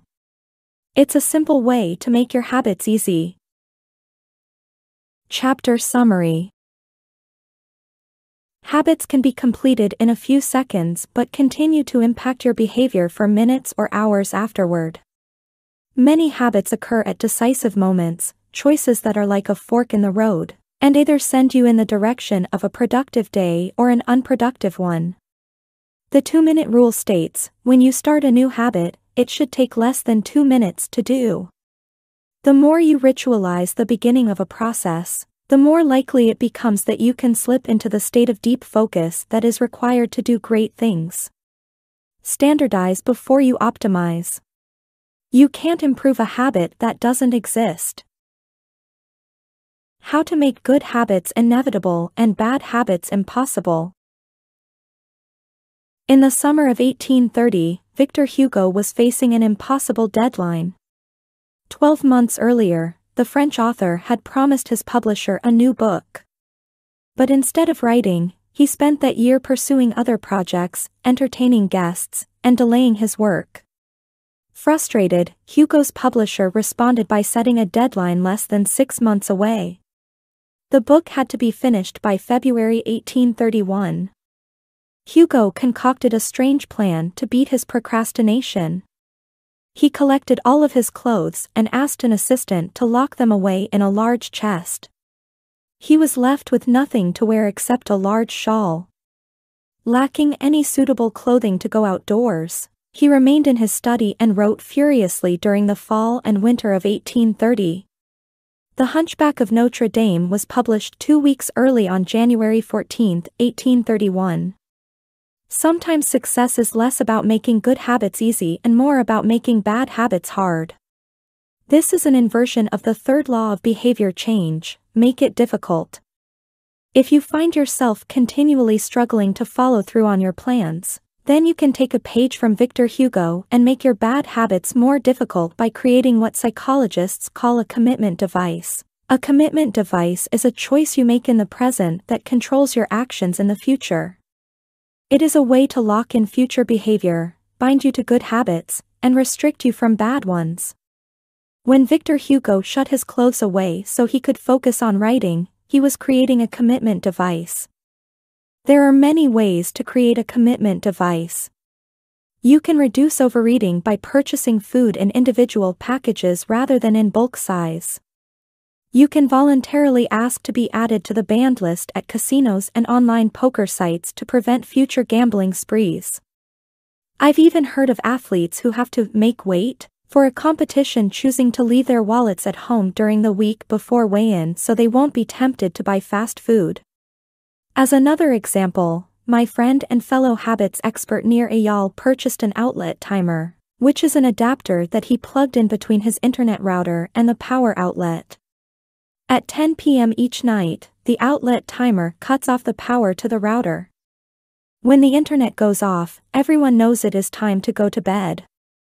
Commitment devices are useful because they enable you to take advantage of good intentions before you can fall victim to temptation. Whenever I'm looking to cut calories, for example, I will ask the waiter to split my meal and box half of it to go before the meal is served. If I waited until the meal came out and told myself I'll just eat half, it would never work. The key is to change the task such that it requires more work to get out of the good habit than to get started on it. If you're feeling motivated to get in shape, schedule a yoga session and pay ahead of time. If you're excited about the business you want to start, email an entrepreneur you respect and set up a consulting call.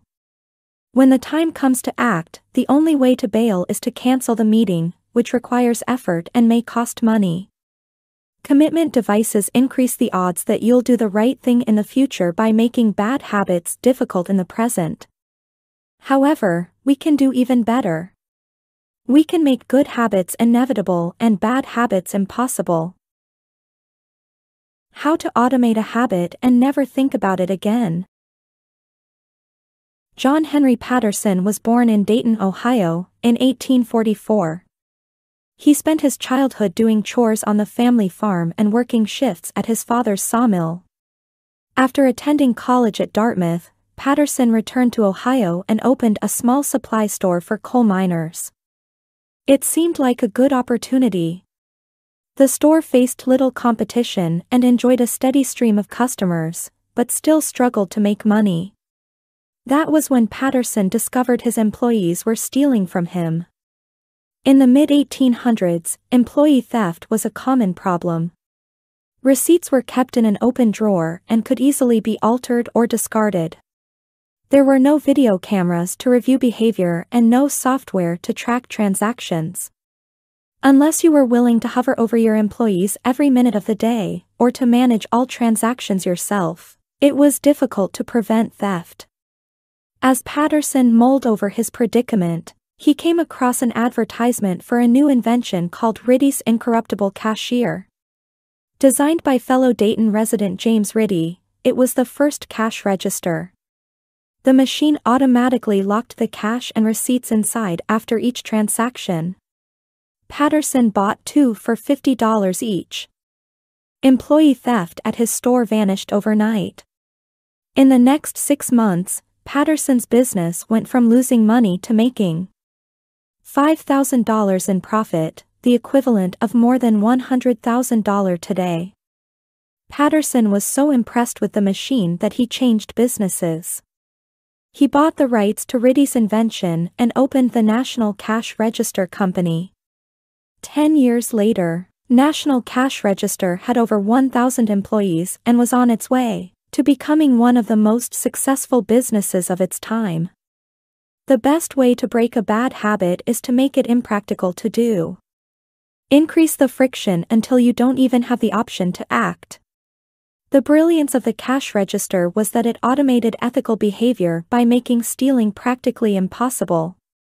Rather than trying to change the employees, it made the preferred behavior automatic. Some actions, like installing a cash register, pay off again and again. These one-time choices require a little bit of effort up front but create increasing value over time. I'm fascinated by the idea that a single choice can deliver returns again and again, and I surveyed my readers on their favorite one-time actions that lead to better long-term habits. The table on the following page shares some of the most popular answers. I'd wager that if the average person were to simply do half of the one-time actions on this list, even if they didn't give another thought to their habits, most would find themselves living a better life a year from now. These one-time actions are a straightforward way to employ the third law of behavior change. They make it easier to sleep well, eat healthy, be productive, save money, and generally live better. One-time actions that lock in good habits. Nutrition. Buy a water filter to clean your drinking water. Use smaller plates to reduce caloric intake. Sleep. Buy a good mattress. Get blackout curtains. Remove your television from your bedroom. Productivity. Unsubscribe from emails. Turn off notifications and mute group chats. Set your phone to silent. Use email filters to clear up your inbox. Delete games and social media apps on your phone. Happiness. Get a dog. Move to a friendly, social neighborhood. General health. Get vaccinated. Buy good shoes to avoid back pain. Buy a supportive chair or standing desk. Finance. Enroll in an automatic savings plan. Set up automatic bill pay. Cut cable service. Ask service providers to lower your bills. Of course, there are many ways to automate good habits and eliminate bad ones. Typically, they involve putting technology to work for you. Technology can transform actions that were once hard, annoying, and complicated into behaviors that are easy, painless, and simple. It is the most reliable and effective way to guarantee the right behavior. This is particularly useful for behaviors that happen too infrequently to become habitual. Things you have to do monthly or yearly, like rebalancing your investment portfolio, are never repeated frequently enough to become a habit, so they benefit in particular from technology remembering to do them for you. Other examples include medicine, prescriptions can be automatically refilled. Personal finance, employees can save for retirement with an automatic wage deduction. Cooking, meal delivery services can do your grocery shopping. Productivity, social media browsing can be cut off with a website blocker. When you automate as much of your life as possible, you can spend your effort on the tasks machines cannot do yet. Each habit that we hand over to the authority of technology frees up time and energy to pour into the next stage of growth. As mathematician and philosopher Alfred North Whitehead wrote, civilization advances by extending the number of operations we can perform without thinking about them. Of course, the power of technology can work against us as well. Binge watching becomes a habit because you have to put more effort into stop looking at the screen than to continue doing so. Instead of pressing a button to advance to the next episode, Netflix or YouTube will autoplay it for you. All you have to do is keep your eyes open.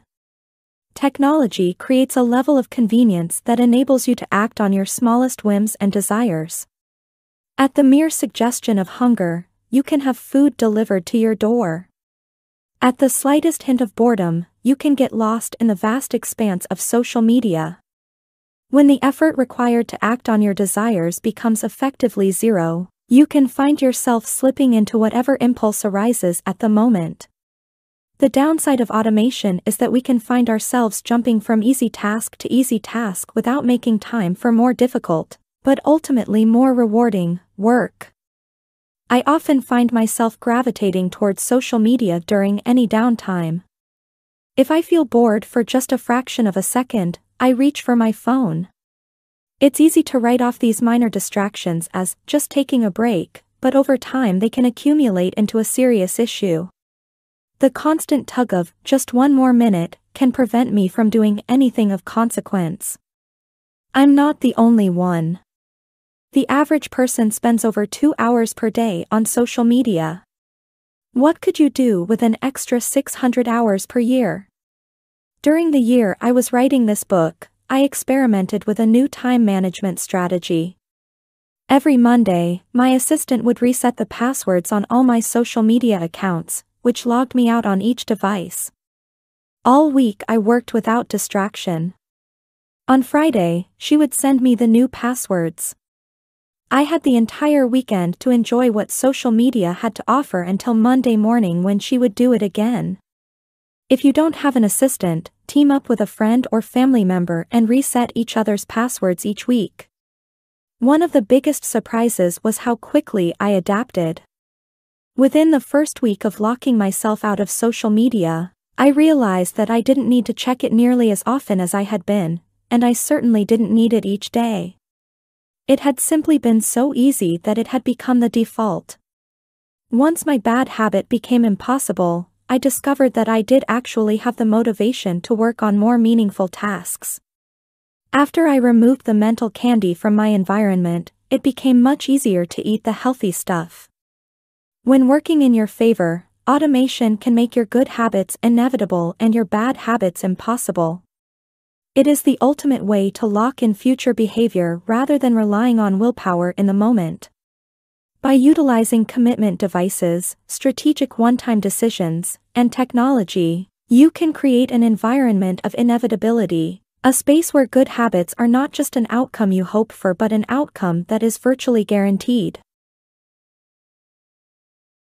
Chapter Summary the inversion of the third law of behavior change is make it difficult. A commitment device is a choice you make in the present that locks in better behavior in the future. The ultimate way to lock in future behavior is to automate your habits. One-time choices, like buying a better mattress or enrolling in an automatic savings plan, are single actions that automate your future habits and deliver increasing returns over time. Using technology to automate your habits is the most reliable and effective way to guarantee the right behavior. How to create a good habit. The first law, make it obvious. 1. Fill out the habit scorecard. Write down your current habits to become aware of them. 2. Use implementation intentions, I will, behavior, at, time, in, location. 3. Use habit stacking, after, current habit, I will, new habit. 4. Design your environment. Make the cues of good habits obvious and visible. The second law, make it attractive. 1. Use temptation bundling. Pair an action you want to do with an action you need to do. 2. Join a culture where your desired behavior is the normal behavior. 3. Create a motivation ritual. Do something you enjoy immediately before a difficult habit. The third law, make it easy. 1. Reduce friction. Decrease the number of steps between you and your good habits. 2. Prime the environment. Prepare your environment to make future actions easier. 3. Master the decisive moment. Optimize the small choices that deliver outsized impact. 4. Use the 2 minute rule. Downscale your habits until they can be done in 2 minutes or less. 5. Automate your habits. Invest in technology and one time purchases that lock in future behavior. The fourth law make it satisfying. How to break a bad habit. Inversion of the first law, make it invisible. Reduce exposure. Remove the cues of your bad habits from your environment. Inversion of the second law, make it unattractive. Reframe your mindset.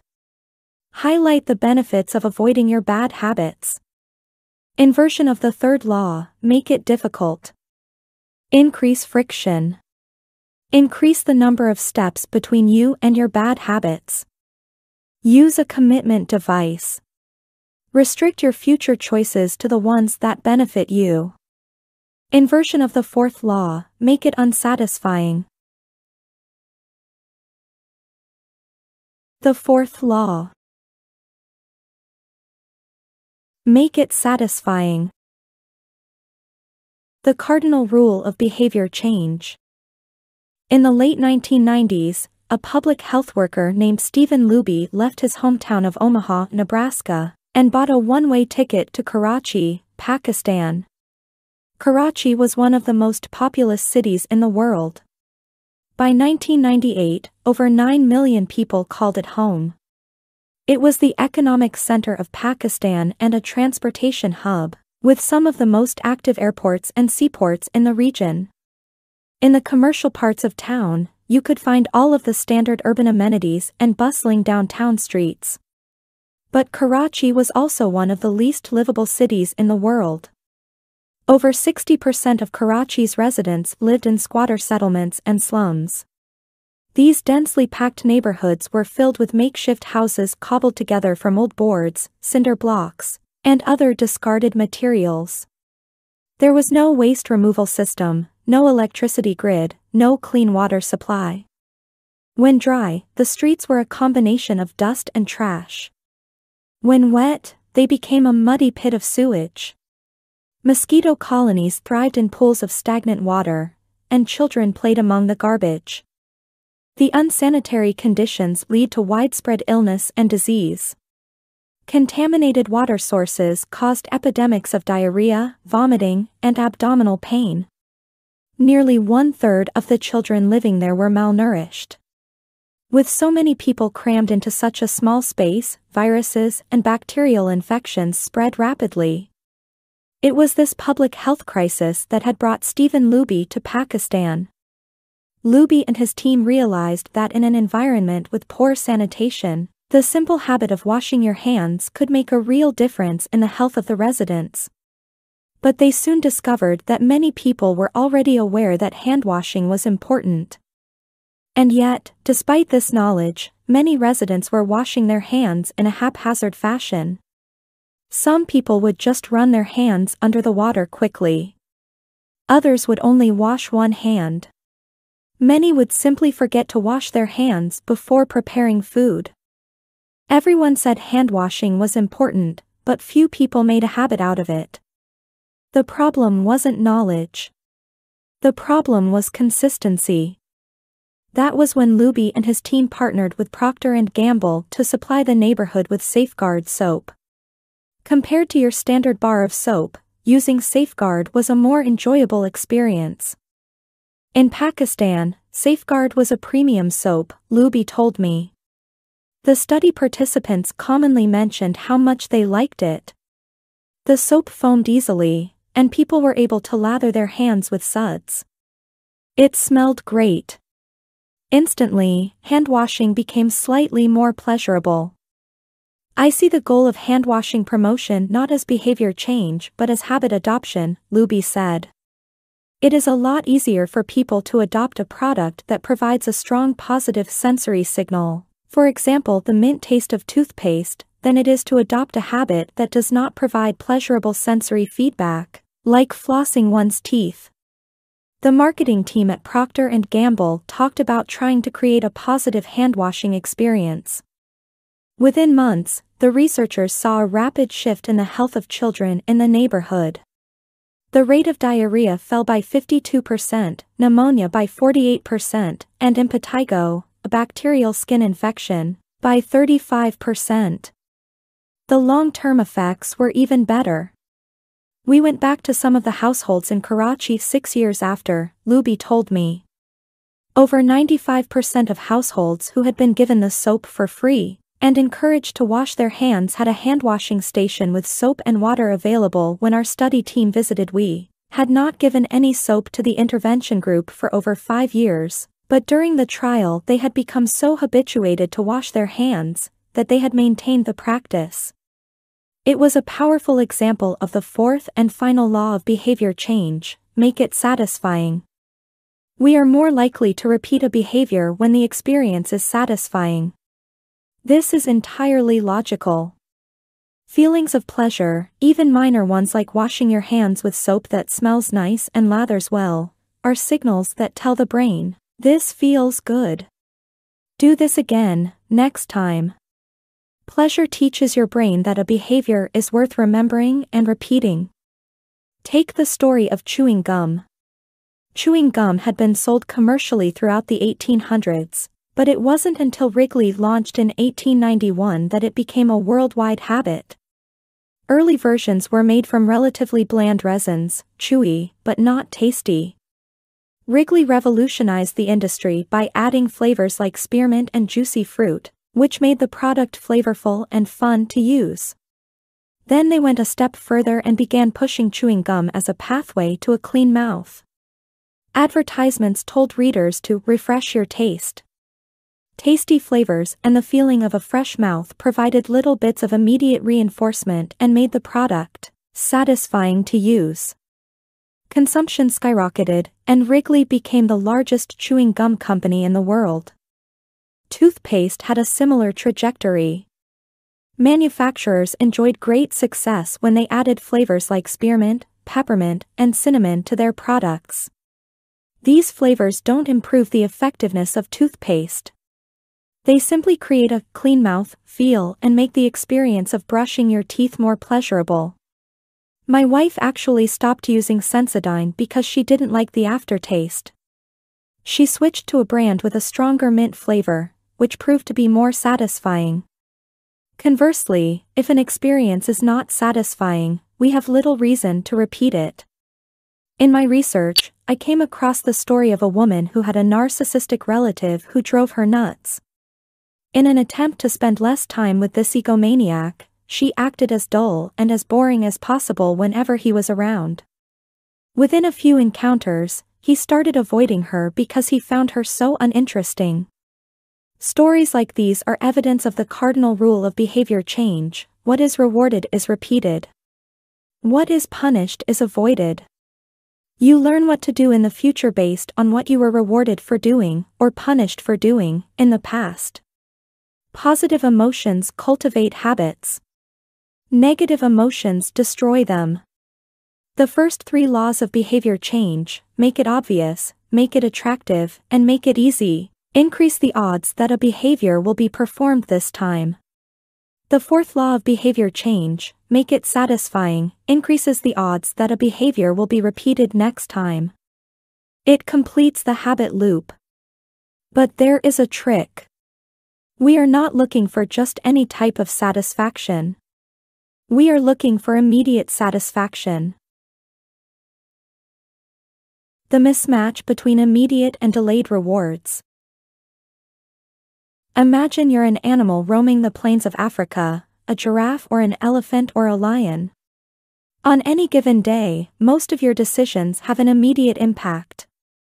You are always thinking about what to eat or where to sleep or how to avoid a predator. You are constantly focused on the present or the very near future. You live in what scientists call an immediate return environment because your actions instantly deliver clear and immediate outcomes. Now switch back to your human self.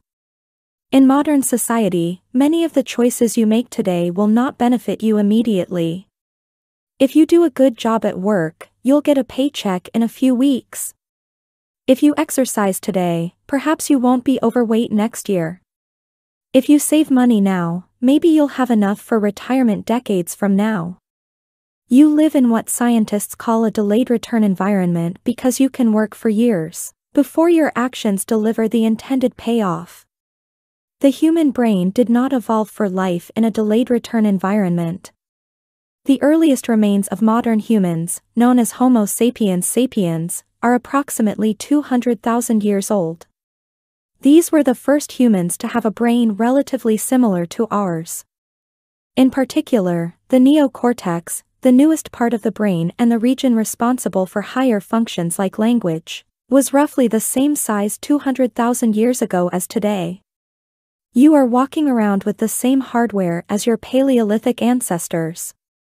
It is only recently, during the last 500 years or so, that society has shifted to a predominantly delayed return environment asterisk.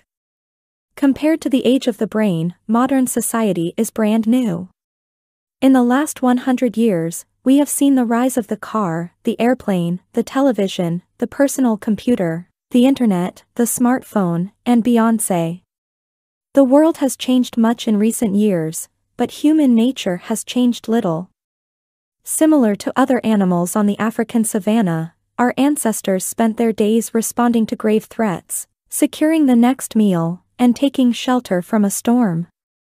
It made sense to place a high value on instant gratification. The distant future was less of a concern. And after thousands of generations in an immediate return environment, our brains evolved to prefer quick payoffs to long-term ones. Behavioral economists refer to this tendency as time inconsistency. That is, the way your brain evaluates rewards is inconsistent across time. Asterisk you value the present more than the future. Usually, this tendency serves us well. A reward that is certain right now is typically worth more than one that is merely possible in the future. But occasionally, our bias toward instant gratification causes problems. Why would someone smoke if they know it increases the risk of lung cancer? Why would someone overeat when they know it increases their risk of obesity? Why would someone have unsafe sex if they know it can result in sexually transmitted disease? Once you understand how the brain prioritizes rewards, the answers become clear. The consequences of bad habits are delayed while the rewards are immediate. Smoking might kill you in 10 years, but it reduces stress and eases your nicotine cravings now. Overeating is harmful in the long run but appetizing in the moment. Sex, safe or not, provides pleasure right away. Disease and infection won't show up for days or weeks, even years. Every habit produces multiple outcomes across time. Unfortunately, these outcomes are often misaligned. With our bad habits, the immediate outcome usually feels good, but the ultimate outcome feels bad. With good habits, it is the reverse, the immediate outcome is unenjoyable, but the ultimate outcome feels good. The French economist Frédéric Bastiat explained the problem clearly when he wrote, It almost always happens that when the immediate consequence is favorable, the later consequences are disastrous, and vice versa often, the sweeter the first fruit of a habit, the more bitter are its later fruits. Put another way, the costs of your good habits are in the present. The costs of your bad habits are in the future. The brain's tendency to prioritize the present moment means you can't rely on good intentions. When you make a plan, to lose weight, write a book, or learn a language, you are actually making plans for your future self. And when you envision what you want your life to be like, it is easy to see the value in taking actions with long-term benefits. We all want better lives for our future selves. However, when the moment of decision arrives, instant gratification usually wins. You are no longer making a choice for future you, who dreams of being fitter or wealthier or happier. You are choosing for present you, who wants to be full, pampered, and entertained. As a general rule, the more immediate pleasure you get from an action, the more strongly you should question whether it aligns with your long-term goals, asterisk. With a fuller understanding of what causes our brain to repeat some behaviors and avoid others, let's update the cardinal rule of behavior change what is immediately rewarded is repeated. What is immediately punished is avoided. Our preference for instant gratification reveals an important truth about success. Because of how we are wired, most people will spend all day chasing quick hits of satisfaction. The road less traveled is the road of delayed gratification. If you're willing to wait for the rewards, you'll face less competition and often get a bigger payoff. As the saying goes, the last mile is always the least crowded. This is precisely what research has shown. People who are better at delaying gratification have higher SAT scores, lower levels of substance abuse, lower likelihood of obesity, better responses to stress, and superior social skills.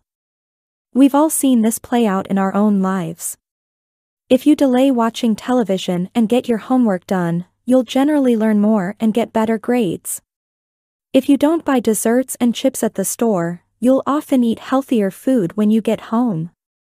At some point, success in nearly every field requires you to ignore an immediate reward in favor of a delayed reward. Here's the problem most people know that delaying gratification is the wise approach. They want the benefits of good habits, to be healthy, productive, at peace. But these outcomes are seldom top of mind at the decisive moment. Thankfully, it's possible to train yourself to delay gratification, but you need to work with the grain of human nature, not against it. The best way to do this is to add a little bit of immediate pleasure to the habits that pay off in the long run, and a little bit of immediate pain to ones that don't. How to turn instant gratification to your advantage. The vital thing in getting a habit to stick is to feel successful, even if it's in a small way. The feeling of success is a signal that your habit paid off and that the work was worth the effort. In a perfect world, the reward for a good habit is the habit itself. In the real world, good habits tend to feel worthwhile only after they have provided you with something. Early on, it's all sacrifice. You've gone to the gym a few times, but you're not stronger or fitter or faster, at least, not in any noticeable sense. It's only months later, once you shed a few pounds or your arms gain some definition, that it becomes easier to exercise for its own sake. In the beginning, you need a reason to stay on track. This is why immediate rewards are essential. They keep you excited while the delayed rewards accumulate in the background. What we're really talking about here, when we're discussing immediate rewards, is the ending of a behavior. The ending of any experience is vital because we tend to remember it more than other phases. You want the ending of your habit to be satisfying.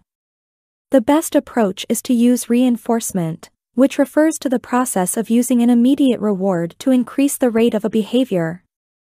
Habit stacking, which we covered in Chapter 5, ties your habit to an immediate cue, which makes it obvious when to start.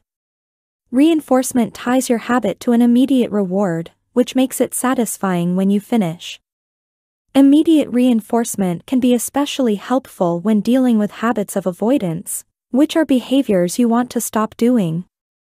It can be challenging to stick with habits like no frivolous purchases or no alcohol this month. Because nothing happens when you skip happy hour drinks or don't buy that pair of shoes. It can be hard to feel satisfied when there is no action in the first place. All you're doing is resisting temptation, and there isn't much satisfying about that. One solution is to turn the situation on its head. You want to make avoidance visible. Open a savings account and label it for something you want, maybe leather jacket. Whenever you pass on a purchase, put the same amount of money in the account. Skip your morning latte? Transfer $5. Pass on another month of Netflix? Move $10 over. It's like creating a loyalty program for yourself. The immediate reward of seeing yourself save money toward the leather jacket feels a lot better than being deprived. You are making it satisfying to do nothing. One of my readers and his wife used a similar setup. They wanted to stop eating out so much and start cooking together more. They labeled their savings account Trip to Europe. Whenever they skipped going out to eat, they transferred $50 into the account. At the end of the year, they put the money toward the vacation. It is worth noting that it is important to select short term rewards that reinforce your identity, rather than ones that conflict with it.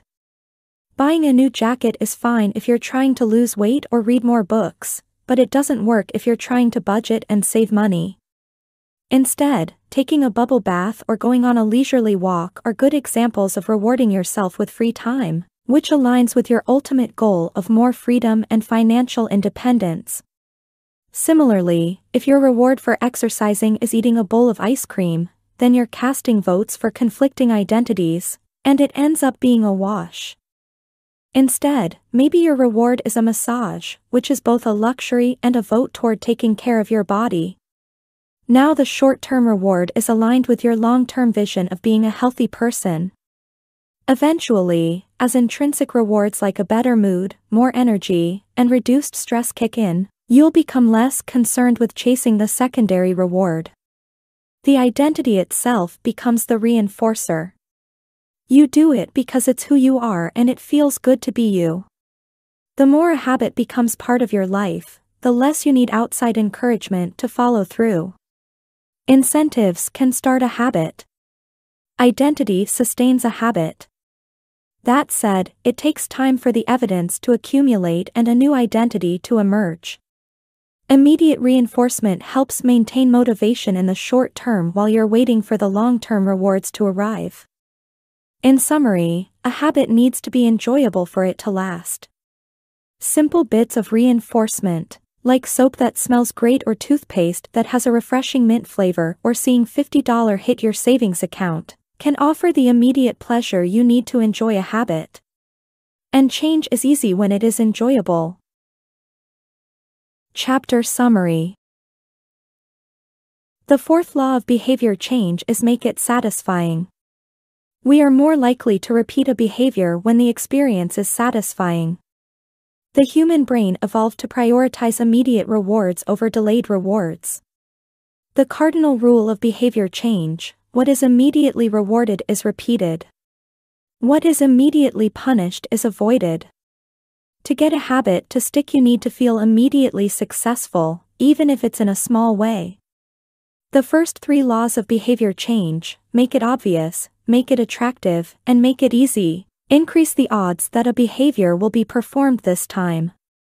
The fourth law of behavior change make it satisfying increases the odds that a behavior will be repeated next time.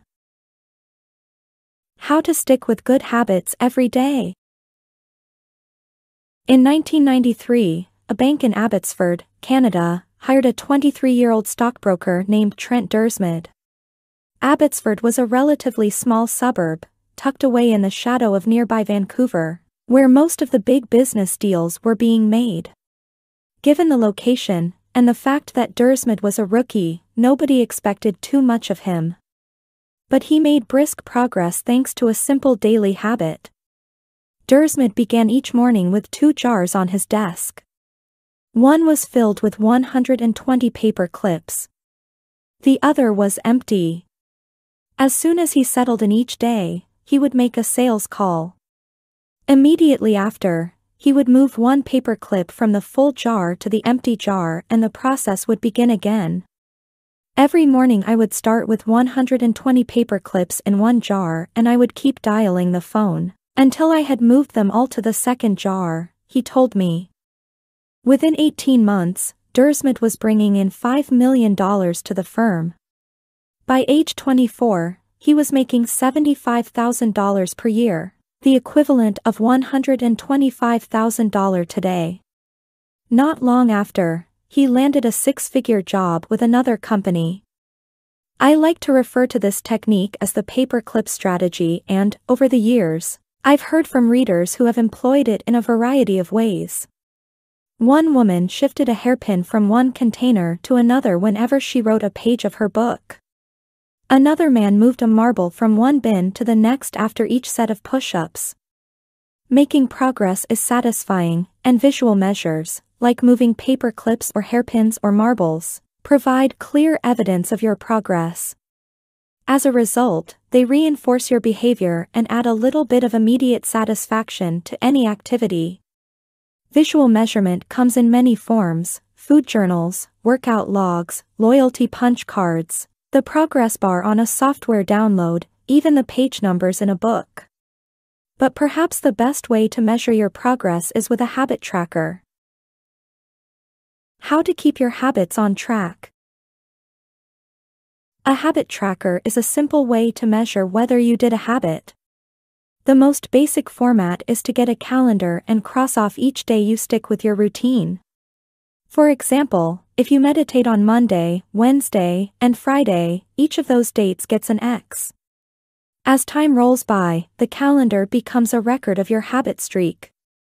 Countless people have tracked their habits, but perhaps the most famous was Benjamin Franklin. Beginning at age 20, Franklin carried a small booklet everywhere he went and used it to track 13 personal virtues. This list included goals like lose no time, be always employed in something useful, and avoid trifling conversation. At the end of each day, Franklin would open his booklet and record his progress. Jerry Seinfeld reportedly uses a habit tracker to stick with his streak of writing jokes. In the documentary Comedian, he explains that his goal is simply to never break the chain of writing jokes every day.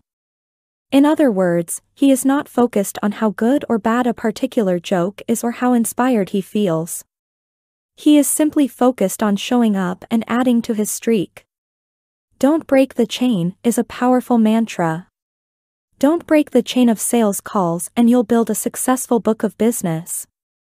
Don't break the chain of workouts and you'll get fit faster than you'd expect. Don't break the chain of creating every day and you will end up with an impressive portfolio. Habit tracking is powerful because it leverages multiple laws of behavior change. It simultaneously makes a behavior obvious, attractive, and satisfying.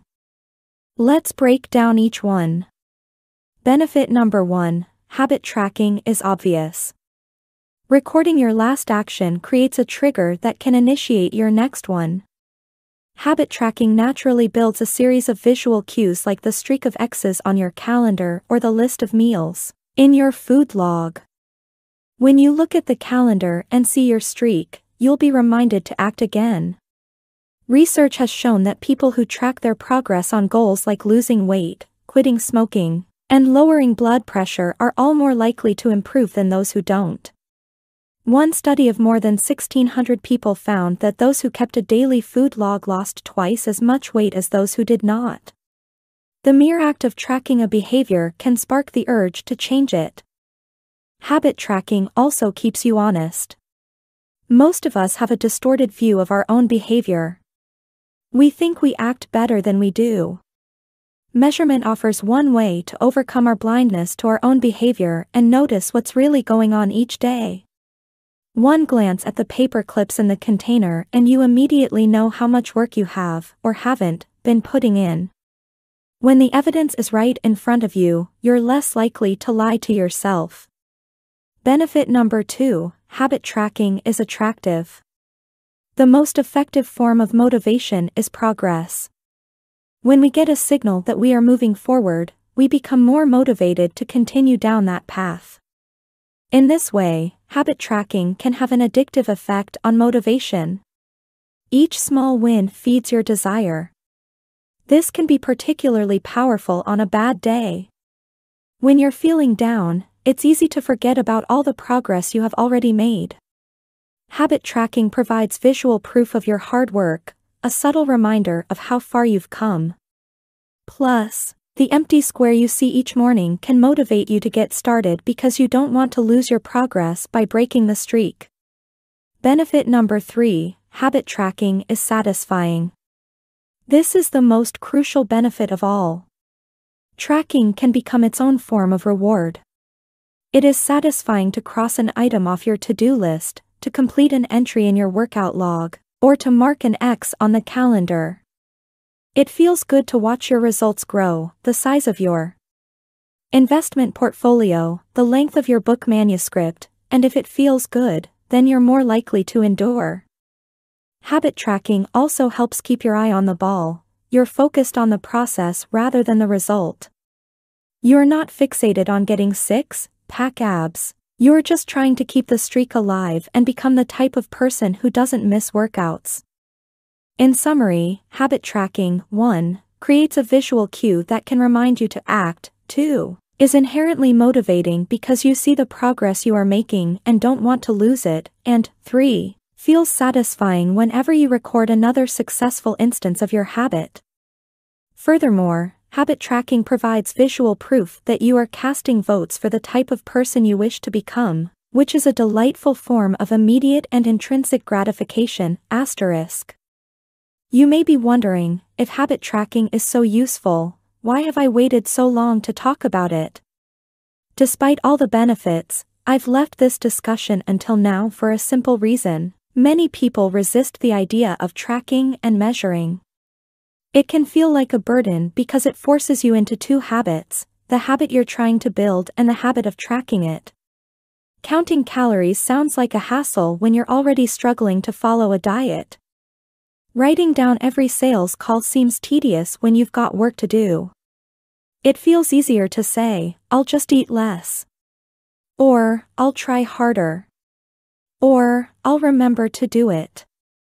People inevitably tell me things like, I have a decision journal, but I wish I used it more.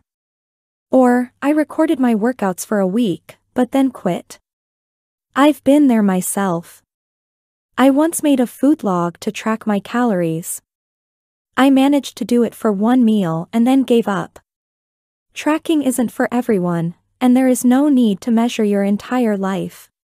But nearly anyone can benefit from it in some form, even if it's only temporary. What can we do to make tracking easier? First, whenever possible, measurement should be automated. You'll probably be surprised by how much you're already tracking without knowing it. Your credit card statement tracks how often you go out to eat. Your Fitbit registers how many steps you take and how long you sleep. Your calendar records how many new places you travel to each year.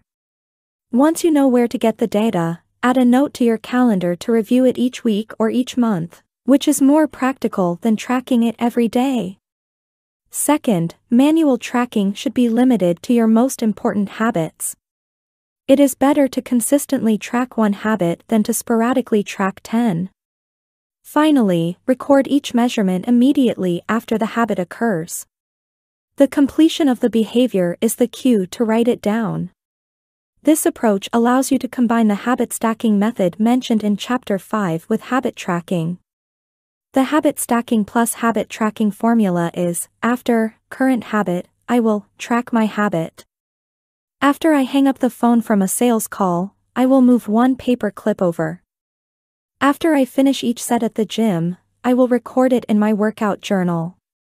After I put my plate in the dishwasher, I will write down what I ate. These tactics can make tracking your habits easier. Even if you aren't the type of person who enjoys recording your behavior, I think you'll find a few weeks of measurements to be insightful. It's always interesting to see how you've actually been spending your time.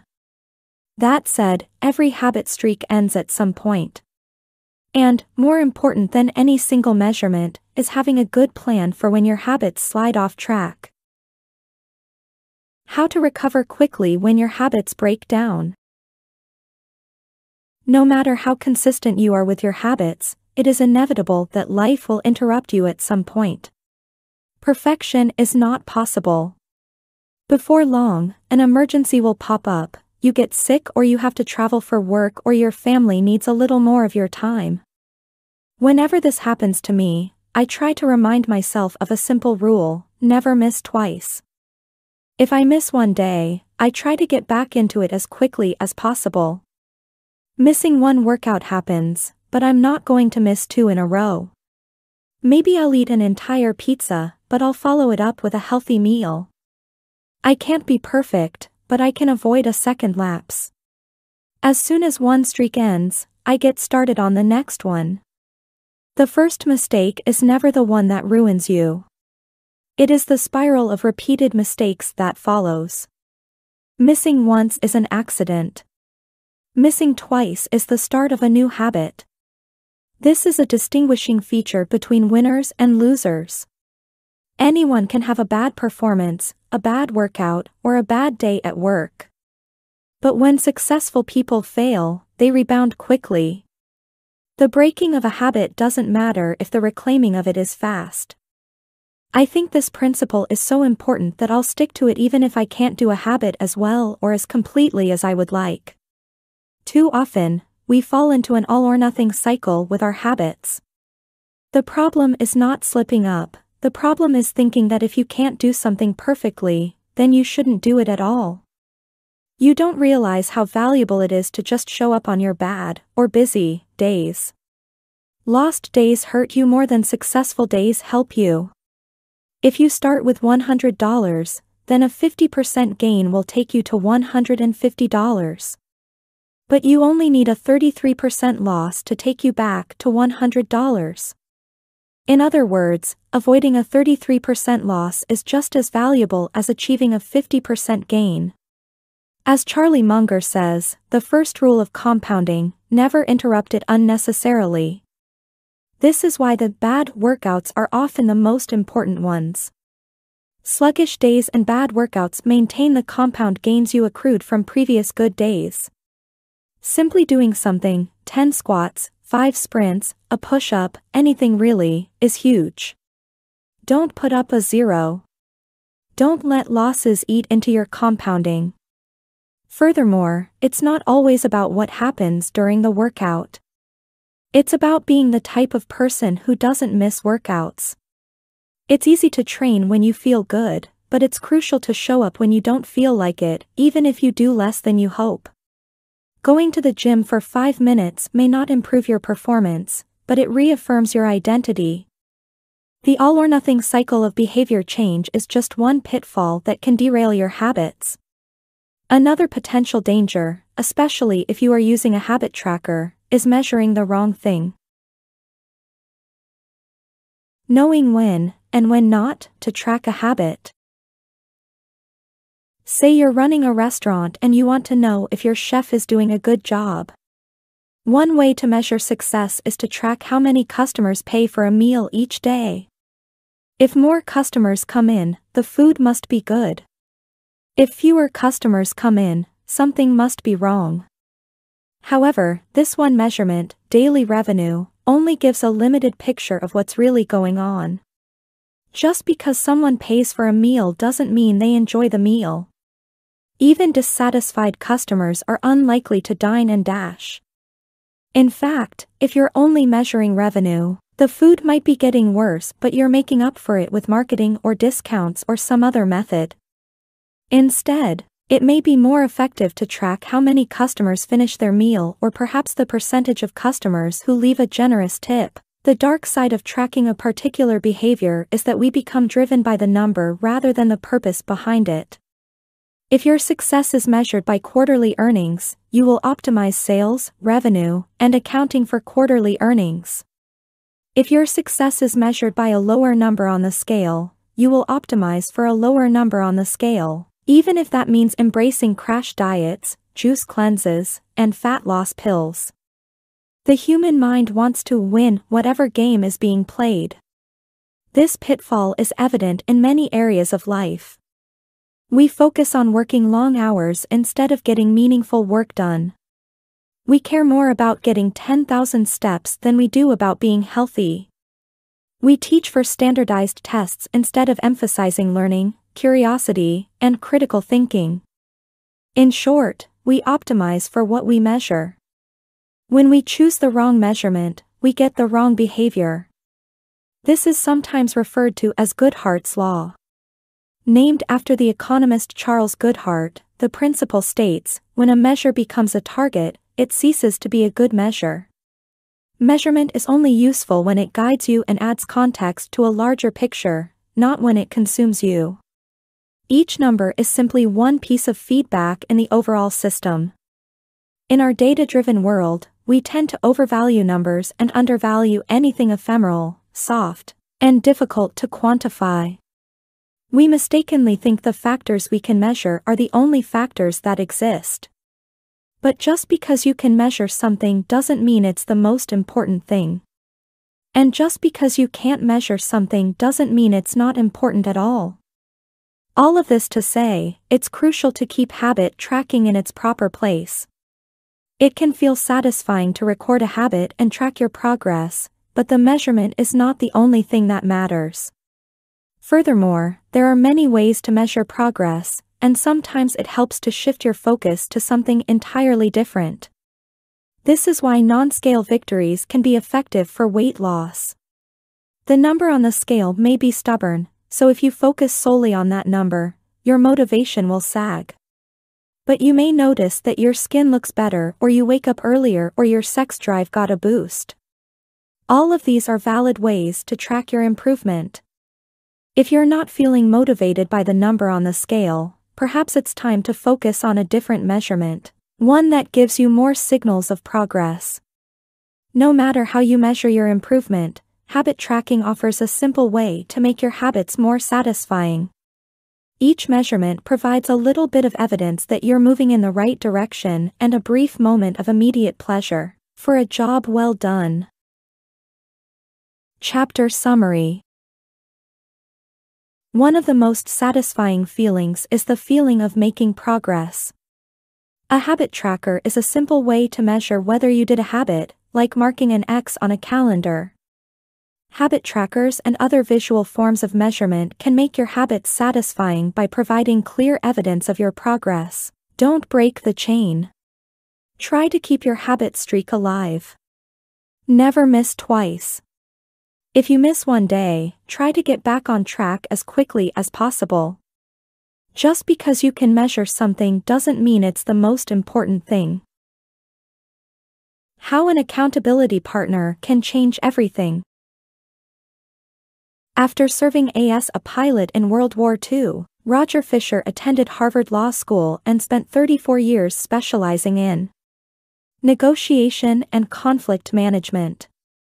He founded the Harvard Negotiation Project and worked with numerous countries and world leaders on peace resolutions, hostage crises, and diplomatic compromises. But it was in the 1970s and 1980s, as the threat of nuclear war escalated, that Fisher developed perhaps his most interesting idea. At the time, Fisher was focused on designing strategies that could prevent nuclear war, and he had noticed a troubling fact. Any sitting president would have access to launch codes that could kill millions of people but would never actually see anyone die, because he would always be thousands of miles away. My suggestion was quite simple, he wrote in 1981. Put that nuclear code number in a little capsule, and then implant that capsule right next to the heart of a volunteer. The volunteer would carry with him a big, heavy butcher knife as he accompanied the president. If ever the president wanted to fire nuclear weapons, the only way he could do so would be for him first, with his own hands, to kill one human being. The president says, George, I'm sorry but tens of millions must die. He has to look at someone and realize what death is, what an innocent death is. Blood on the White House carpet. It's reality brought home. When I suggested this to friends in the Pentagon, they said, My God, that's terrible. Having to kill someone would distort the president's judgment. He might never push the button. Throughout our discussion of the fourth law of behavior change we have covered the importance of making good habits immediately satisfying. Fisher's proposal is an inversion of the fourth law, make it immediately unsatisfying. Just as we are more likely to repeat an experience when the ending is satisfying, we are also more likely to avoid an experience when the ending is painful. Pain is an effective teacher. If a failure is painful, it gets fixed. If a failure is relatively painless, it gets ignored. The more immediate and more costly a mistake is, the faster you will learn from it. The threat of a bad review forces a plumber to be good at his job. The possibility of a customer never returning makes restaurants create good food. The cost of cutting the wrong blood vessel makes a surgeon master human anatomy and cut carefully. When the consequences are severe, people learn quickly. The more immediate the pain, the less likely the behavior. If you want to prevent bad habits and eliminate unhealthy behaviors, then adding an instant cost to the action is a great way to reduce their odds. We repeat bad habits because they serve us in some way, and that makes them hard to abandon. The best way I know to overcome this predicament is to increase the speed of the punishment associated with the behavior. There can't be a gap between the action and the consequences. As soon as actions incur an immediate consequence, behavior begins to change. Customers pay their bills on time when they are charged a late fee. Students show up to class when their grade is linked to attendance. We'll jump through a lot of hoops to avoid a little bit of immediate pain. There is, of course, a limit to this. If you're going to rely on punishment to change behavior, then the strength of the punishment must match the relative strength of the behavior it is trying to correct. To be productive, the cost of procrastination must be greater than the cost of action. To be healthy, the cost of laziness must be greater than the cost of exercise. Getting fined for smoking in a restaurant or failing to recycle adds consequence to an action. Behavior only shifts if the punishment is painful enough and reliably enforced. In general, the more local, tangible, concrete, and immediate the consequence, the more likely it is to influence individual behavior. The more global, intangible, vague, and delayed the consequence, the less likely it is to influence individual behavior. Thankfully, there is a straightforward way to add an immediate cost to any bad habit, create a habit contract. The habit contract. The first seatbelt law was passed in New York on December 1, 1984. At the time, just 14% of people in the United States regularly wore a seatbelt, but that was all about to change. Within five years, over half of the nation had seatbelt laws.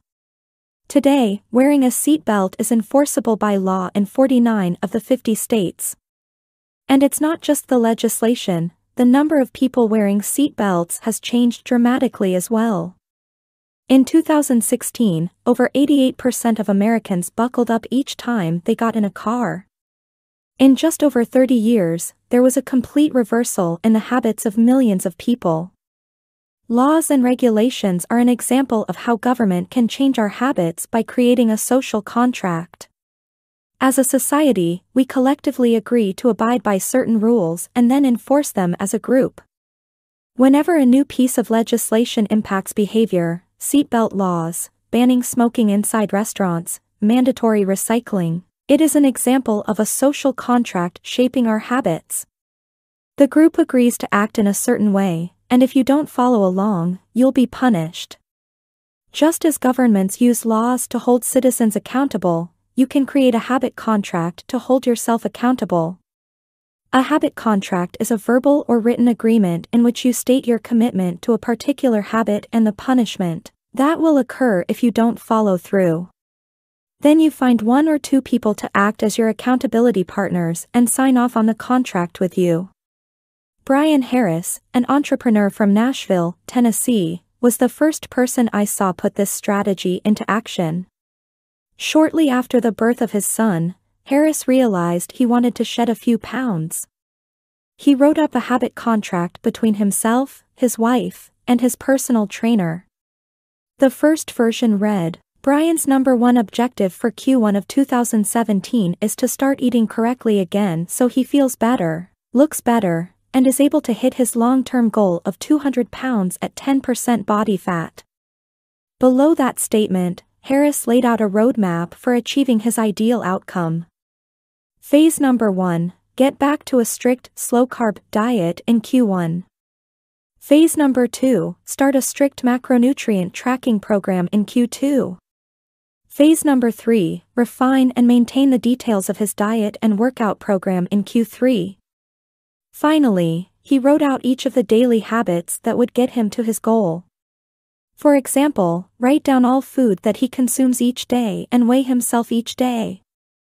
And then he listed the punishment if he failed, if Brian doesn't do these two items then the following consequence will be enforced. He will have to dress up each workday and each Sunday morning for the rest of the quarter. Dress up is defined as not wearing jeans, t-shirts, hoodies, or shorts.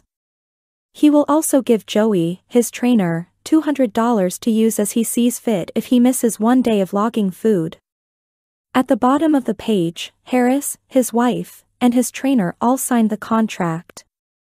My initial reaction was that a contract like this seemed overly formal and unnecessary, especially the signatures. But Harris convinced me that signing the contract was an indication of seriousness. Anytime I skip this part, he said, I start slacking almost immediately. Three months later, after hitting his targets for Q1, Harris upgraded his goals. The consequences escalated, too. If he missed his carbohydrate and protein targets, he had to pay his trainer $100. And if he failed to weigh himself, he had to give his wife $500 to use as she saw fit. Perhaps most painfully, if he forgot to run sprints, he had to dress up for work every day and wear an Alabama hat the rest of the quarter, the bitter rival of his beloved Auburn team. The strategy worked.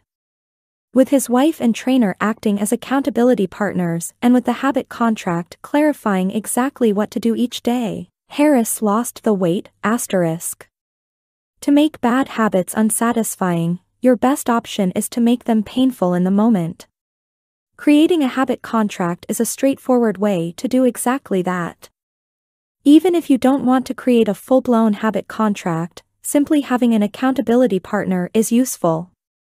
The comedian Margaret Cho writes a joke or song every day. She does the Song a Day challenge with a friend, which helps them both stay accountable. Knowing that someone is watching can be a powerful motivator.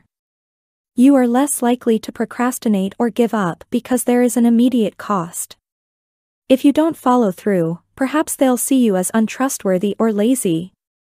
Suddenly, you are not only failing to uphold your promises to yourself, but also failing to uphold your promises to others. You can even automate this process. Thomas Frank, an entrepreneur in Boulder, Colorado, wakes up at 5.55 each morning. And if he doesn't, he has a tweet automatically scheduled that says, It's 6.10 and I'm not up because I'm lazy. Reply to this for $5 via PayPal, limit 5, assuming my alarm didn't malfunction. We are always trying to present our best selves to the world. We comb our hair and brush our teeth and dress ourselves carefully because we know these habits are likely to get a positive reaction.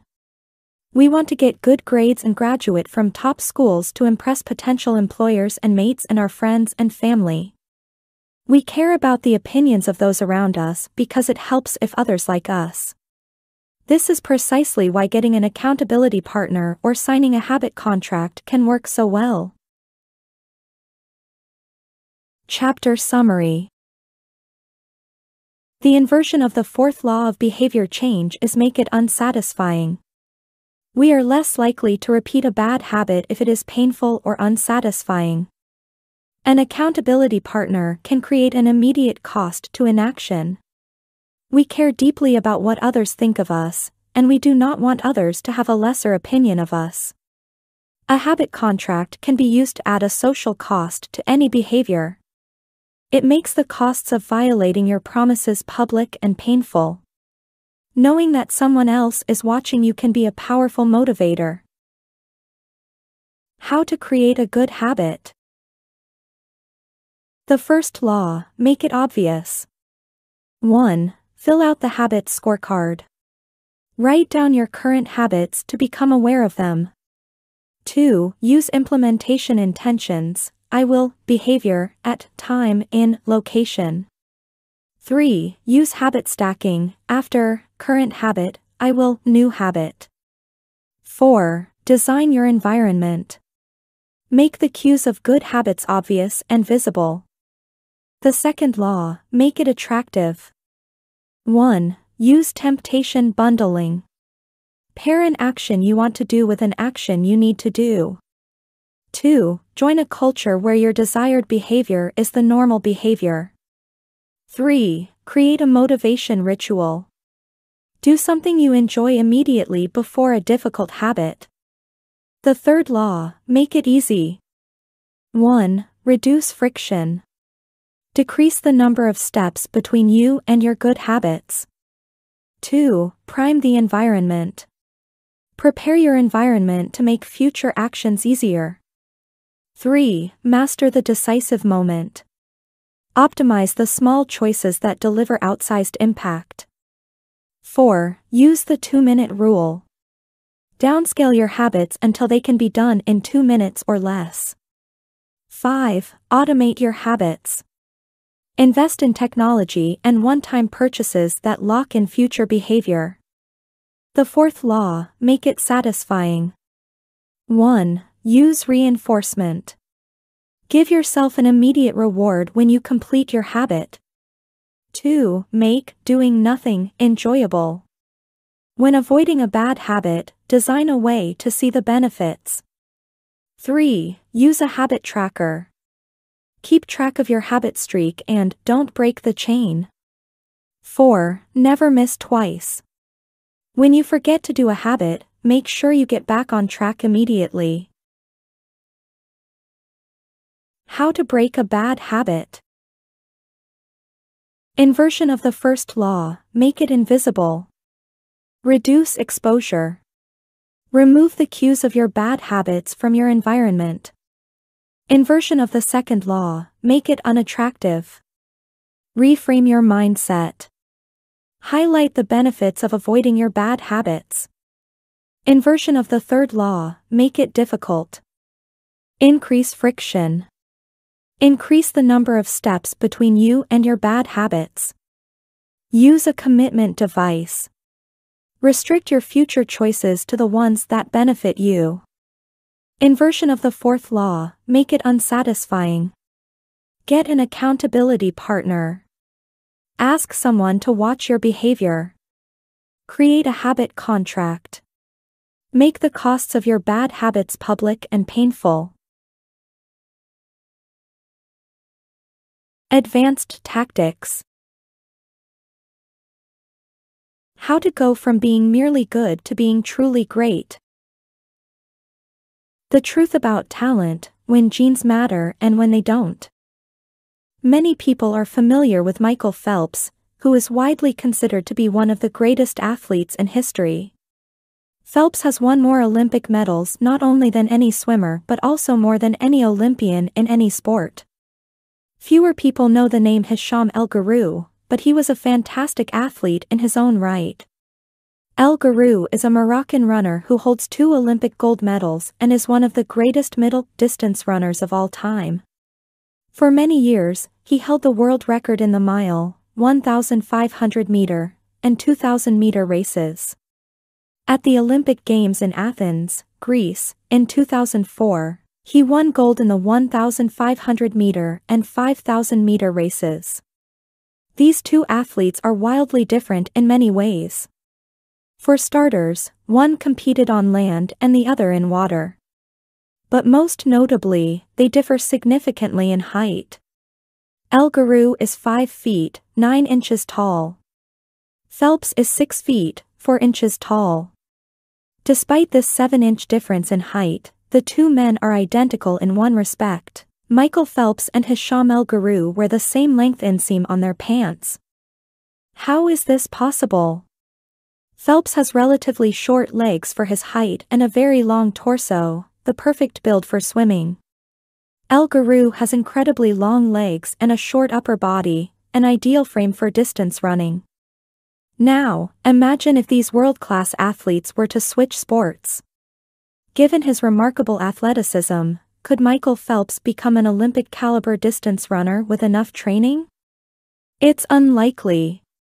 At peak fitness, Phelps weighed 194 pounds, which is 40% heavier than El Guerrouj, who competed at an ultralight 138 pounds. Taller runners are heavier runners, and every extra pound is a curse when it comes to distance running. Against elite competition, Phelps would be doomed from the start. Similarly, El Guerrouj might be one of the best runners in history, but it's doubtful he would ever qualify for the Olympics as a swimmer. Since 1976, the average height of Olympic gold medalists in the men's 1,500 meter run is 5 feet, 10 inches. In comparison, the average height of Olympic gold medalists in the men's 100 meter freestyle swim is 6 feet, 4 inches. Swimmers tend to be tall and have long backs and arms, which are ideal for pulling through the water. El Guerrouj would be at a severe disadvantage before he ever touched the pool. The secret to maximizing your odds of success is to choose the right field of competition. This is just as true with habit change as it is with sports and business. Habits are easier to perform, and more satisfying to stick with, when they align with your natural inclinations and abilities. Like Michael Phelps in the pool or Hicham El Guerrouj on the track, you want to play a game where the odds are in your favor. Embracing this strategy requires the acceptance of the simple truth that people are born with different abilities.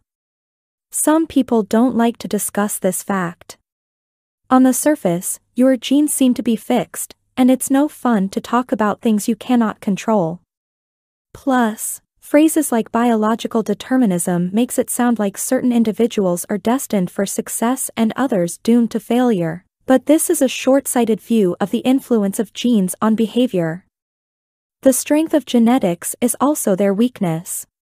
Genes cannot be easily changed, which means they provide a powerful advantage in favorable circumstances and a serious disadvantage in unfavorable circumstances. If you want to dunk a basketball, being 7 feet tall is very useful. If you want to perform a gymnastics routine, being 7 feet tall is a great hindrance. Our environment determines the suitability of our genes and the utility of our natural talents. When our environment changes, so do the qualities that determine success. This is true not just for physical characteristics but for mental ones as well. I'm smart if you ask me about habits and human behavior, not so much when it comes to knitting, rocket propulsion, or guitar chords. Competence is highly dependent on context. The people at the top of any competitive field are not only well trained, they are also well suited to the task. And this is why, if you want to be truly great, selecting the right place to focus is crucial. In short, genes do not determine your destiny. They determine your areas of opportunity. As physician Gabor Mate notes, genes can predispose, but they don't predetermine.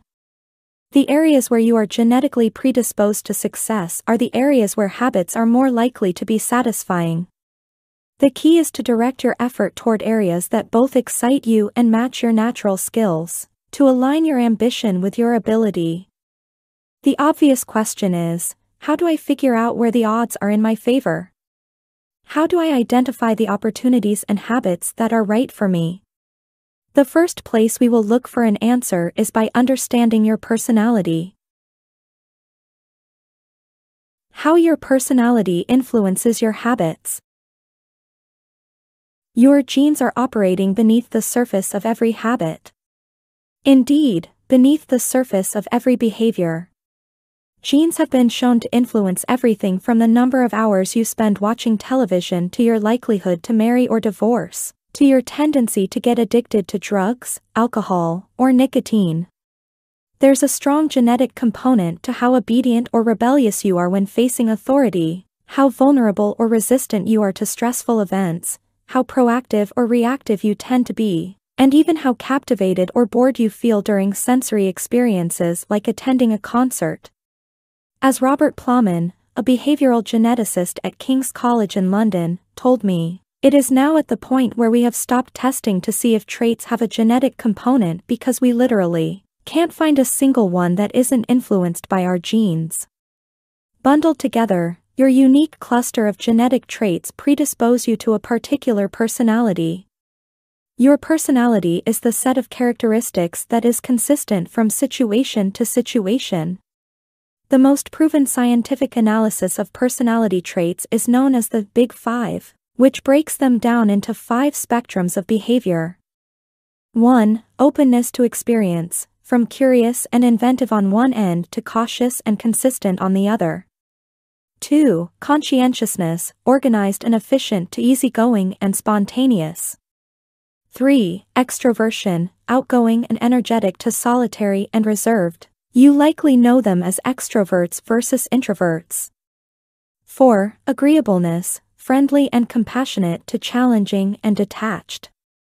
5. Neuroticism, anxious and sensitive to confident, calm, and stable. All five characteristics have biological underpinnings. Extroversion, for instance, can be tracked from birth. If scientists play a loud noise in the nursing ward, some babies turn toward it while others turn away. When the researchers tracked these children through life, they found that the babies who turned toward the noise were more likely to grow up to be extroverts. Those who turned away were more likely to become introverts. People who are high in agreeableness are kind, considerate, and warm. They also tend to have higher natural oxytocin levels, a hormone that plays an important role in social bonding, increases feelings of trust, and can act as a natural antidepressant. You can easily imagine how someone with more oxytocin might be inclined to build habits like writing thank you notes, or organizing social events. As a third example, consider neuroticism, which is a personality trait all people possess to various degrees. People who are high in neuroticism tend to be anxious and worry more than others. This trait has been linked to hypersensitivity of the amygdala, the portion of the brain responsible for noticing threats. In other words, people who are more sensitive to negative cues in their environment are more likely to score high in neuroticism. Our habits are not solely determined by our personalities, but there is no doubt that our genes nudge us in a certain direction. Our deeply rooted preferences make certain behaviors easier for some people than for others. You don't have to apologize for these differences or feel guilty about them, but you do have to work with them. A person who scores lower on conscientiousness, for example, will be less likely to be orderly by nature and may need to rely more heavily on environment design to stick with good habits. As a reminder for the less conscientious readers among us, environment design is a strategy we discussed in chapters 6 and 12. The takeaway is that you should build habits that work for your personality. Asterisk people can get ripped working out like a bodybuilder, but if you prefer rock climbing or cycling or rowing, then shape your exercise habit around your interests. If your friend follows a low carb diet but you find that low fat works for you, then more power to you. If you want to read more, don't be embarrassed if you prefer steamy romance novels over nonfiction. Read whatever fascinates you, asterisk you don't have to build the habits everyone tells you to build. Choose the habit that best suits you, not the one that is most popular. There is a version of every habit that can bring you joy and satisfaction. Find it. Habits need to be enjoyable if they are going to stick. This is the core idea behind the fourth law. Tailoring your habits to your personality is a good start, but this is not the end of the story. Let's turn our attention to finding and designing situations where you're at a natural advantage. How to find a game where the odds are in your favor. Learning to play a game where the odds are in your favor is critical for maintaining motivation and feeling successful. In theory, you can enjoy almost anything. In practice, you are more likely to enjoy the things that come easily to you. People who are talented in a particular area tend to be more competent at that task and are then praised for doing a good job. They stay energized because they are making progress where others have failed, and because they get rewarded with better pay and bigger opportunities, which not only makes them happier but also propels them to produce even higher quality work. It's a virtuous cycle. Pick the right habit and progress is easy. Pick the wrong habit and life is a struggle. How do you pick the right habit? The first step is something we covered in the third law make it easy. In many cases, when people pick the wrong habit, it simply means they picked a habit that was too difficult. When a habit is easy, you are more likely to be successful. When you are successful, you are more likely to feel satisfied. However, there is another level to consider. In the long run, if you continue to advance and improve, any area can become challenging. At some point, you need to make sure you're playing the right game for your skill set. How do you figure that out? The most common approach is trial and error. Of course, there's a problem with this strategy life is short. You don't have time to try every career, date every eligible bachelor, or play every musical instrument. Thankfully, there is an effective way to manage this conundrum, and it is known as the explore slash exploit trade-off. In the beginning of a new activity, there should be a period of exploration. In relationships, it's called dating. In college, it's called the liberal arts. In business, it's called split testing. The goal is to try out many possibilities, research a broad range of ideas, and cast a wide net. After this initial period of exploration, shift your focus to the best solution you've found, but keep experimenting occasionally. The proper balance depends on whether you're winning or losing. If you are currently winning, you exploit, exploit, exploit. If you are currently losing, you continue to explore, explore, explore. In the long run, it is probably most effective to work on the strategy that seems to deliver the best results about 80 to 90% of the time and keep exploring with the remaining 10 to 20%. Google famously asks employees to spend 80% of the workweek on their official job and 20% on projects of their choice, which has led to the creation of blockbuster products like AdWords and Gmail. The optimal approach also depends on how much time you have. If you have a lot of time, like someone at the beginning of their career, it makes more sense to explore because once you find the right thing, you still have a good amount of time to exploit it. If you're pressed for time, say, as you come up on the deadline for a project, you should implement the best solution you've found so far and get some results. As you explore different options, there are a series of questions you can ask yourself to continually narrow in on the habits and areas that will be most satisfying to you. What feels like fun to me, but work to others? The mark of whether you are made for a task is not whether you love it but whether you can handle the pain of the task easier than most people. When are you enjoying yourself while other people are complaining? The work that hurts you less than it hurts others is the work you were made to do. What makes me lose track of time? Flow is the mental state you enter when you are so focused on the task at hand that the rest of the world fades away. This blend of happiness and peak performance is what athletes and performers experience when they are in the zone. It is nearly impossible to experience a flow state and not find the task satisfying at least to some degree. Where do I get greater returns than the average person? We are continually comparing ourselves to those around us, and a behavior is more likely to be satisfying when the comparison is in our favor. When I started writing at jamesclear.com, my email list grew very quickly. I wasn't quite sure what I was doing well, but I knew that results seemed to be coming faster for me than for some of my colleagues, which motivated me to keep writing. What comes naturally to me? For just a moment, ignore what you have been taught. Ignore what society has told you. Ignore what others expect of you. Look inside yourself and ask, what feels natural to me? When have I felt alive? When have I felt like the real me? No internal judgments or people pleasing. No second guessing or self criticism. Just feelings of engagement and enjoyment. Whenever you feel authentic and genuine, you are headed in the right direction. To be honest, some of this process is just luck. Michael Phelps and Hicham El Guerrouj were lucky to be born with a rare set of abilities that are highly valued by society, and to be placed in the ideal environment for those abilities.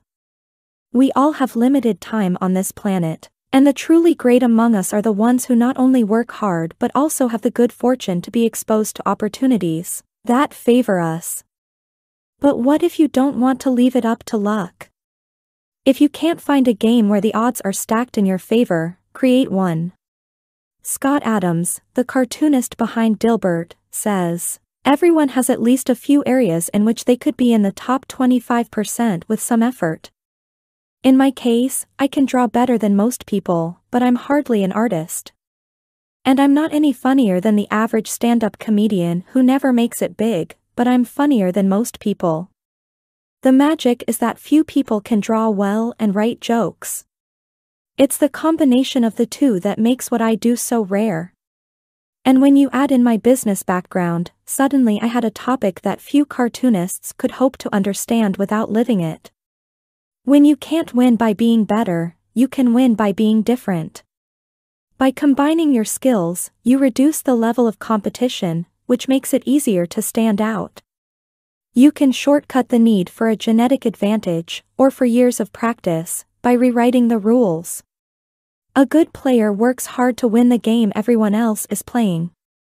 A great player creates a new game that favors their strengths and avoids their weaknesses. In college, I designed my own major, biomechanics, which was a combination of physics, chemistry, biology, and anatomy.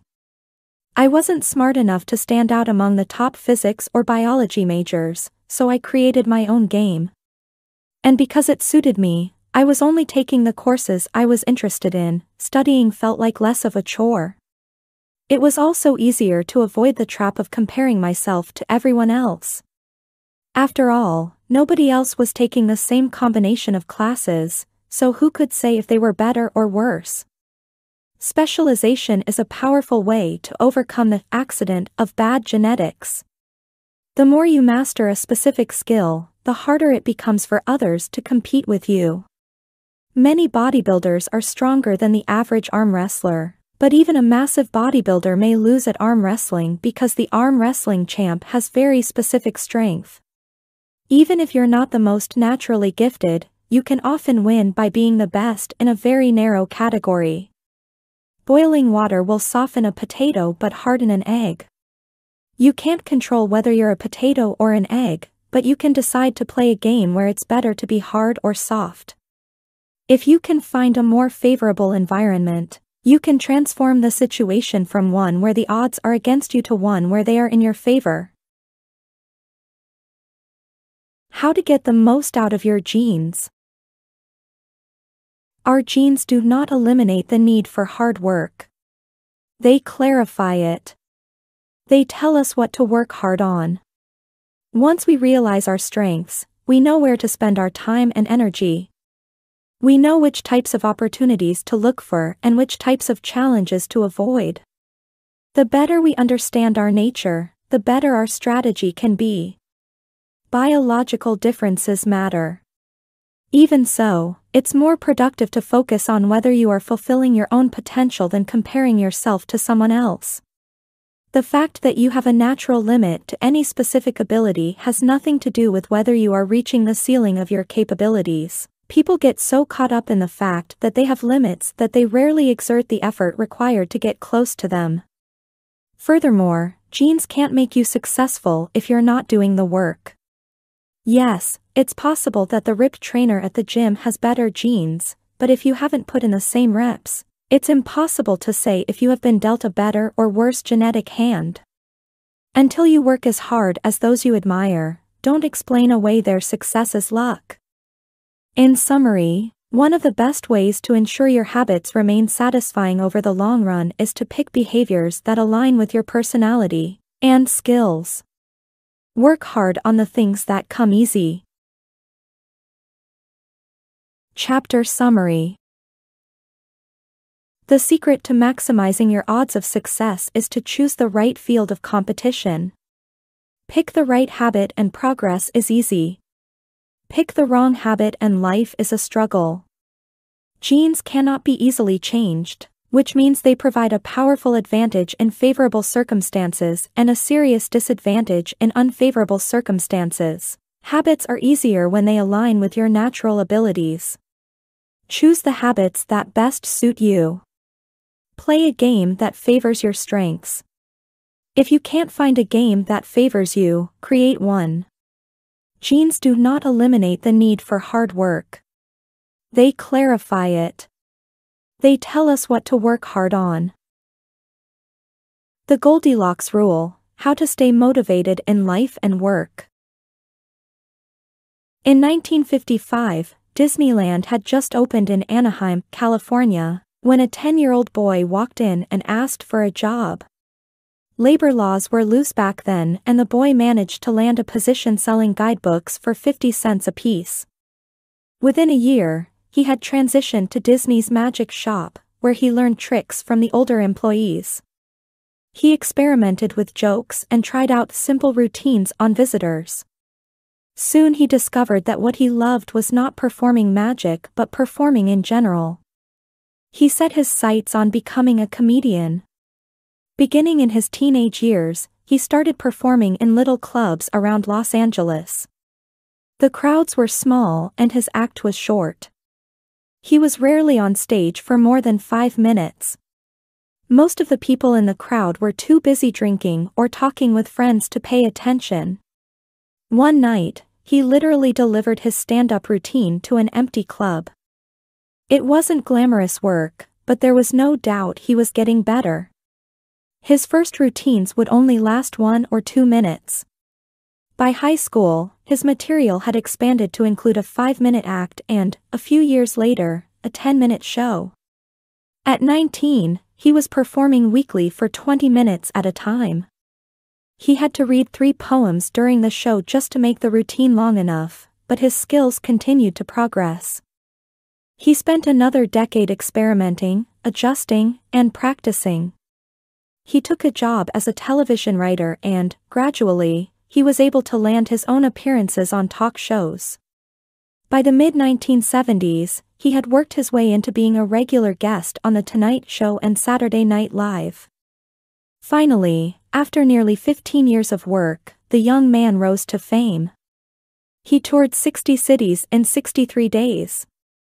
Then 72 cities in 80 days. Then 85 cities in 90 days. He had 18,695 people attend one show in Ohio. Another 45,000 tickets were sold for his three-day show in New York. He catapulted to the top of his genre and became one of the most successful comedians of his time. His name is Steve Martin. Martin's story offers a fascinating perspective on what it takes to stick with habits for the long run. Comedy is not for the timid. It is hard to imagine a situation that would strike fear into the hearts of more people than performing alone on stage, and failing to get a single laugh. And yet Steve Martin faced this fear every week for 18 years. In his words, 10 years spent learning, 4 years spent refining, and 4 years as a wild success. Why is it that some people, like Martin, stick with their habits, whether practicing jokes or drawing cartoons or playing guitar, while most of us struggle to stay motivated.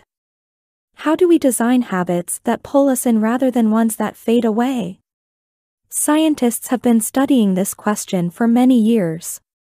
While there is still much to learn, one of the most consistent findings is that the way to maintain motivation and achieve peak levels of desire is to work on tasks of just manageable difficulty. The human brain loves a challenge, but only if it is within an optimal zone of difficulty. If you love tennis and try to play a serious match against a four-year-old, you will quickly become bored. It's too easy. You'll win every point. In contrast, if you play a professional tennis player like Roger Federer or Serena Williams, you will quickly lose motivation because the match is too difficult. Now consider playing tennis against someone who is your equal. As the game progresses, you win a few points and you lose a few. You have a good chance of winning, but only if you really try. Your focus narrows, distractions fade away, and you find yourself fully invested in the task at hand. This is a challenge of just manageable difficulty and it is a prime example of the Goldilocks rule. The Goldilocks rule states that humans experience peak motivation when working on tasks that are right on the edge of their current abilities. Not too hard. Not too easy. Just right. The Goldilocks rule. Figure 15 Maximum motivation occurs when facing a challenge of just manageable difficulty. In psychology research this is known as the Yerkes-Dodson law, which describes the optimal level of arousal as the midpoint between boredom and anxiety. Martin's comedy career is an excellent example of the Goldilocks rule in practice. Each year, he expanded his comedy routine, but only by a minute or two. He was always adding new material, but he also kept a few jokes that were guaranteed to get laughs. There were just enough victories to keep him motivated and just enough mistakes to keep him working hard. When you're starting a new habit, it's important to keep the behavior as easy as possible so you can stick with it even when conditions aren't perfect. This is an idea we covered in detail while discussing the third law of behavior change.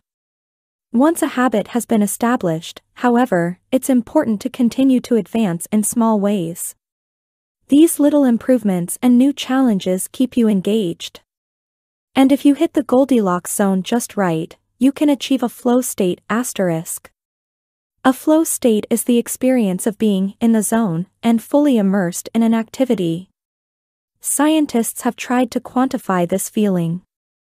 They found that to achieve a state of flow, a task must be roughly 4% beyond your current ability, in real life it's typically not feasible to quantify the difficulty of an action in this way, but the core idea of the Goldilocks rule remains, working on challenges of just manageable difficulty, something on the perimeter of your ability, seems crucial for maintaining motivation.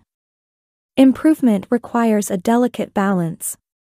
You need to regularly search for challenges that push you to your edge while continuing to make enough progress to stay motivated.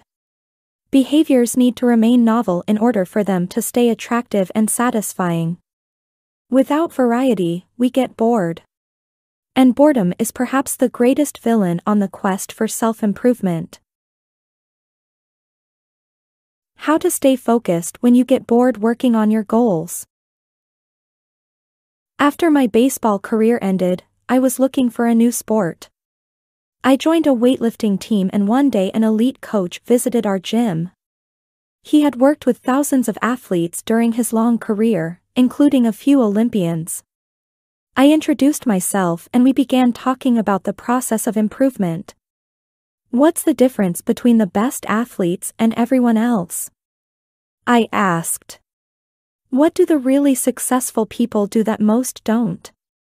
He mentioned the factors you might expect, genetics, luck, talent. But then he said something I wasn't expecting, at some point it comes down to who can handle the boredom of training every day, doing the same lifts over and over and over. His answer surprised me because it's a different way of thinking about work ethic. People talk about getting amped up to work on their goals. Whether it's business or sports or art, you hear people say things like, it all comes down to passion. Or, you have to really want it. As a result, many of us get depressed when we lose focus or motivation because we think that successful people have some bottomless reserve of passion, but this coach was saying that really successful people feel the same lack of motivation as everyone else. The difference is that they still find a way to show up despite the feelings of boredom.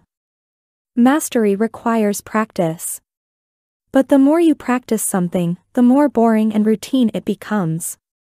Once the beginner gains have been made and we learn what to expect, our interest starts to fade. Sometimes it happens even faster than that. All you have to do is hit the gym a few days in a row or publish a couple of blog posts on time, and letting one day slip doesn't feel like much. Things are going well. It's easy to rationalize taking a day off because you're in a good place. The greatest threat to success is not failure but boredom. We get bored with habits because they stop delighting us. The outcome becomes expected. And as our habits become ordinary, we start derailing our progress to seek novelty. Perhaps this is why we get caught up in a never-ending cycle, jumping from one workout to the next, one diet to the next, one business idea to the next. As soon as we experience the slightest dip in motivation, we begin seeking a new strategy, even if the old one was still working. As Machiavelli noted, men desire novelty to such an extent that those who are doing well wish for a change as much as those who are doing badly. Perhaps this is why many of the most habit-forming products are those that provide continuous forms of novelty. Video games provide visual novelty. Porn provides sexual novelty. Junk foods provide culinary novelty. Each of these experiences offer continual elements of surprise.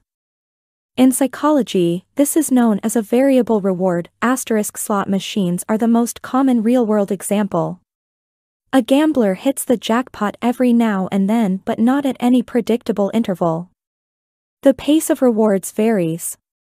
This variance leads to the greatest spike of dopamine, enhances memory recall, and accelerates habit formation. Variable rewards won't create a craving, that is, you can't take a reward people are uninterested in, give it to them at a variable interval, and hope it will change their mind. But they are a powerful way to amplify the cravings we already experience because they reduce boredom. The sweet spot of desire occurs at a 50-50 split between success and failure. Half of the time you get what you want. Half of the time you don't. You need just enough winning to experience satisfaction and just enough wanting to experience desire. This is one of the benefits of following the Goldilocks rule. If you're already interested in a habit, working on challenges of just manageable difficulty is a good way to keep things interesting.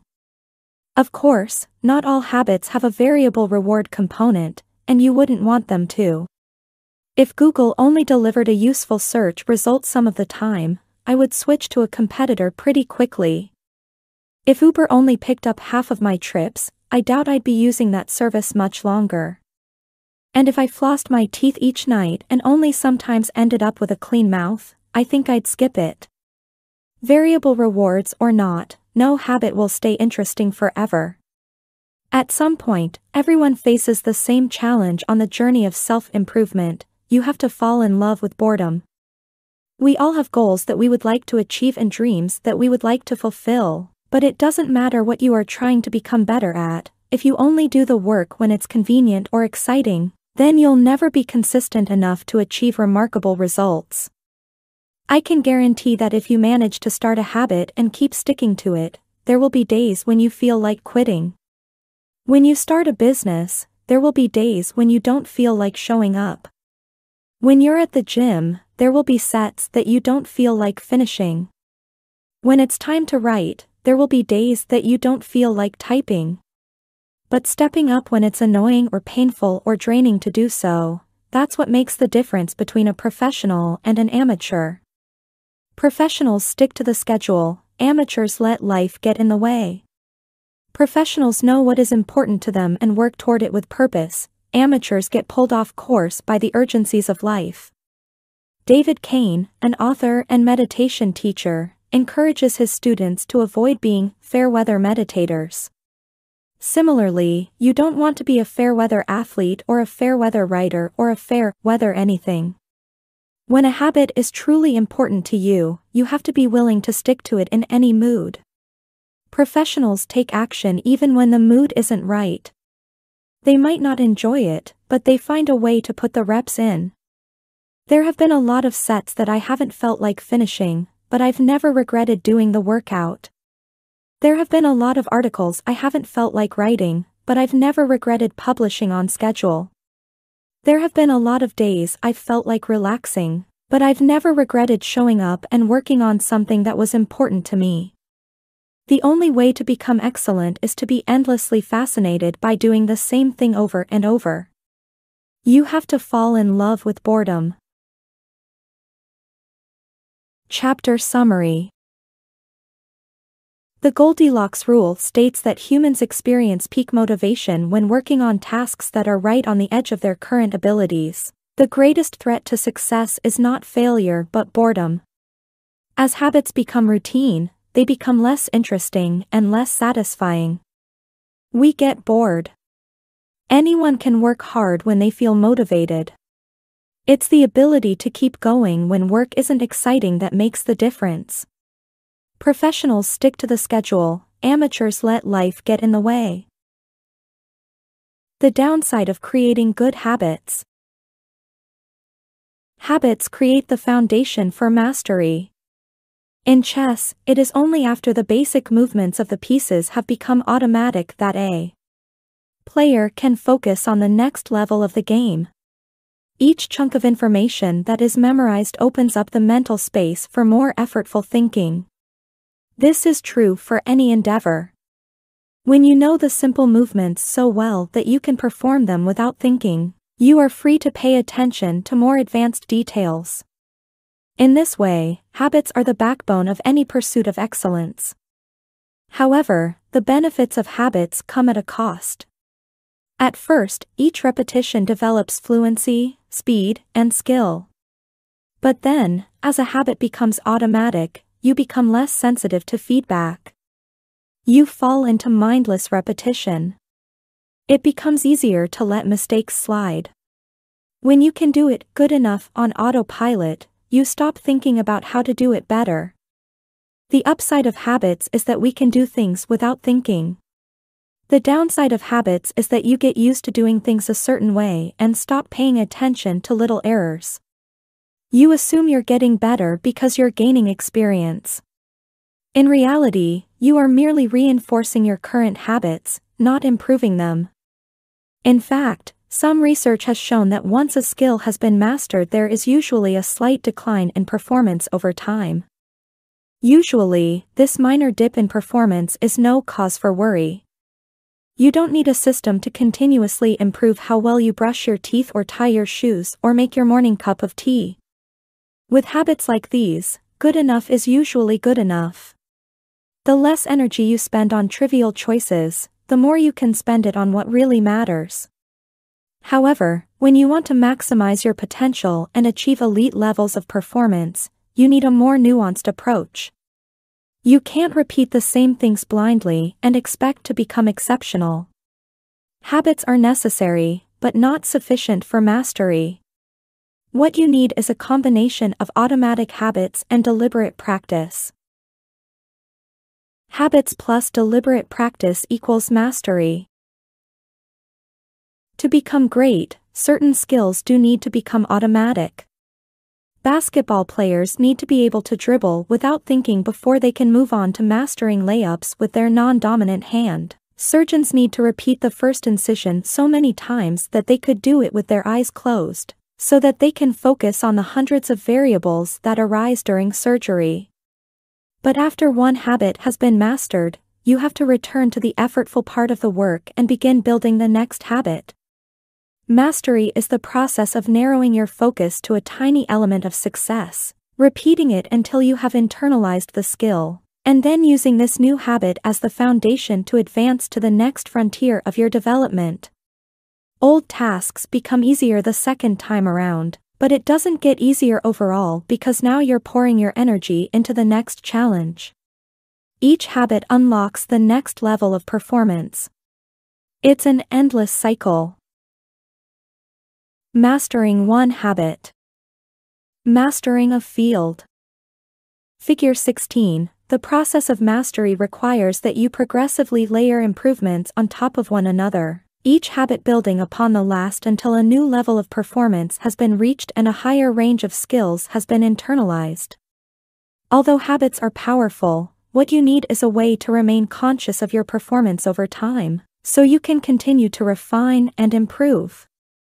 It is precisely at the moment when you begin to feel like you have mastered a skill, right when things are starting to feel automatic and you are becoming comfortable, that you must avoid slipping into the trap of complacency.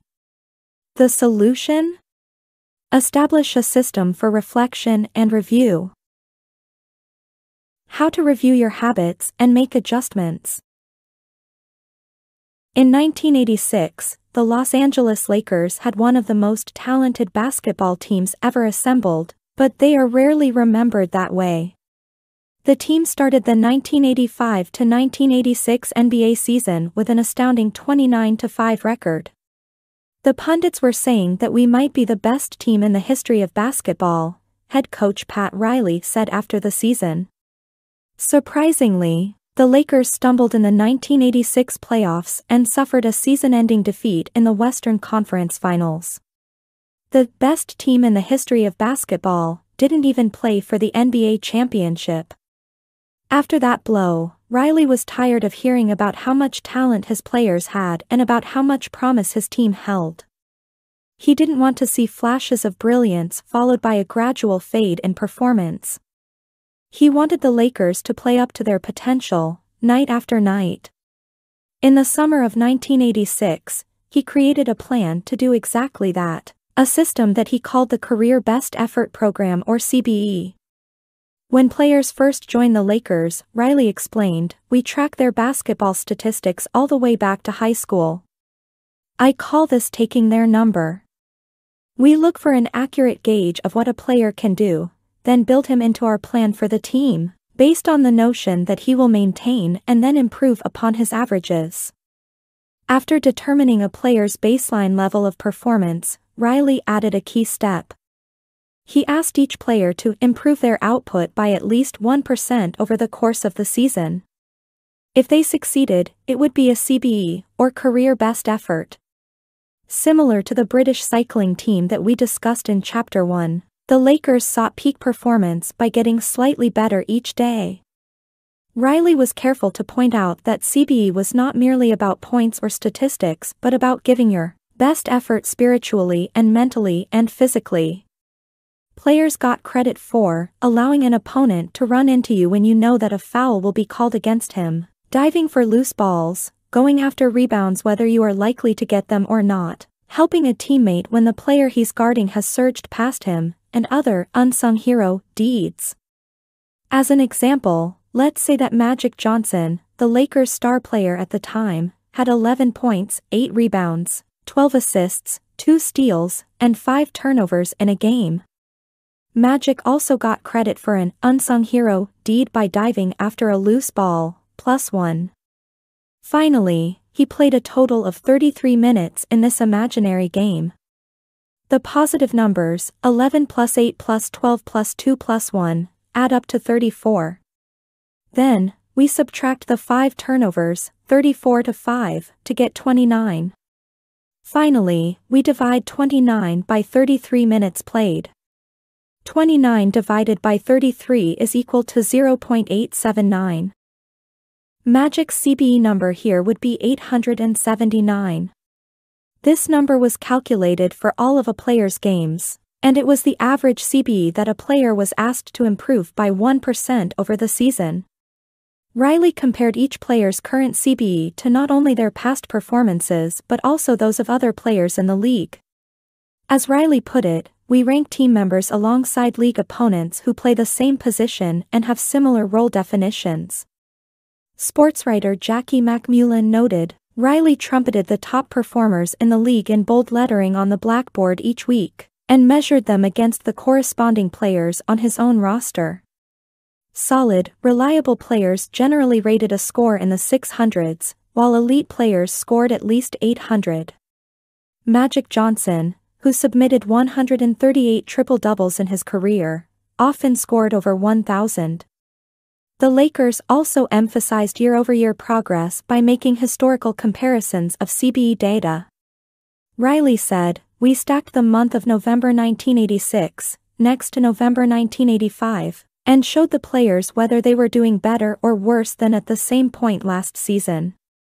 Then we showed them how their performance figures for December 1986 stacked up against November's. The Lakers rolled out CBE in October 1986. Eight months later, they were NBA champions.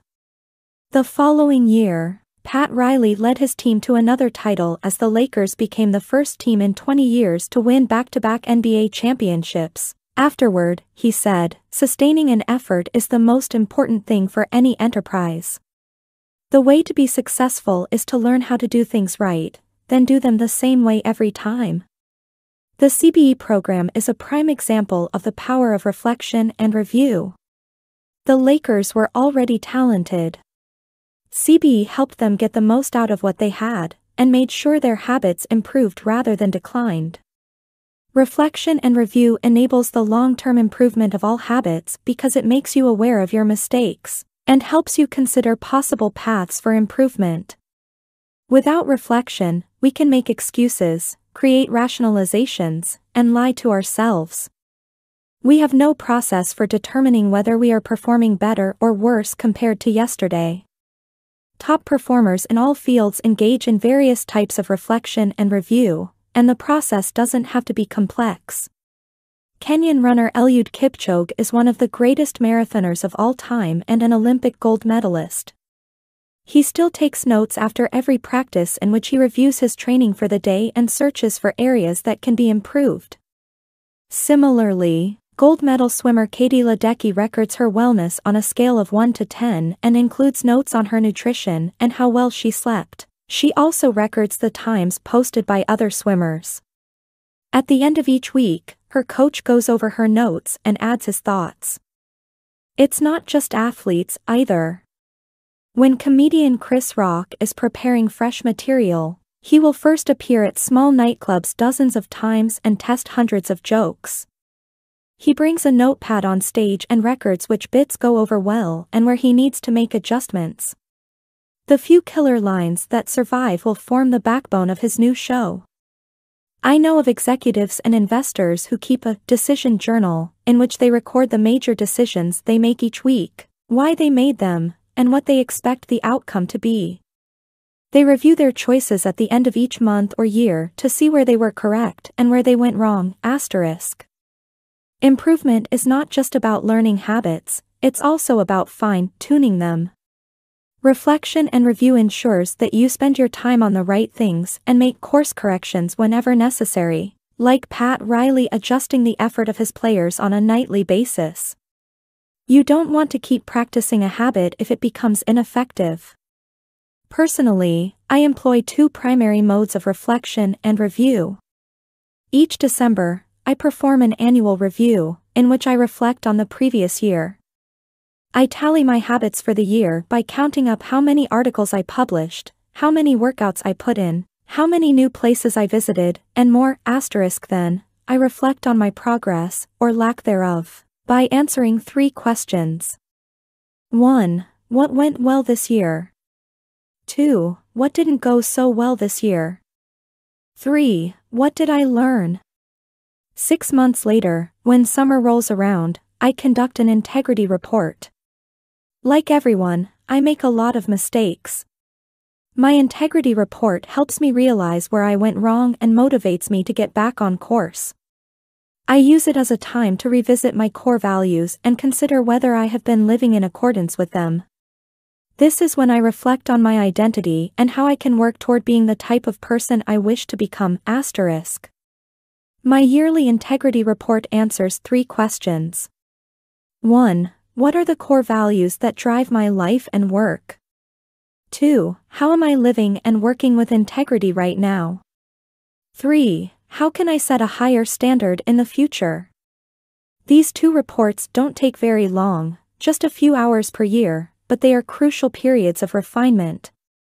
They prevent the gradual slide that happens when I don't pay close attention. They provide an annual reminder to revisit my desired identity and consider how my habits are helping me become the type of person I wish to be. They indicate when I should upgrade my habits and take on new challenges and when I should dial my efforts back and focus on the fundamentals. Reflection can also bring a sense of perspective. Daily habits are powerful because of how they compound, but worrying too much about every daily choice is like looking at yourself in the mirror from an inch away. You can see every imperfection and lose sight of the bigger picture. There is too much feedback. Conversely, never reviewing your habits is like never looking in the mirror. You aren't aware of easily fixable flaws, a spot on your shirt, a bit of food in your teeth. There is too little feedback. Periodic reflection and review is like viewing yourself in the mirror from a conversational distance. You can see the important changes you should make without losing sight of the bigger picture. You want to view the entire mountain range, not obsess over each peak and valley. Finally, reflection and review offers an ideal time to revisit one of the most important aspects of behavior change identity. How to break the beliefs that hold you back. In the beginning, repeating a habit is essential to build up evidence of your desired identity. As you latch on to that new identity, however, those same beliefs can hold you back from the next level of growth. When working against you, your identity creates a kind of pride that encourages you to deny your weak spots and prevents you from truly growing. This is one of the greatest downsides of building habits. The more sacred an idea is to us, that is, the more deeply it is tied to our identity, the more strongly we will defend it against criticism. You see this in every industry. The schoolteacher who ignores innovative teaching methods and sticks with her tried and true lesson plans. The veteran manager who is committed to doing things his way. The surgeon who dismisses the ideas of her younger colleagues. The band who produces a mind-blowing first album and then gets stuck in a rut. The tighter we cling to an identity, the harder it becomes to grow beyond it. One solution is to avoid making any single aspect of your identity an overwhelming portion of who you are. In the words of investor Paul Graham, keep your identity small. The more you let a single belief define you, the less capable you are of adapting when life challenges you. If you tie everything up in being the point guard or the partner at the firm or whatever else, then the loss of that facet of your life will wreck you. If you're a vegan and then develop a health condition that forces you to change your diet, you'll have an identity crisis on your hands. When you cling too tightly to one identity, you become brittle. Lose that one thing and you lose yourself. For most of my young life, being an athlete was a major part of my identity. After my baseball career ended, I struggled to find myself. When you spend your whole life defining yourself in one way and that disappears, who are you now? Military veterans and former entrepreneurs report similar feelings. If your identity is wrapped up in a belief like, I'm a great soldier, what happens when your period of service ends? For many business owners, their identity is something along the lines of I'm the CEO or I'm the founder. If you have spent every waking moment working on your business, how will you feel after you sell the company? The key to mitigating these losses of identity is to redefine yourself such that you get to keep important aspects of your identity, even if your particular role changes. I'm an athlete becomes I'm the type of person who is mentally tough and loves a physical challenge. I'm a great soldier transforms into I'm the type of person who is disciplined, reliable, and great on a team. I'm the CEO translates to I'm the type of person who builds and creates things. When chosen effectively, an identity can be flexible rather than brittle. Like water flowing around an obstacle, your identity works with the changing circumstances rather than against them. The following quote from the Tao Te Ching encapsulates the ideas perfectly. Men are born soft and supple, dead, they are stiff and hard. Plants are born tender and pliant, dead, they are brittle and dry. Thus whoever is stiff and inflexible is a disciple of death. Whoever is soft and yielding is a disciple of life. The hard and stiff will be broken. The soft and supple will prevail. Lao Tzu. Habits deliver numerous benefits, but the downside is that they can lock us into our previous patterns of thinking and acting, even when the world is shifting around us. Everything is impermanent. Life is constantly changing, so you need to periodically check in to see if your old habits and beliefs are still serving you. A lack of self-awareness is poison. Reflection and review is the antidote. Chapter Summary The upside of habits is that we can do things without thinking. The downside is that we stop paying attention to little errors. Habits plus deliberate practice equals mastery. Reflection and review is a process that allows you to remain conscious of your performance over time. The tighter we cling to an identity, the harder it becomes to grow beyond it. Conclusion The secret to results that last. There is an ancient Greek parable known as the Sorites paradox, asterisk which talks about the effect one small action can have when repeated enough times. One formulation of the paradox goes as follows, can one coin make a person rich? If you give a person a pile of 10 coins, you wouldn't claim that he or she is rich. But what if you add another? And another? And another? At some point, you will have to admit that no one can be rich unless one coin can make him or her so. We can say the same about atomic habits. Can one tiny change transform your life? It's unlikely you would say so. But what if you made another? And another? And another? At some point, you will have to admit that your life was transformed by one small change. The holy grail of habit change is not a single 1% improvement, but a thousand of them. It's a bunch of atomic habits stacking up, each one a fundamental unit of the overall system. In the beginning, small improvements can often seem meaningless because they get washed away by the weight of the system. Just as one coin won't make you rich, one positive change like meditating for one minute or reading one page each day is unlikely to deliver a noticeable difference. Gradually, though, as you continue to layer small changes on top of one another, the scales of life start to move. Each improvement is like adding a grain of sand to the positive side of the scale, slowly tilting things in your favor. Eventually, if you stick with it, you hit a tipping point. Suddenly, it feels easier to stick with good habits. The weight of the system is working for you rather than against you. Over the course of this book, we've looked at dozens of stories about top performers.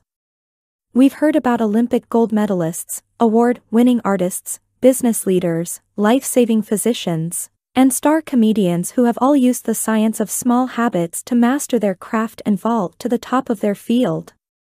Each of the people, teams, and companies we have covered has faced different circumstances, but ultimately progressed in the same way, through a commitment to tiny, sustainable, unrelenting improvements. Success is not a goal to reach or a finish line to cross. It is a system to improve, an endless process to refine. In Chapter 1, I said, if you're having trouble changing your habits, the problem isn't you. The problem is your system. Bad habits repeat themselves again and again not because you don't want to change, but because you have the wrong system for change. As this book draws to a close, I hope the opposite is true. With the four laws of behavior change, you have a set of tools and strategies that you can use to build better systems and shape better habits. Sometimes a habit will be hard to remember and you'll need to make it obvious. Other times you won't feel like starting and you'll need to make it attractive. In many cases, you may find that a habit will be too difficult and you'll need to make it easy. And sometimes, you won't feel like sticking with it and you'll need to make it satisfying. Behaviors are effortless here, behaviors are difficult here. Obvious, invisible. Attractive, unattractive. Easy, hard satisfying, unsatisfying. You want to push your good habits toward the left side of the spectrum by making them obvious, attractive, easy, and satisfying. Meanwhile, you want to cluster your bad habits toward the right side by making them invisible, unattractive, hard, and unsatisfying. This is a continuous process. There is no finish line. There is no permanent solution. Whenever you're looking to improve, you can rotate through the four laws of behavior change until you find the next bottleneck. Make it obvious. Make it attractive. Make it easy. Make it satisfying. Round and round. Always looking for the next way to get 1% better. The secret to getting results that last is to never stop making improvements. It's remarkable what you can build if you just don't stop. It's remarkable the business you can build if you don't stop working. It's remarkable the body you can build if you don't stop training. It's remarkable the knowledge you can build if you don't stop learning. It's remarkable the fortune you can build if you don't stop saving. It's remarkable the friendships you can build if you don't stop caring. Small habits don't add up. They compound. That's the power of atomic habits. Tiny changes. Remarkable results.